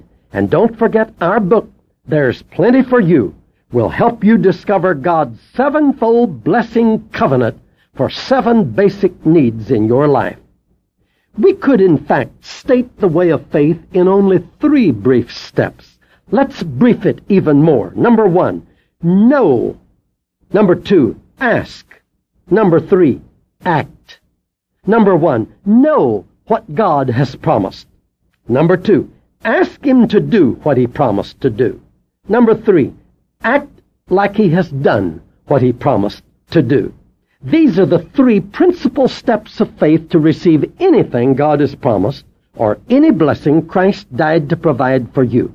Knowledge of the promise comes first. Prayer comes second. Action with praise comes third and last. When you have a clear knowledge of God's promise to you and have asked Him to fulfill it, then He expects you to begin to do by faith the things which you could not do before without His help. Your actions and praise prove the reality of your faith, and God confirms His word and fulfills His promise. Act your faith. Act on His word. Begin to do the things which you could not do before you ask Him to heal you. He will confirm what He's promised. Rise above your doubts and fears. Prove your faith by your actions. Claim your liberty from Satan's prison of sickness. The promises of the Bible are God's guarantee of your liberty from sin and sickness. Walk out of that prison of bondage, confessing God's promise as the basis for your freedom. Act on what you know. You've known for a long time that God's Word was true, but you've never acted on it. You've had faith, but you've never put that faith into action. You've made your faith a prisoner. It's been lying dormant because you've refused to act on God's Word. Now you can go free. Call on the Lord. Confess His promise. Ask Him to fulfill it. Believe that He hears you. Claim your healing by faith and begin to do the things that you couldn't do without His help. Your pains will vanish. Your weaknesses will be turned into strength. Light will come to your blind eyes. Sound will enter your deaf ears. Life will flow into your paralyzed limbs. God will make His word good to you. Launch out.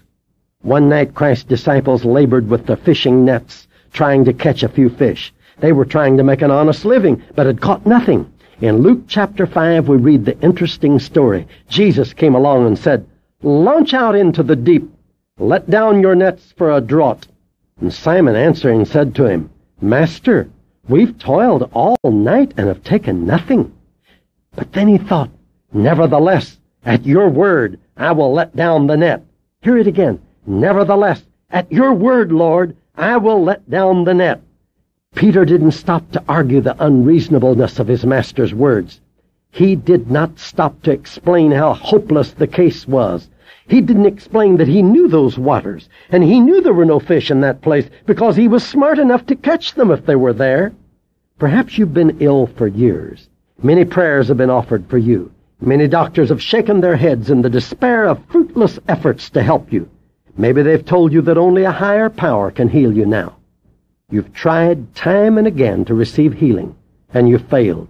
But my friend, the Word still declares by the stripes and sufferings of Jesus, when he bore your diseases, you were healed. Take new courage. This time say, in spite of all of my problems in the past, nevertheless, at your word, Lord, I will come to you again. At your word, I shall recover. At your word, Lord, I shall be completely healed.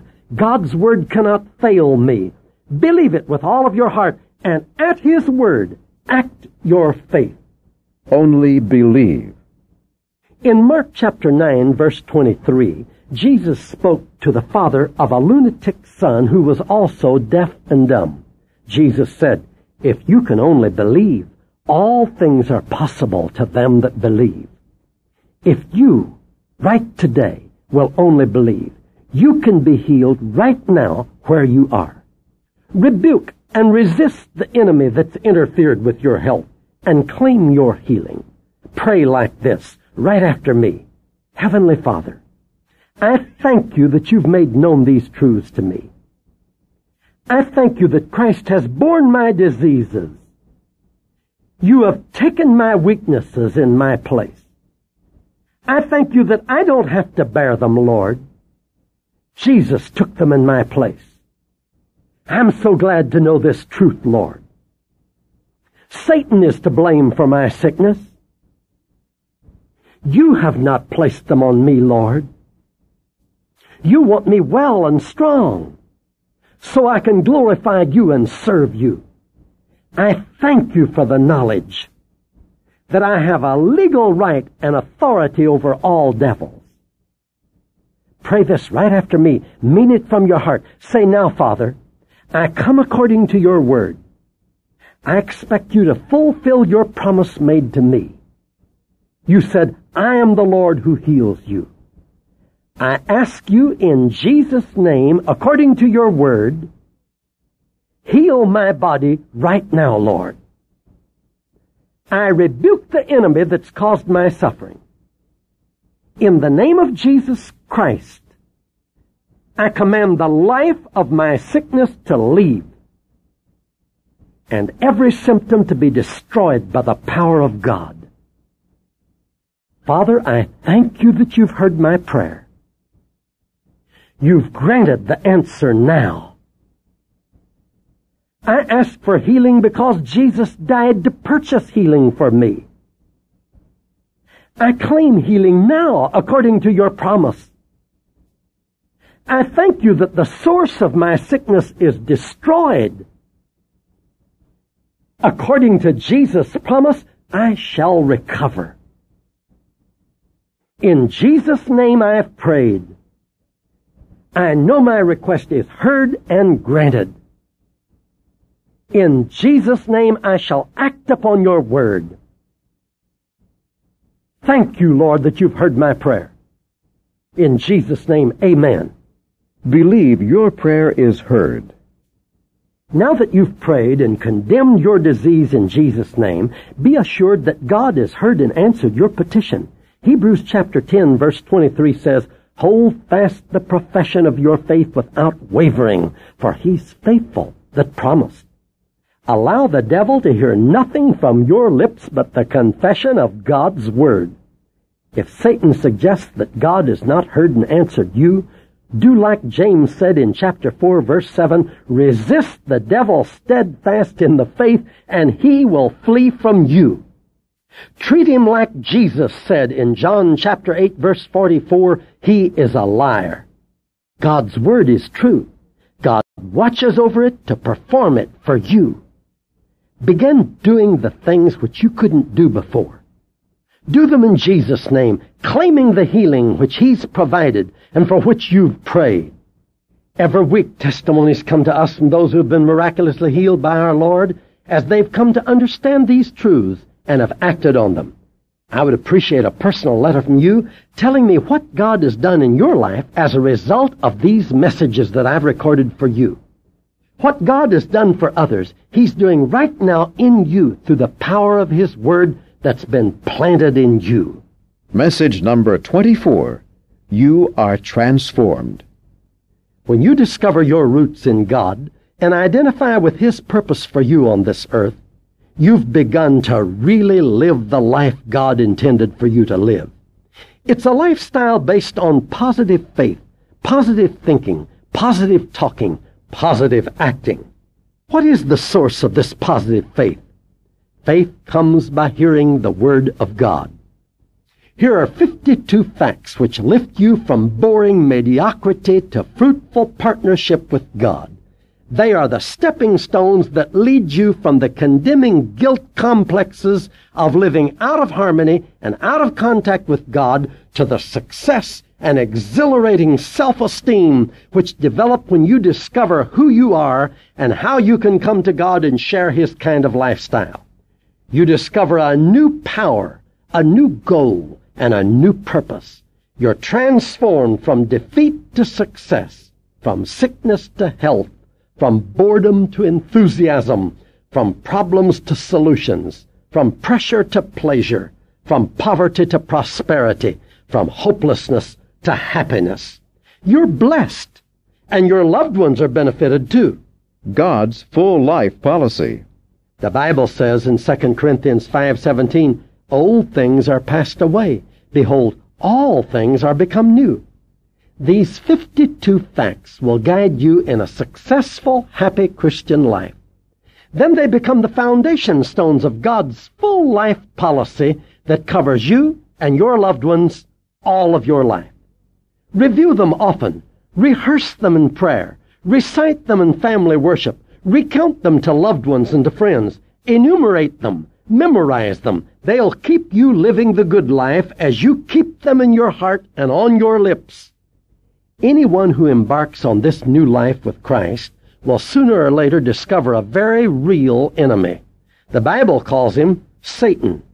and mentions him at least a 175 times by such names as Lucifer, the devil, Satan, the adversary, the God of this world, the enemy, the tempter, the wicked one, the ruler of darkness, the murderer, and by other names. You'll meet him in the most subtle form as the accuser. So when you're discouraged or tempted to doubt your experiences with God, rehearse these 52 facts of the Christian life. That is the effective way to resist the devil. And James said, he'll flee from you. Read James chapter 4 verse 7. And never forget that the apostle John said in Revelations 12:11, which we've already quoted, they overcame Satan by the word of their testimony. And Jesus defeated every temptation of Satan by saying, It is written, then by quoting a scripture. That's why I say that when the accuser tempts you, rehearse these facts and confess these scriptures, and it'll happen to you as it did to Jesus in Matthew chapter 4 verse 11. Then the devil left him, and behold, angels came and ministered to him. 52 Facts of Life. So learn these facts and make these verses your confession. Fact number one. You were unsaved before you received Christ. For all have sinned and come short of the glory of God. Romans 2:23. Fact number two. You were guilty before God, under the penalty of death. For the wages of sin is death. Romans 6:23. Fact number three. But God loved you too much to see you perish. He's not willing that any should perish, but that all should come to repentance. 2 Peter chapter 3 verse 9. Fact number four. God offered his best to prove his love to you. God so loved the world that he gave his only begotten Son, that whoever believes in him should not perish, but have everlasting life. John 3:16. Fact number 5. Christ was God's gift, and he died for you. But God commends his love toward us in that while we were yet sinners, Christ died for us. Romans 5 verse 8. Fact number 6. You realize that your sins separated you from God.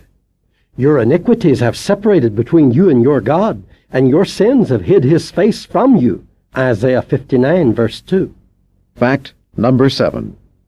Knowing your sins cost God his Son, and Jesus his life and blood. You repent of them. You sorrow to repentance, for godly sorrow works repentance. 2 Corinthians 7 verses 9 and 10. And you know that except you repent, you shall perish. Luke 13 verse 3. Fact number 8. You confess your sins to him and are cleansed. If we confess our sins, he is faithful and just to forgive us our sins and to cleanse us from all unrighteousness. 1 John 1 verse 9. Fact number 9. You recognize Jesus at the door of your heart. You open it, and he comes in. Behold, I stand at the door and knock. If you hear my voice and open the door, I will come in and will sup with you and you with me, meaning to dine and have fellowship together. Revelations 3, verse 20. Fact number 10. You receive Jesus and become God's child. As many as receive Jesus Christ, to them he gave power to become the children of God, even to them that believe on his name. John 1, verse 12. Fact number 11. You become a new creature. If anyone be in Christ, that one is a new creature. Old things are passed away. Behold, all things are become new. 2 Corinthians 5, verse 17. Fact number 12. You know you are born again because you receive Christ. Jesus said, You must be born again, John 3, 7. And when you receive Christ with power to become God's child, you were born not of blood, nor of the will of flesh, nor of the will of a human, but of God. John 1, 13. By the word of God, which lives and abides forever. 1 Peter chapter 1, verse 23. Fact number 13. You believe the powerful message of the gospel that saves you. The gospel is the power of God to salvation to every one that believes. Romans 1, verse 16. Fact number 14. You believe on the name of Jesus Christ because of the record of the Gospels. These are written that you might believe that Jesus is the Christ, the Son of God, and that believing you might have life through his name. John 20, verse 31. Fact number 15. You call on his name and are saved. Whosoever shall call on the name of the Lord shall be saved. Romans 10, verse 13. Fact number 16. You recognize that Jesus is the only way to God. I am the way, the truth, and the life. No one comes to the Father but by me. John 14, verse 6. For there is one God and one mediator between God and people, the man Christ Jesus. 1 Timothy 2, verse 5. Fact number 17. You know there is salvation in none other. Neither is there salvation in any other, for there is none other name under heaven given whereby we must be saved. Acts chapter 4, verse 12. Fact number 18. You put your faith in Jesus as Savior. For by grace are you saved through faith, and that not of yourselves. It is the gift of God, not of works, lest anyone should boast. Ephesians 2, verses 8 and 9. Fact number 19. You believe that the Lord comes into your life. He says, I will dwell in them and walk in them. I will be their God. They shall be my people. I will be a father to you, and you shall be my sons and daughters, says the Lord Almighty. 2 Corinthians 6, verses 16 and 18. Fact number 20. You do not trust in any good works or self-righteousness to be saved. Our righteousness is as filthy rags. Isaiah 64, verse 6. Your salvation cannot be of works, lest anyone should boast. Ephesians 2, verse 9. Fact number 21. You are saved only by God's mercy. Not by works of righteousness which we have done, but according to His mercy He saved us, by the washing of regeneration and renewing of the Holy Ghost, which he shed on us abundantly through Jesus Christ our Savior, that being justified by grace, we should be made heirs according to the hope of eternal life.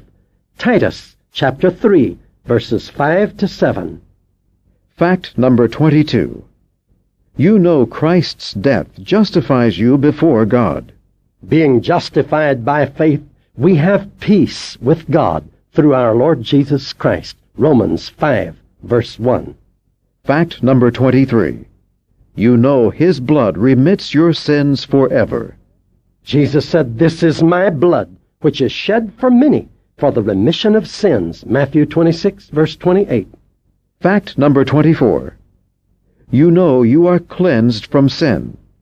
The Bible says, To him that loved us and washed us from our sins in his own blood Revelations 1 verse 5, in whom we have redemption through his blood, even the forgiveness of sins. Colossians 1 verse 14. Fact number 25. You know your sins are put away and forgotten. Behold the Lamb of God which takes away the sin of the world. John 1 verse 29. He removed our transgressions from us as far as the east is from the west. Psalms 103, verse 12. Our sins and iniquities will he remember no more. Hebrews 10, verse 17. Fact number 26. You know your sins were paid for by Christ's death. Who his own self bare our own sins in his own body on the tree, that we, being dead to sins, should live unto righteousness. 1 Peter 2, 24. Christ was wounded for our transgressions. He was bruised for our iniquities. The chastisement of our peace was upon him. Isaiah 53, verse 5. Fact number 27. With your sins punished and washed away, you know they can never condemn you again.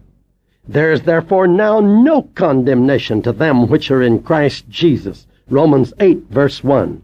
For God made Christ, who knew no sin, to be sin for us that we might be made the righteousness of God in Christ. 2 Corinthians 5:21. Where remission is, There is no more offering for sin. Hebrews 10, verse 18. So now nothing shall separate us from the love of Christ. Romans 8, verse 39. Fact number 28. You know when you accept Christ, you receive His life. Those that have the Son have life. 1 John chapter 5, verse 12. They that hear my word, Jesus said, and believe on him that sent me, have everlasting life, and shall not come into condemnation, but are passed from death unto life. John 5, verse 24. And this is eternal life, that they might know you, the only true God, and Jesus Christ, whom you have sent. John 17, verse 3. Fact number 29. You know Satan will accuse you. He is the accuser, which accused them before our God day and night. Revelations 12, verse 10. And that's just like Satan did to Job in chapter 1, verses 6 to 12. Fact number 30. You are not ignorant of his works. Paul said, lest Satan should get an advantage of us. We are not ignorant of his devices. 2 Corinthians 2, verse 11. For we know that he comes not but to steal, and to kill, and to destroy. John chapter 10, verse 10. Fact number 31. You know how Jesus overcame him. Jesus answered and said to Satan, It is written. Then the devil left him, and behold, angels came and ministered to him. Matthew 4, verse 11. Fact number 32. You know Jesus proved that Satan could not win. Christ was in all points tempted like we are, yet without sin. Let us therefore come boldly to the throne of grace that we may obtain mercy and find grace to help in time of need. Hebrews 4, verses 15 and 16. Fact number 33. You know he faithfully helps you in temptation. There is no temptation taken you but such as is common to humankind. But God is faithful, who will not suffer you to be tempted above that you are able, but will with the temptation also make a way to escape, that you may be able to bear it. 1 Corinthians 10, verse 13. Fact number 34. You know there are two weapons Satan can never resist. The Bible says, They overcame Satan who accused them before God day and night by the blood of the Lamb and by the word of their testimonies. Revelations 12, verse 11. Fact number 35. You know Satan cannot win over your faith. Be sober, be vigilant, because your adversary the devil as a roaring lion walks about, seeking whom he may devour, whom resist steadfast in the faith. 1 Peter 5 verses 8 and 9. Resist the devil, and he will flee from you. Draw nigh to God, and he will draw nigh to you. James 4 verses 7 and 8. And that wicked one touches you not. 1 John 5 verse 18. Fact number 36. You know your faith is the victory. For whoever is born of God overcomes the world. And this is the victory that overcomes the world, even our faith. 1 John 5, verse 4. Fact number 37. You know not to love the world, but to do God's will. Love not the world, neither the things that are in the world. If any love the world, the love of the Father is not in them. For all that is in the world, the lust of the flesh, and the lust of the eyes, and the pride of life, is not of the Father, but is of the world. And the world passes away, and the lust thereof. But those that do the will of God abide forever. 1 John 2, verses 15 to 17. Fact number 38. You know Christ came to defeat your enemy. For this purpose the Son of God was manifested, that he might destroy the works of the devil. 1 John 3, verse 8. Fact number 39. You know Satan is no match for Christ in you. Paul said, Christ is in you, and that's the hope of glory. Colossians 1, verse 27. The Lord said, I will dwell in you and walk in you, says the Lord Almighty. 2 Corinthians 6, verses 16 to 18. You are of God, little children, and have overcome, because greater is he that's in you than he that's in the world. 1 John 4, verse 4. Fact number 40. You know your new life source is the Lord Jesus Christ. Paul said, I am crucified with Christ, nevertheless I live. Yet not I, but Christ lives in me. And the life which I now live in the flesh, I live by the faith of the Son of God, who loved me and gave himself for me. Galatians 2, verse 20. Fact number 41. You know your new life has divine purpose. The steps of good people are ordered by the Lord, and God delights in their way. Though they fall, they shall not be utterly cast down, for the Lord upholds them with his hand. Psalms 37, verses 23 and 34. Fact number 42. You know God sees you and hears you. For the eyes of the Lord are over the righteous, and his ears are open to their prayers. 1 Peter 3, verse 12. Fact number 43. You know he invites you to call upon him. God said, Call unto me, and I will answer you. Jeremiah 33, verse 3.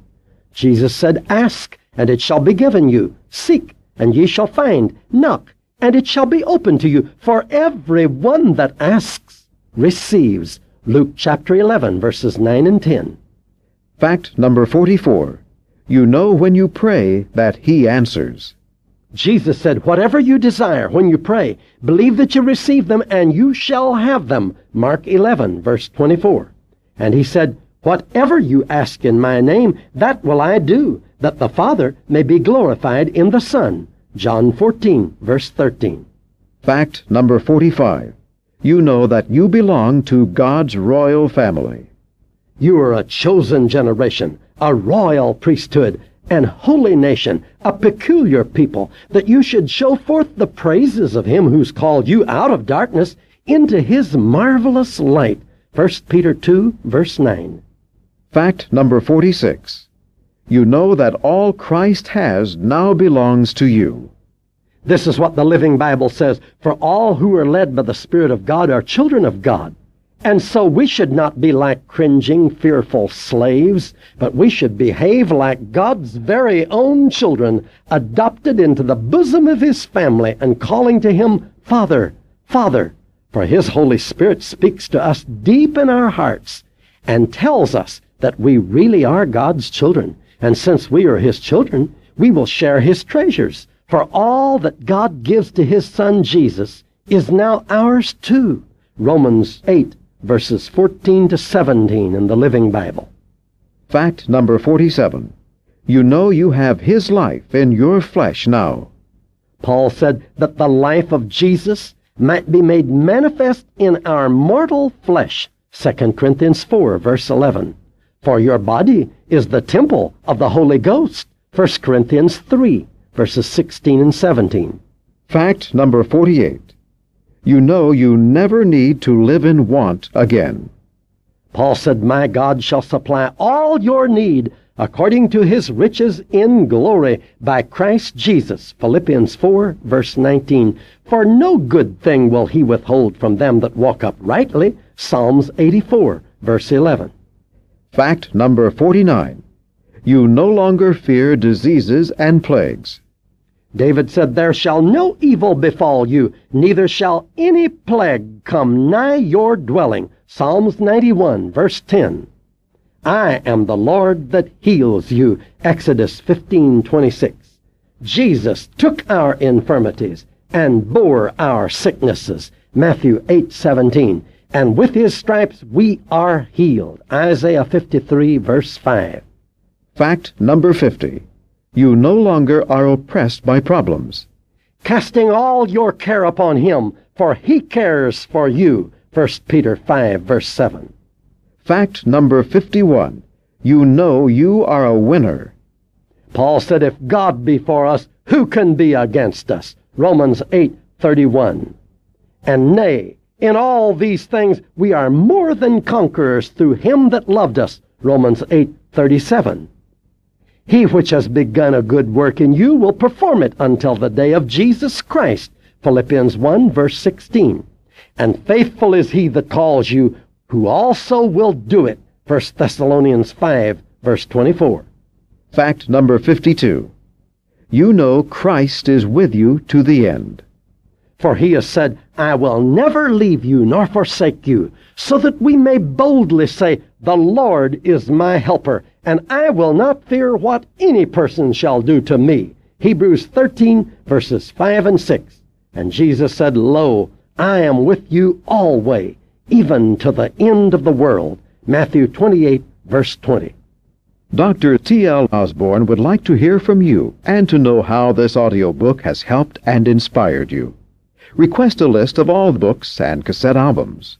All the address you need is T.L. Osborn, Box 10, Tulsa, Oklahoma, 74102, USA. To receive a complete list of the Osborn CDs, books, and videos on DVD, or to request prayer, please write us at Osborn Ministries International, Box 10, Tulsa, Oklahoma 74102, or log on to our website at osborn.org. God bless you.